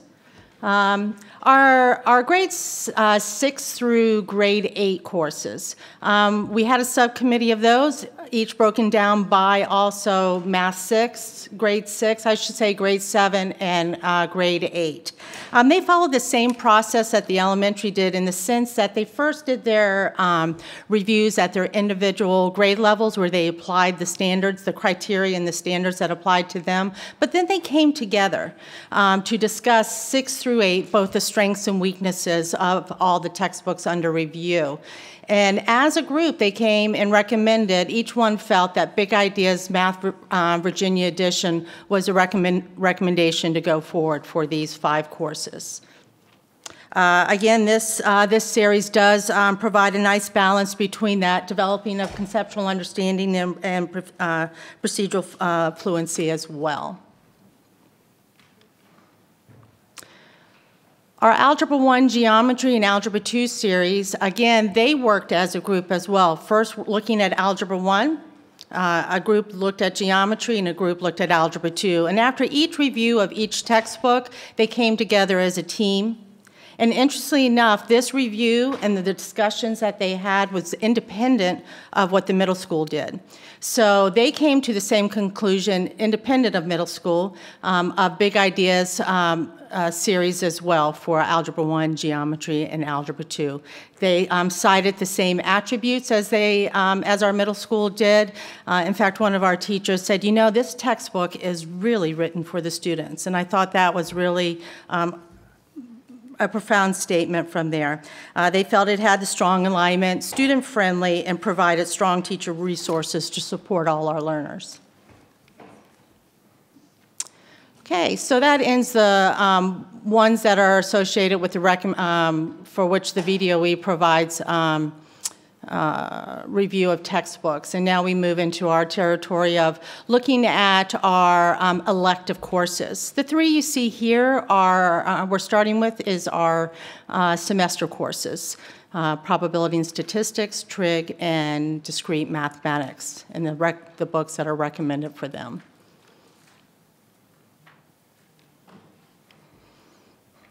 Now we're moving into our elective courses that are a year long, um, starting with Advanced Computer Math, Advanced Mathematics, and our two pre-calculus courses.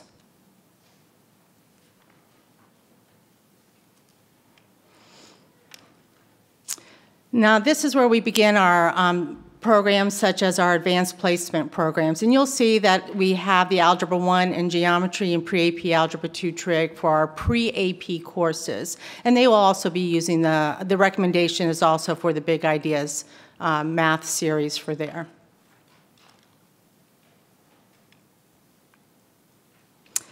This is now showing the five AP courses that we offer through the mathematics um, uh, program both of our calculus courses, our statistics, and our two computer science courses now.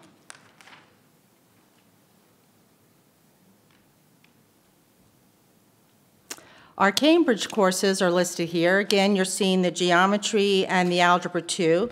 Uh, both of those are the International General Certificate of Secondary Education courses um, offered through Cambridge, and then commonly referred to in our uh, as IGCSE. And then our ACE, which is our Advanced International Certificate of Education courses, are listed here as well. And finally, our international baccalaureate courses. Again, our Algebra 1 Geometry and Algebra 2 Trig.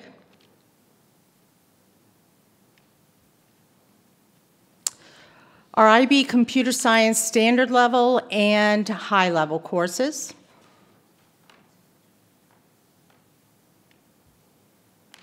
And then our um, IB uh, math analysis and approaches um, courses for both our standard level and our high level. This is a two-year sequence, so that's where you see the one and two for each of those.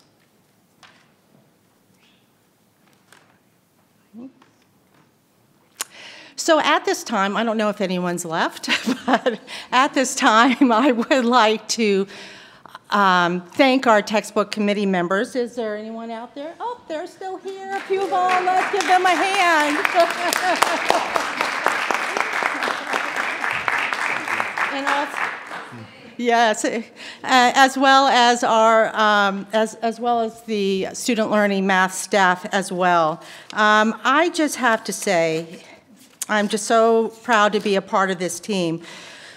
Um, I would like to say thank you to both those that are here and those that are at home and their incredible dedication throughout the summer and the start of the school year. Their professional expertise was just amazing as they um, used and applied the criteria, and the hours spent reviewing not only the textbook, but they also had the opportunity to re um, review the digital resources as well. I was so impressed with their discussions and the attention to detail this math committee did. I could hear all that training for our English learners coming through in those discussions and the needs uh, for all our students um, in there as well. So I want to thank them. Our parents, our, city, our citizens, Office of Instructional Technology and Purchasing, Office of Student Learning, administrators, librarians, supply services, services and custodians, and most of all, we'd like to also thank uh, the school board for considering our recommendations. Thank you very much.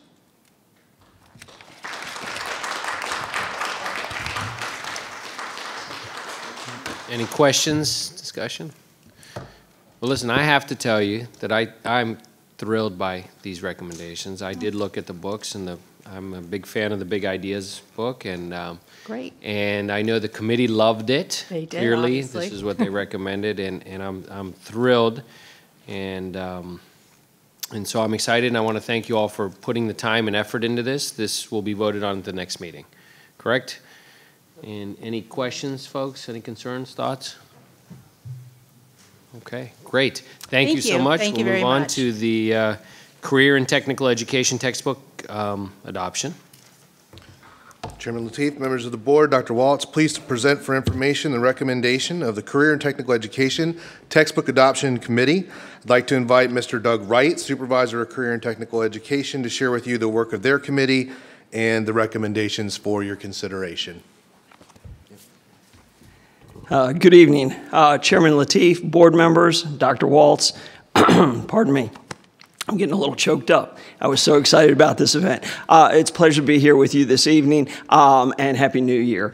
Very excited. Uh, This exercise in career and technical education for our textbook adoption uh, involved a lot of uh, our teachers, a lot of our stakeholders as students, uh, the special ed department, um, our EL uh, office as well. We wanted to make sure the textbooks we brought forward to students for all our CTE students address their learning styles and their learning needs. So very proud of this work, and it was a great exercise. Um, our process, just like the one with math, and it was great to work with our colleagues in the math department, uh, followed a four-step process. Back in February, our timeline was presented to you, our criteria was presented and approved. We moved forward with the textbook adoption committee. We had 21 subcommittees that we needed to form because of the, the volume of books for career and technical education. Uh, we put it out to public uh, so that they would know exactly what's going on and made it available. We did have our books at three different libraries, two public libraries, one on the eastern end of the county, one on the western end, and then one right here at the Kelly Leadership Center in our professional library. And we're here tonight to present those findings to you, our recommendations. Just a reminder to the board that in career and technical education, we have eight areas of study for our students. At the middle school, of those eight, we have four represented, business and information technology, family and consumer science, technology education, and careers. Those four are in the middle school, and we have 10 courses for students at the middle school level as part of the Encore. Um, in our high school programs, all eight of those program areas are represented, and we have over 100 elective courses available at the high school level to our students in the school division. Very proud of those accomplishments. Uh, the board just approved six new courses for us this year uh, computer game design, one and two, um, cybersecurity, levels one and two, and electricity one and two. So would like to thank the board for those approvals. Jumping right into the high school textbooks, um, in our architect, in our agriculture and horticulture program, uh, there are four textbooks, three you'll see here, and then on the next slide, this textbook for that program area. That is a specialty course that is available at Brentsville District High School, and that is the agriculture and horticulture program. Moving on, the next is our largest, and that's business and information technology at the high school. We have quite a few courses in that area. Um, just to make the board aware, you won't see every course because we're very fortunate in Virginia that the Virginia Department of Education provides for us resources known as the Imagine Academy. It is a free resource that is out there for our students and teachers, and it's an online resource, and it's updated annually. So it's, it's a great thing that we have here in the Commonwealth of Virginia for our students. Um, another thing to remind the board of is a number of these courses, because of the industry credential and things like that, we get updated online resources as well. So not every course will have the requirement or need for a new textbook because of the online availability. So those are those business courses. Moving right on, right along to some additional courses. And you'll notice that sometimes when we can, our teachers were very uh, fiscally minded, if you will. Uh, they could use a textbook for courses that complement one another, meaning a student would be a completer taking a course one year and then the sequence of the course the next year. They would then use that same textbook further moving along with that book. Here are some other programs that we have for CTE courses in business, economics and personal finance, entrepreneurship, principles of business and marketing. And in programming. Um, just to let the board know with our programming, um, you'll notice that Visual Basic and Java were the two languages. Um, primarily the reason for that was when the committee reviewed this, we looked at business partners, what's out there in the business community for our students as far as next steps, and then for higher ed. What would they see when they move on to college and other opportunities? And that's why Visual Basic for programming and advanced programming was Java those languages. Uh, there are many others out there, but those were the ones recommended by our industry business partners and our higher ed partners. Now we'll look at our Family and Consumer Science program. It is the second largest area we have at the high school with a number of courses, and these are the courses recommended. Moving on, culinary arts, the National Restaurant Association. Uh, that textbook is what we'll use for that course. Again, it is a two-year sequence, and it's using that same textbook to enhance and supplement instruction. Early childhood education, uh, levels one and two. Once again, we're going to use that same textbook to continue on for those students looking at some more family and consumer science courses. You can see what we have recommended for you there. And then additionally, these courses, individual development, life planning, nutrition and wellness. And now, Virginia Teachers for Tomorrow, that is a program we're very proud of. Uh, that's part of that Growing Your Own program that we use here in the division. Uh, it's really exciting to get students started thinking about a career in public education. And we've had a lot of students return to us uh, through that program as Prince William County educators. Good stuff. Uh, now we move on to health and medical sciences, sports medicine, sports medicine 2, a lot of programs.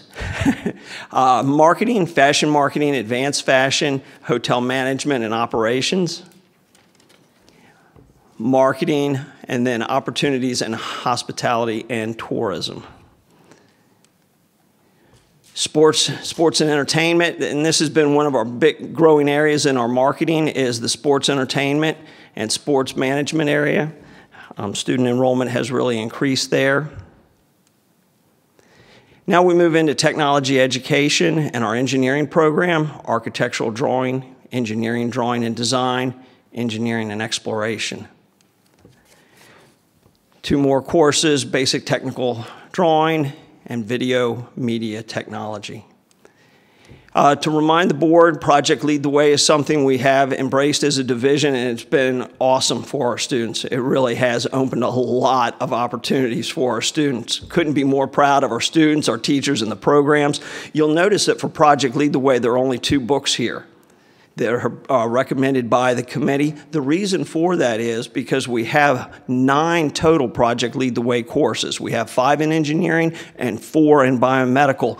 We, we participate with Project Lead the Way annually, and they provide us with online resources. So the only two courses that wanted a hardback paper book were the Civil Engineering, CEA, and Introduction to Engineering Design and those are represented there. Um, when we move into our T&I, trade and industrial programs, here is the automotive program, and you'll see again that sequentially we're going to use the same book for levels one, two, and three. Building trades, the same thing, using the same book as a continuation.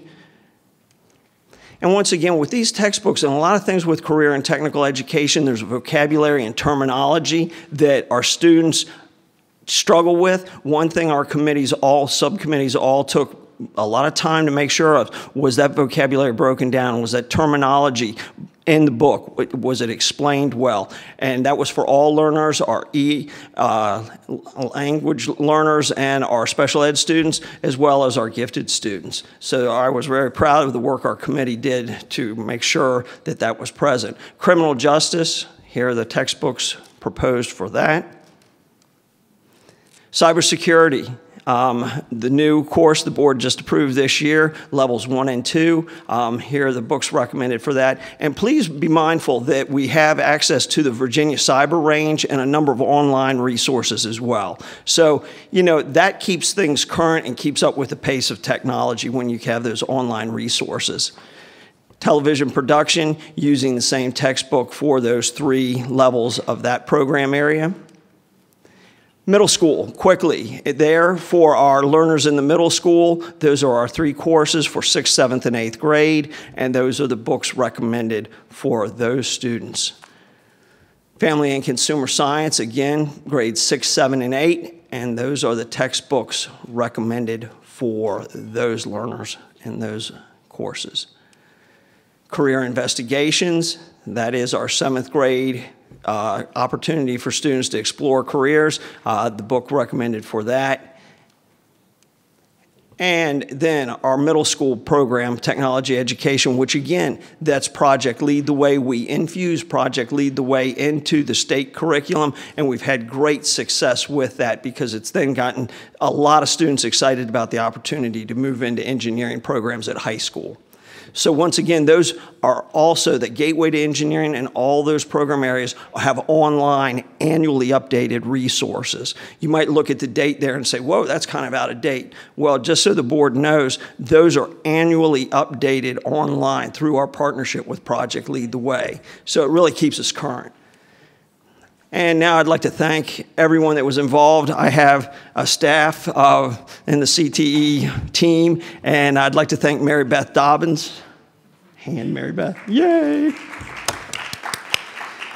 Because honestly, to bring this group of educators, students, parents, uh, folks from the Office of Special Ed, uh, folks from the Office of um, uh, English learners together, it really does take a lot of coordination and someone with those great organizational skills you got to have that right hand. So Mary Beth and my uh, secretary, who's not with us tonight, Stephanie Stannard, really did a great job. I uh, want to thank our textbook committee members. Uh, there were approximately 60 of them. It did take a lot of time because many of them had to review multiple, multiple textbooks, as you can see from what I presented tonight. Our parents, citizens, Office of Instructional Technology, uh, the purchasing department, my boss, Office of Student Learning, been very supportive. Uh, the school-based administrators, I mean, really, that, that's a key component of all this and the success we've had in the division with career and technical education. The librarians that really made sure that those books were there. Um, we'd go check on them every once in a while, and we could see the carts had been, you know, people were looking at the books. That was a good thing. Um, supply services, uh, the custodians, and thank you to the board here for all your support with career and technical education and looking at our recommendations. Thank you very much.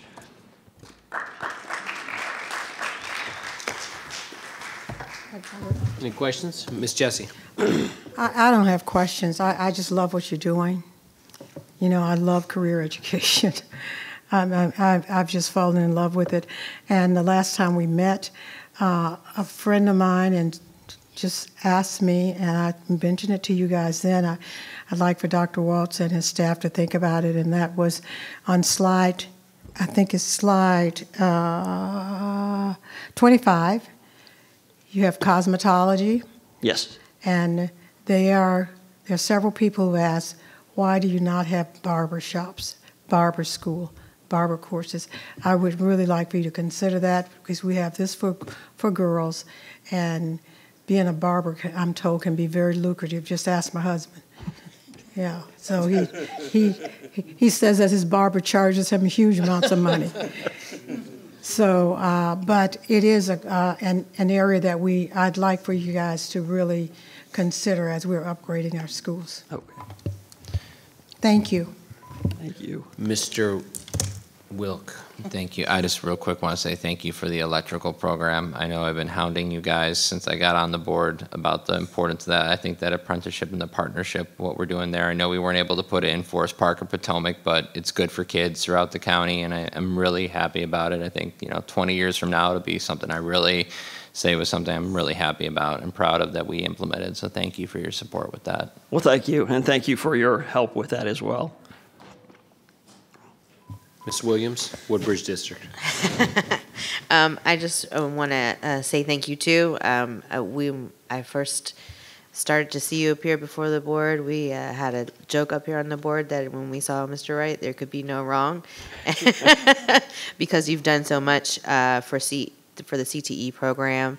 Um, and I just want to reiterate the same thing. Thank you. I'm so grateful that we have been able to keep the original vocational programs, as they used to be called, and now they're modified and upgraded for today.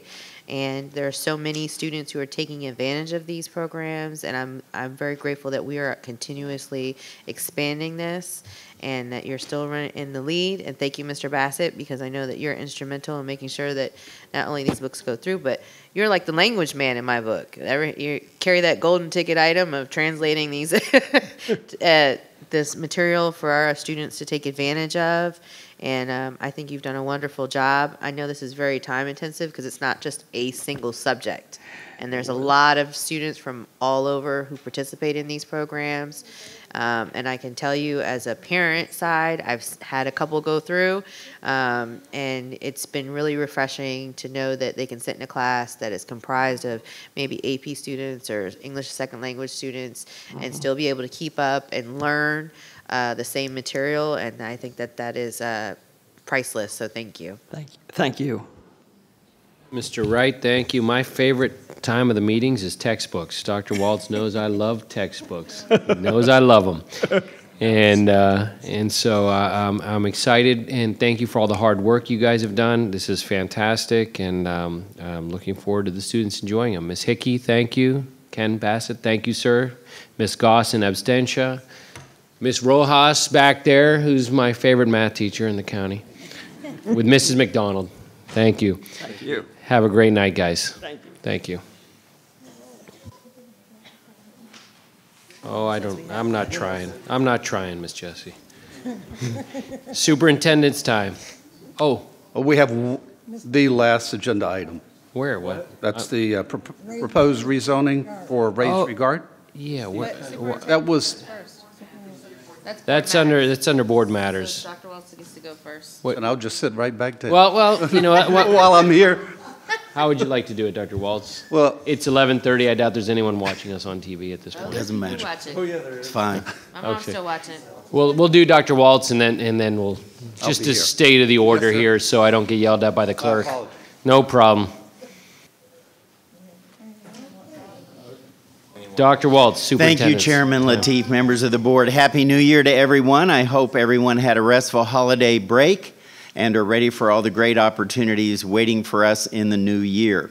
I'm excited to share that the welding program at Potomac High School was featured in an article in a publication of the National Ornamental and Miscellaneous Metals Association. Right here, I've got the actual magazine.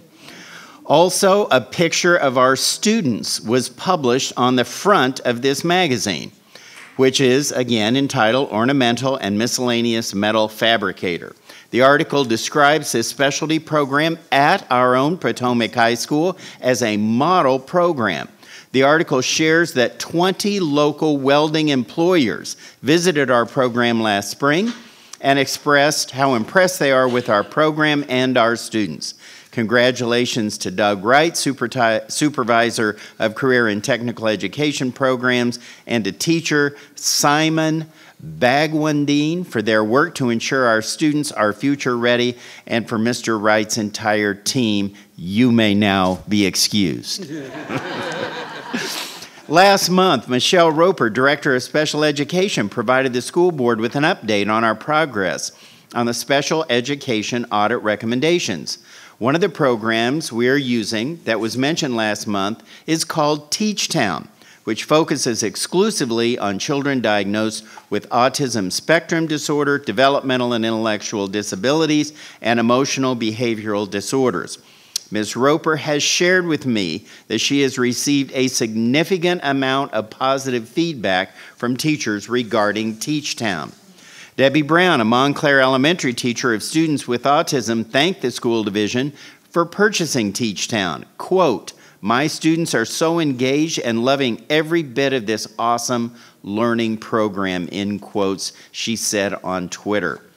I'd like to congratulate Michael, or I'm sorry, Michelle Bosham, make sure I got that right. Michael Bosham, Director of Bands at Hylton High School. The Vault, a national music education retailer, named Mr. Bosham one of the top 25 music teachers in the United States. Congratulations again to Michael. I also want to remind everyone that online registration for spring virtual high school classes will begin January 4th and continue through the 21st of January. More information is available on our website at www.pwcs.edu. Before the winter break, I had the opportunity to visit Mary Williams Elementary School. I was invited to speak to about 100 kindergarten students on what I do as superintendent of schools.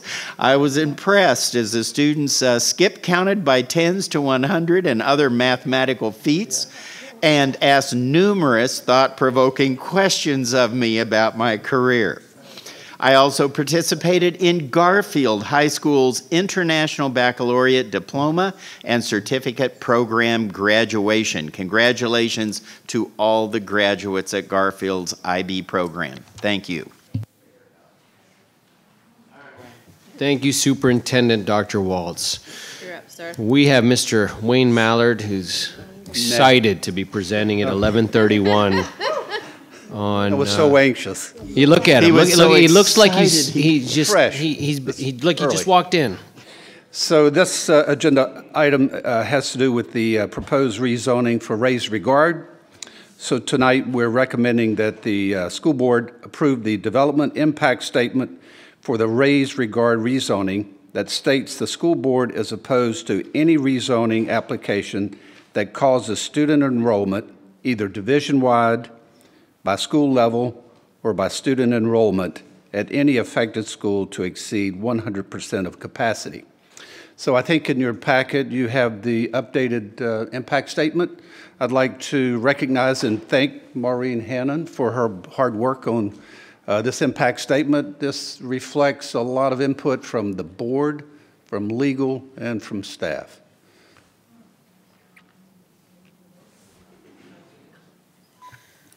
Um, are you guys done or?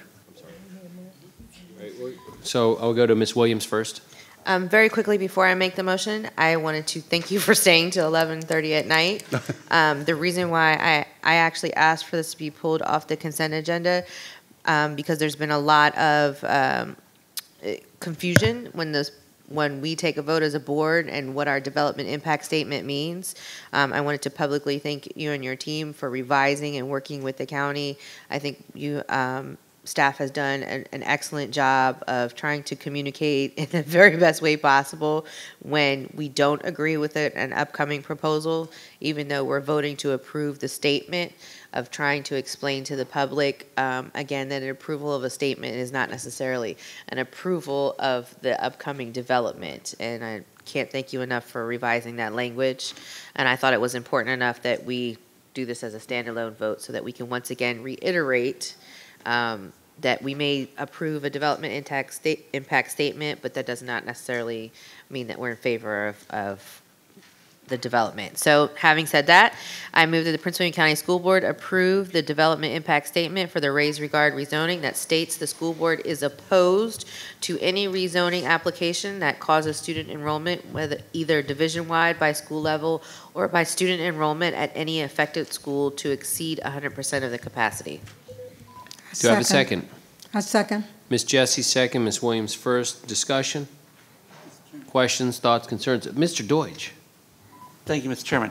Um, I just want to point out again that uh, this impact statement uh, represents uh, a new form of impact statements that we're going to be seeing uh, from the school board uh, after a lot of uh, discussion, improvement, et cetera. Um, one of the highlights is this one should be crystal clear to everybody since it's titled Development Impact Statement and Opposition of the Prince William County School Board to Proposed Rezoning. And for the public, this is a significant change that we are clearly stating uh, opposition to certain developments that uh, are going to put our uh, student, our uh, schools over capacity due to the additional development. Um, and we're, we're being as crystal clear as I think we can be. Um, and I think one of the other uh, important things is that in this one, uh, we refer to the division-wide impact um, that we have, and there has been challenges before where there might be little pockets where uh, an area might be argued to be underdeveloped, but uh, we are a full ecosystem here as a Prince William County School Division, and at the middle school and high school level, uh, we are over capacity. Uh, we're getting we're under capacity for elementary school after a lot of work, um, but we're still over capacity there at middle and high, and making that point uh, is important as we as we build that case. And I think um, we're going to start seeing a lot of development impact statements over the next couple of meetings. Yes. Uh, and they're going to uh, uh, continue to hopefully make that case um, that uh, overcrowding is bad for our schools and uh, look forward to those improvements. Thank you. Thank you. Uh, I just wanted to uh, also comment on this because I attended the planning meeting, uh, I think it was about a week ago, and uh, the way our impact statement apparently was so, uh, it was not as concrete and, and forceful, so the developer was able to, to tell everyone that Prince William County School Board supported uh, this rezoning. So I'm really pleased to see that we're going to get something out. Thank you very much.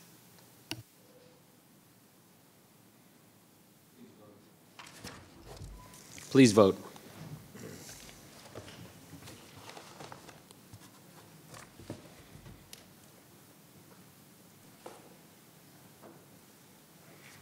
Where's mine? Oh.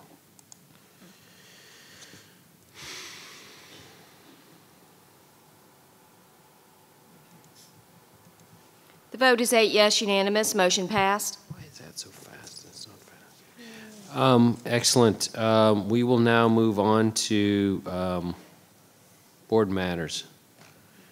Um, let's start down there. It's a new year. Ms. Satterwhite. Thank you, Mr. Chairman. Right before break, I had the pleasure of um, going to Novant Prince William Hos- uh, Medical Center with a group of students from Stonewall Jackson High School's Chick fil A Leadership Academy. And it was an absolute joy to join them as they donated for their Do Good December project. It was called Stuffed with Love. Over 200 stuffed animals collected from students, staff, community members, Stonewall Jackson community, and donated them for children who are in the emergency room or who are receiving treatment at um, Prince William Medical Center. And I want to thank the students who are involved. Um, the students, there were three students there presenting, excuse me, four students there presenting who were representing the Chick fil A Leadership Academy Kabena Mensa, Devin Smith, Angela Montero, and Angelica Prado. And forgive me if I mispronounced your names. I also want to thank the sponsor, Ms. Jill Crane. Um, Miss Diana Galata was there with us and Sam to videotape, so there was a story um, in Prince William News. I want to thank um, Alex Joseph, Liz Rademski, and Dr. McHugh, and the folks from X-Ray, uh, head nurse from the um, emergency department for meeting with us, listening to our students. And I also want to thank Mr. Jeremy Smith, who sponsors the CFA Academy on behalf of Chick-fil-A. Um, the cow was there. We had a great time. Um, students were able to discuss their project with hospital staff and able to get a tour. And what was really fascinating is after they had the tour, um, I had hung around, I was doing some other things at the hospital, and after the tour, I saw them at the end, and they all asked for volunteer applications. And that was exciting. And so um, it's, it's great to see our students not only giving back, but then continuing to give back as they are more invested in our community and volunteering. I loved it. So, want to thank everybody involved. The Chick fil A Leadership Academy at Stonewall Jackson High School is doing a lot of great things. This is the, I believe, the second year of the program. Um, thank you to them also for the invitation. It was great to be with them. And Happy New Year to everybody. In light of the time, I'll pass. Ms. Raulston. I pass. Mr. Wilk. Quick recognition before break. I had the pleasure of attending the Forest Park Choral Concert. Great concert. Ashland Springs con- uh, Spring Strings. I'm tired. Sorry, Springs. Ashland Strings concerts.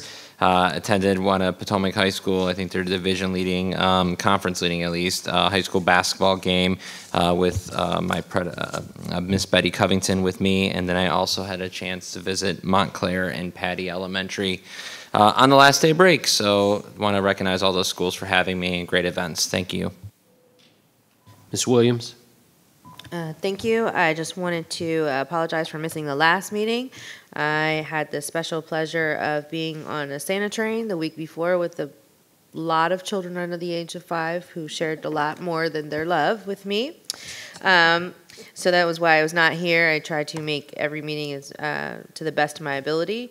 Um, I also wanted to uh, take this time because uh, in the past, normally when we do our organizational meeting, we take a minute and uh, cheer for whoever is uh, selected as vice chair. So I'd like to take this time to, to congratulate Mr. Wilk on being our next vice chair. Um, I wish you all the best of luck with that. I think you'll you'll do a good job. And uh, sorry about that. Um, I don't know why we didn't clap, but I'm all for clapping. So. Um, yeah, usually we do. Um, and then I just wanted to reiterate again, um, you know, I do appreciate the planning committee and the staff and everyone who puts the time and the effort into these boundary changes and all these meetings. It's not difficult. I mean, excuse me, it is especially difficult, and uh, I really respect the effort that goes into that. Um, I'm really hoping that we are able to come together as a board and um, make this as equitable and uh, as fair as we possibly can. I recognize that we definitely are never going to make everybody happy, uh, but I think that, like I said earlier, this is again uh, once uh, an opportunity for us as a board to really think outside the box and do a whole lot of good for a lot of young students. And um, I hope that we can achieve that together. Um, and uh, happy New Year to everyone. Jessie. Uh, I think there's a slide in the back uh, earlier this evening. Uh, we recognize uh, Irene Cromer and for the work that she has done in Prince William County Schools, but for her work for Martin Luther King Youth Oratorical, which is uh, getting close to 30 years and uh, will be nas- is nationally recognized and will apparently be a part of a television uh, opportunity. I just want to thank Irene for all that she's done and uh, for not just for MLK, but I mentioned earlier that she was instrumental in the naming of Fannie Fitzgerald School because she did all the research and brought that that uh, particular event into uh, the eyes of, of the public. Also wanted to make an announcement uh, that I'm required to let everyone know that I'm placing on the placing uh, on the board in the public in the public on notice that I intend to move and to amend policy 115 compensation and re- reimbursement of school board members uh, for travel which was adopted on October 17, 2018. Specifically, uh, to allow board members reimbursement for travel inside and outside a member's district. Um, And that will be on the next uh, agenda, on the October 16th meeting. Uh, My rationale for doing that, I worked in this county for 30-some years. I never asked for my travel. I- Not that I never, but I travel a lot. And uh, in this case, I'm the person who does a lot of travel. My office is my home, and so I'd like for the board members to consider that. If you do not want to apply for your travel, that's fine, but I really would like for you to consider the fact that I do quite a bit of travel. And in closing with that, I did a great deal of traveling this week, uh, and my husband and I on these boundary uh, situations. And when parents say that they've got a situation, you really uh, have to get in your car and drive. And I want to thank all the, the schools that did invite me to their schools. I think there's maybe some, I'm not sure when someone said, well, can principals have meetings? I think principals are kind of asked to stay out of the whole boundary situation, but I was invited into those schools, and I want to thank you. And thank you, Dr. Lateef. Uh, I think you may get under midnight. Mr. Deutsch. Thank you, Mr. Chairman. Appreciate it. Uh, budget season's coming up, and uh, it's always exciting. Uh, one of the things we did last uh, year during budget season was approve an ombudsman, uh, and we funded the position. Uh, we haven't hired the position yet, and I think that position is very important for what we continue to do to help um, teachers, staff, and having a fair process. And just wanted to reiterate my request from the last meeting that at the upcoming meeting, uh, we begin a discussion of um, approving the policies for the ombudsman. Uh, we had set up a committee uh, for to review those um, back to be end of the last spring semester, and so hopefully we can have that committee report presented and uh, go ahead and uh, approve hire that ombudsman. That would be awesome. Uh, and then uh, just wanted to congratulate Mr. Wilk as well on the vice chairmanship. I think he should be uh, one of the youngest vice chairmen in uh, Prince William County School Board history. Uh, and uh, the youth and energy um, that we can bring to the school board is always important.